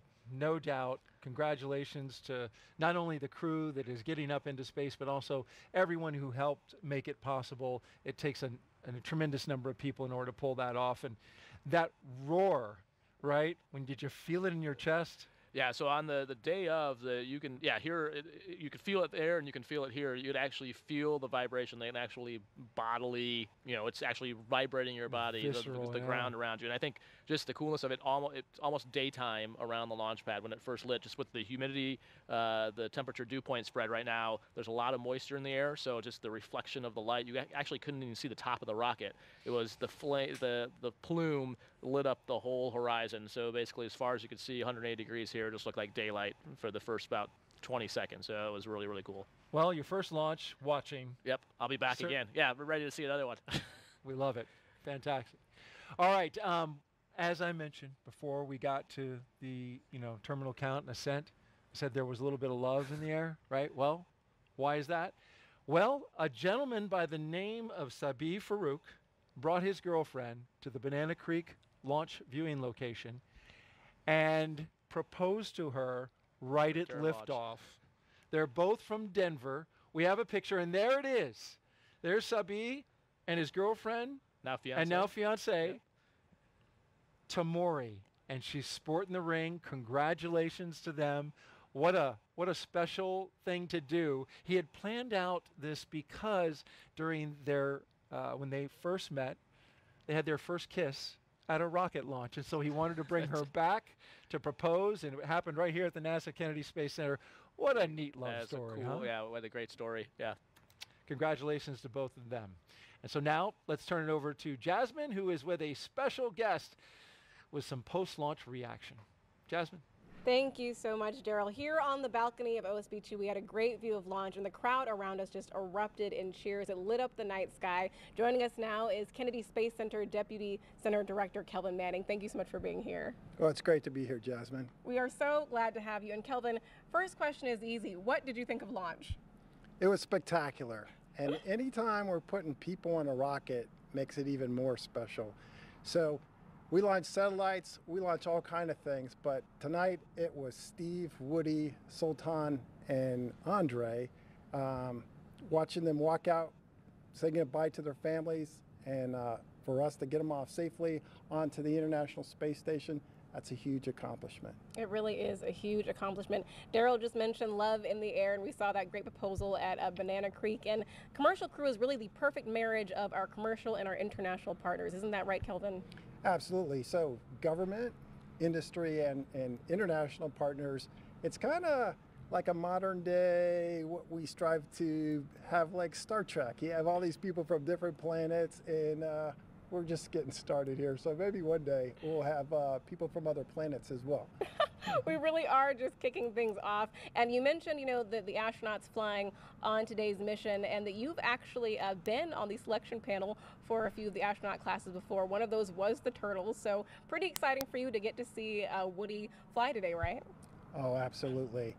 Um, special guy, and um, really looking forward to seeing him on orbit and then getting him back home and, and hearing his stories. Yeah, we're, we're looking forward to having him back as well as uh, the rest of Crew 6. And this was really a great way to kick off the launches of 2023. We mentioned earlier with Janet Petro that we are looking at over 90 launches this year. So, what else is going to station in the next few months? Okay, we got a cargo resupply mission, CRS 27. We have uh, Boeing's inaugural flight of the uh, crew flight test, uh, looking for Suni and Butch to sometime this spring to fly the CST 100 Starliner to station. That's a huge deal. And we got uh, another commercial uh, Axiom mission that'll go to the, the space station, and then we'll look at Crew 7 to follow these guys in another six months or so. Wow, a lot of work going on here at the Kennedy Space Center. Uh, Kelvin, any final words of thanks that you want to give to the workforce here? Yeah, it's all about the team, and this is America's space program. You talked about our industry partners, our other government partners, and our international partners. Uh, we have a lot to be proud of, and like we said, we're just getting started. So thank you, Jasmine. Of course, and this really is the dream team. We appreciate you being here tonight, Kelvin. All right, thank you. Derrol, back to you. Thank you so much, Jasmine. And you see her working the love in there with the CCP. well done. Thank you very much. Well, the crew is on the way to the International Space Station. We did hear uh, from the SpaceX team that the nose cone hooks at the top of the spacecraft, right? Yep. The Dragon, um, they went to the backup motors in order to release that nose cone. That's pretty critical to make sure you get that up. Great redundancy with the system there. But why is that so important that that nose cone comes off? Yeah, so we you can't dock to the space station without the nose cone. So the as we saw just looking at the views of the capsule before uh, liftoff, it's closed for aerodynamics because you don't want uh, the door wide open while you while you're flying through the air. Once you're in space, of course, there's no drag, so then you can open that up.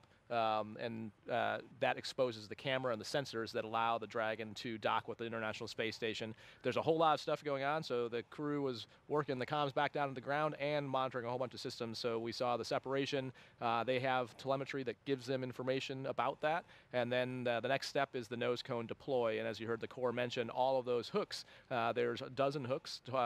Six of them uh, are holding the nose cone. There's and then basically each of those hooks has backup and primary motors. So what you heard them describe is one of those went onto the backup motor to open the hook, which is why we have backup motors. Uh, now with the nose cone open, they should be good to continue to the uh, the space station. Um, and next thing they'll be talking about is, is phasing burn, so we you know how they have to catch up. Mhm. Uh, I'm sure there'll be teams looking at uh, the data from that to see if it was kind of like we talked about earlier in the broadcast. Was it actually a problem with the primary motor, or was it just bad telemetry? Uh, so the ground has some ability to, to suss that out with some extra data they have. They can try resetting things. So my guess is when they go to actual docking, they may retry that primary motor just to see if it's working, and then they have the backup Oh. motor still as a, an option. Um, so they still have the redundancy, but uh, they'll sort through uh, maybe troubleshooting that some more. But I don't think it should affect the, the So follow-on. those hooks are used when they dock.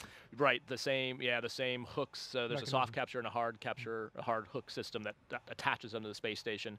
But again, as long as hard capture, a hard hook system that, attaches onto the space station.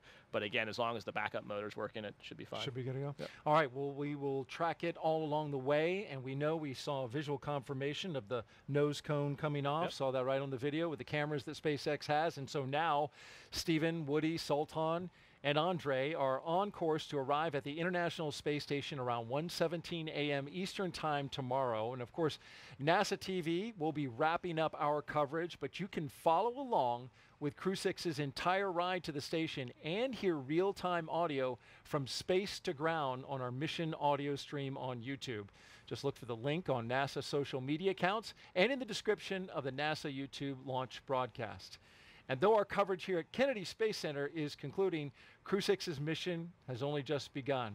And you know it well, Raja, when you go up into the International Space Station, you really enjoyed the ride getting there because that's when the work starts. Exactly. Yeah. So it's actually a really nice period of time here. You got some time to look out the window, uh, enjoy your time. You spend a lot of time in the sim, the Dragon sim, whether it's out at Hawthorne or the the ones out in Houston. Um, but it's nice to actually, you know, now enjoy the ride uh, and take it all in, especially for the the three rookies. Get used to some space adaptation, moving around in, in microgravity before you get on the space station. Because as soon as you show up in the space station, man, it is busy. It is fun, but it is busy. Time to get to work. Next up is our post-launch news conference scheduled for 2:30 a.m. Eastern Time on NASA TV. We'll have a live joint docking coverage uh, of Crew 6. We'll have the welcome ceremony starting at 11 p.m. Eastern Time tonight. Uh, this is is- this will be on Thursday on NASA TV as well as SpaceX's YouTube channel. And you can find mission updates on Twitter at NASA, at SpaceX, and on the web at nasa.gov, including that link. We'll have it in there in the description of the mission audio stream if you want to stick with Crew 6 during their entire journey to the space station. Well, before we want to sign off here at Kennedy, I want to thank Raja Chari for being on the launch broadcast and sharing your incredible experiences. I learned such an incredible amount. I hope our audience did too. You answered all their questions, and it was fascinating just to listen to all the things that happened. Really appreciate you Well, thanks. being there. I'm, I'm glad I got a chance to see a, a rocket launch, and so yeah, I highly recommend coming here to do this. So you can get a great view of a rocket launch. It's the way to go. Great plug for the Kennedy Space Center there, Raja. We appreciate that. And good luck to you on your work with the HLS. You're doing uh, a lot of work there with the human landing system for the Artemis program, and people are really excited about that. Yeah, they should be. It's it's an amazing time. We've, we're seeing what we're doing in low Earth orbit, and that is just the first step, man. We are going back to the moon to stay and onto Mars, and it is a great time to be in space. Congratulations on watching your first launch, and congratulations to the space lovebirds out there at the Kennedy Space Center who tied, or at least had, had the proposal and got a big yes. And then, of course, thanks to all of our guests for joining us today. We really appreciate you watching. You is you are why we do this, right? So here now are some highlights from the journey to orbit off the Earth for the Earth. For Raja Chari and everyone here at the NASA Kennedy Space Center, I'm Derrol Nail. Have a great night and keep looking up. Crew 6 on the move inside astronaut crew quarters. Crew 6 walking outside of astronaut crew quarters for the second time. Andrey Fedyaev, Woody Hoburg, Stephen Bowen, and Sultan Al Neyadi. The crew departing the Neil Armstrong Operations and Checkout Building, the full security escort across NASA's Kennedy Space Center to Launch Pad 39A. The commander and pilot, Stephen and Woody, making their way inside Dragon. There go our two mission specialists as they cross the hatch, being very careful. It's a five-point harness just to save wear and tear on the suits. A lot of times the ground crew will, will help with doing that. As we watch the SpaceX closeout crew close the hatch to the Dragon capsule. Three, two, one. Engines full power liftoff. Go Dragon, go Falcon.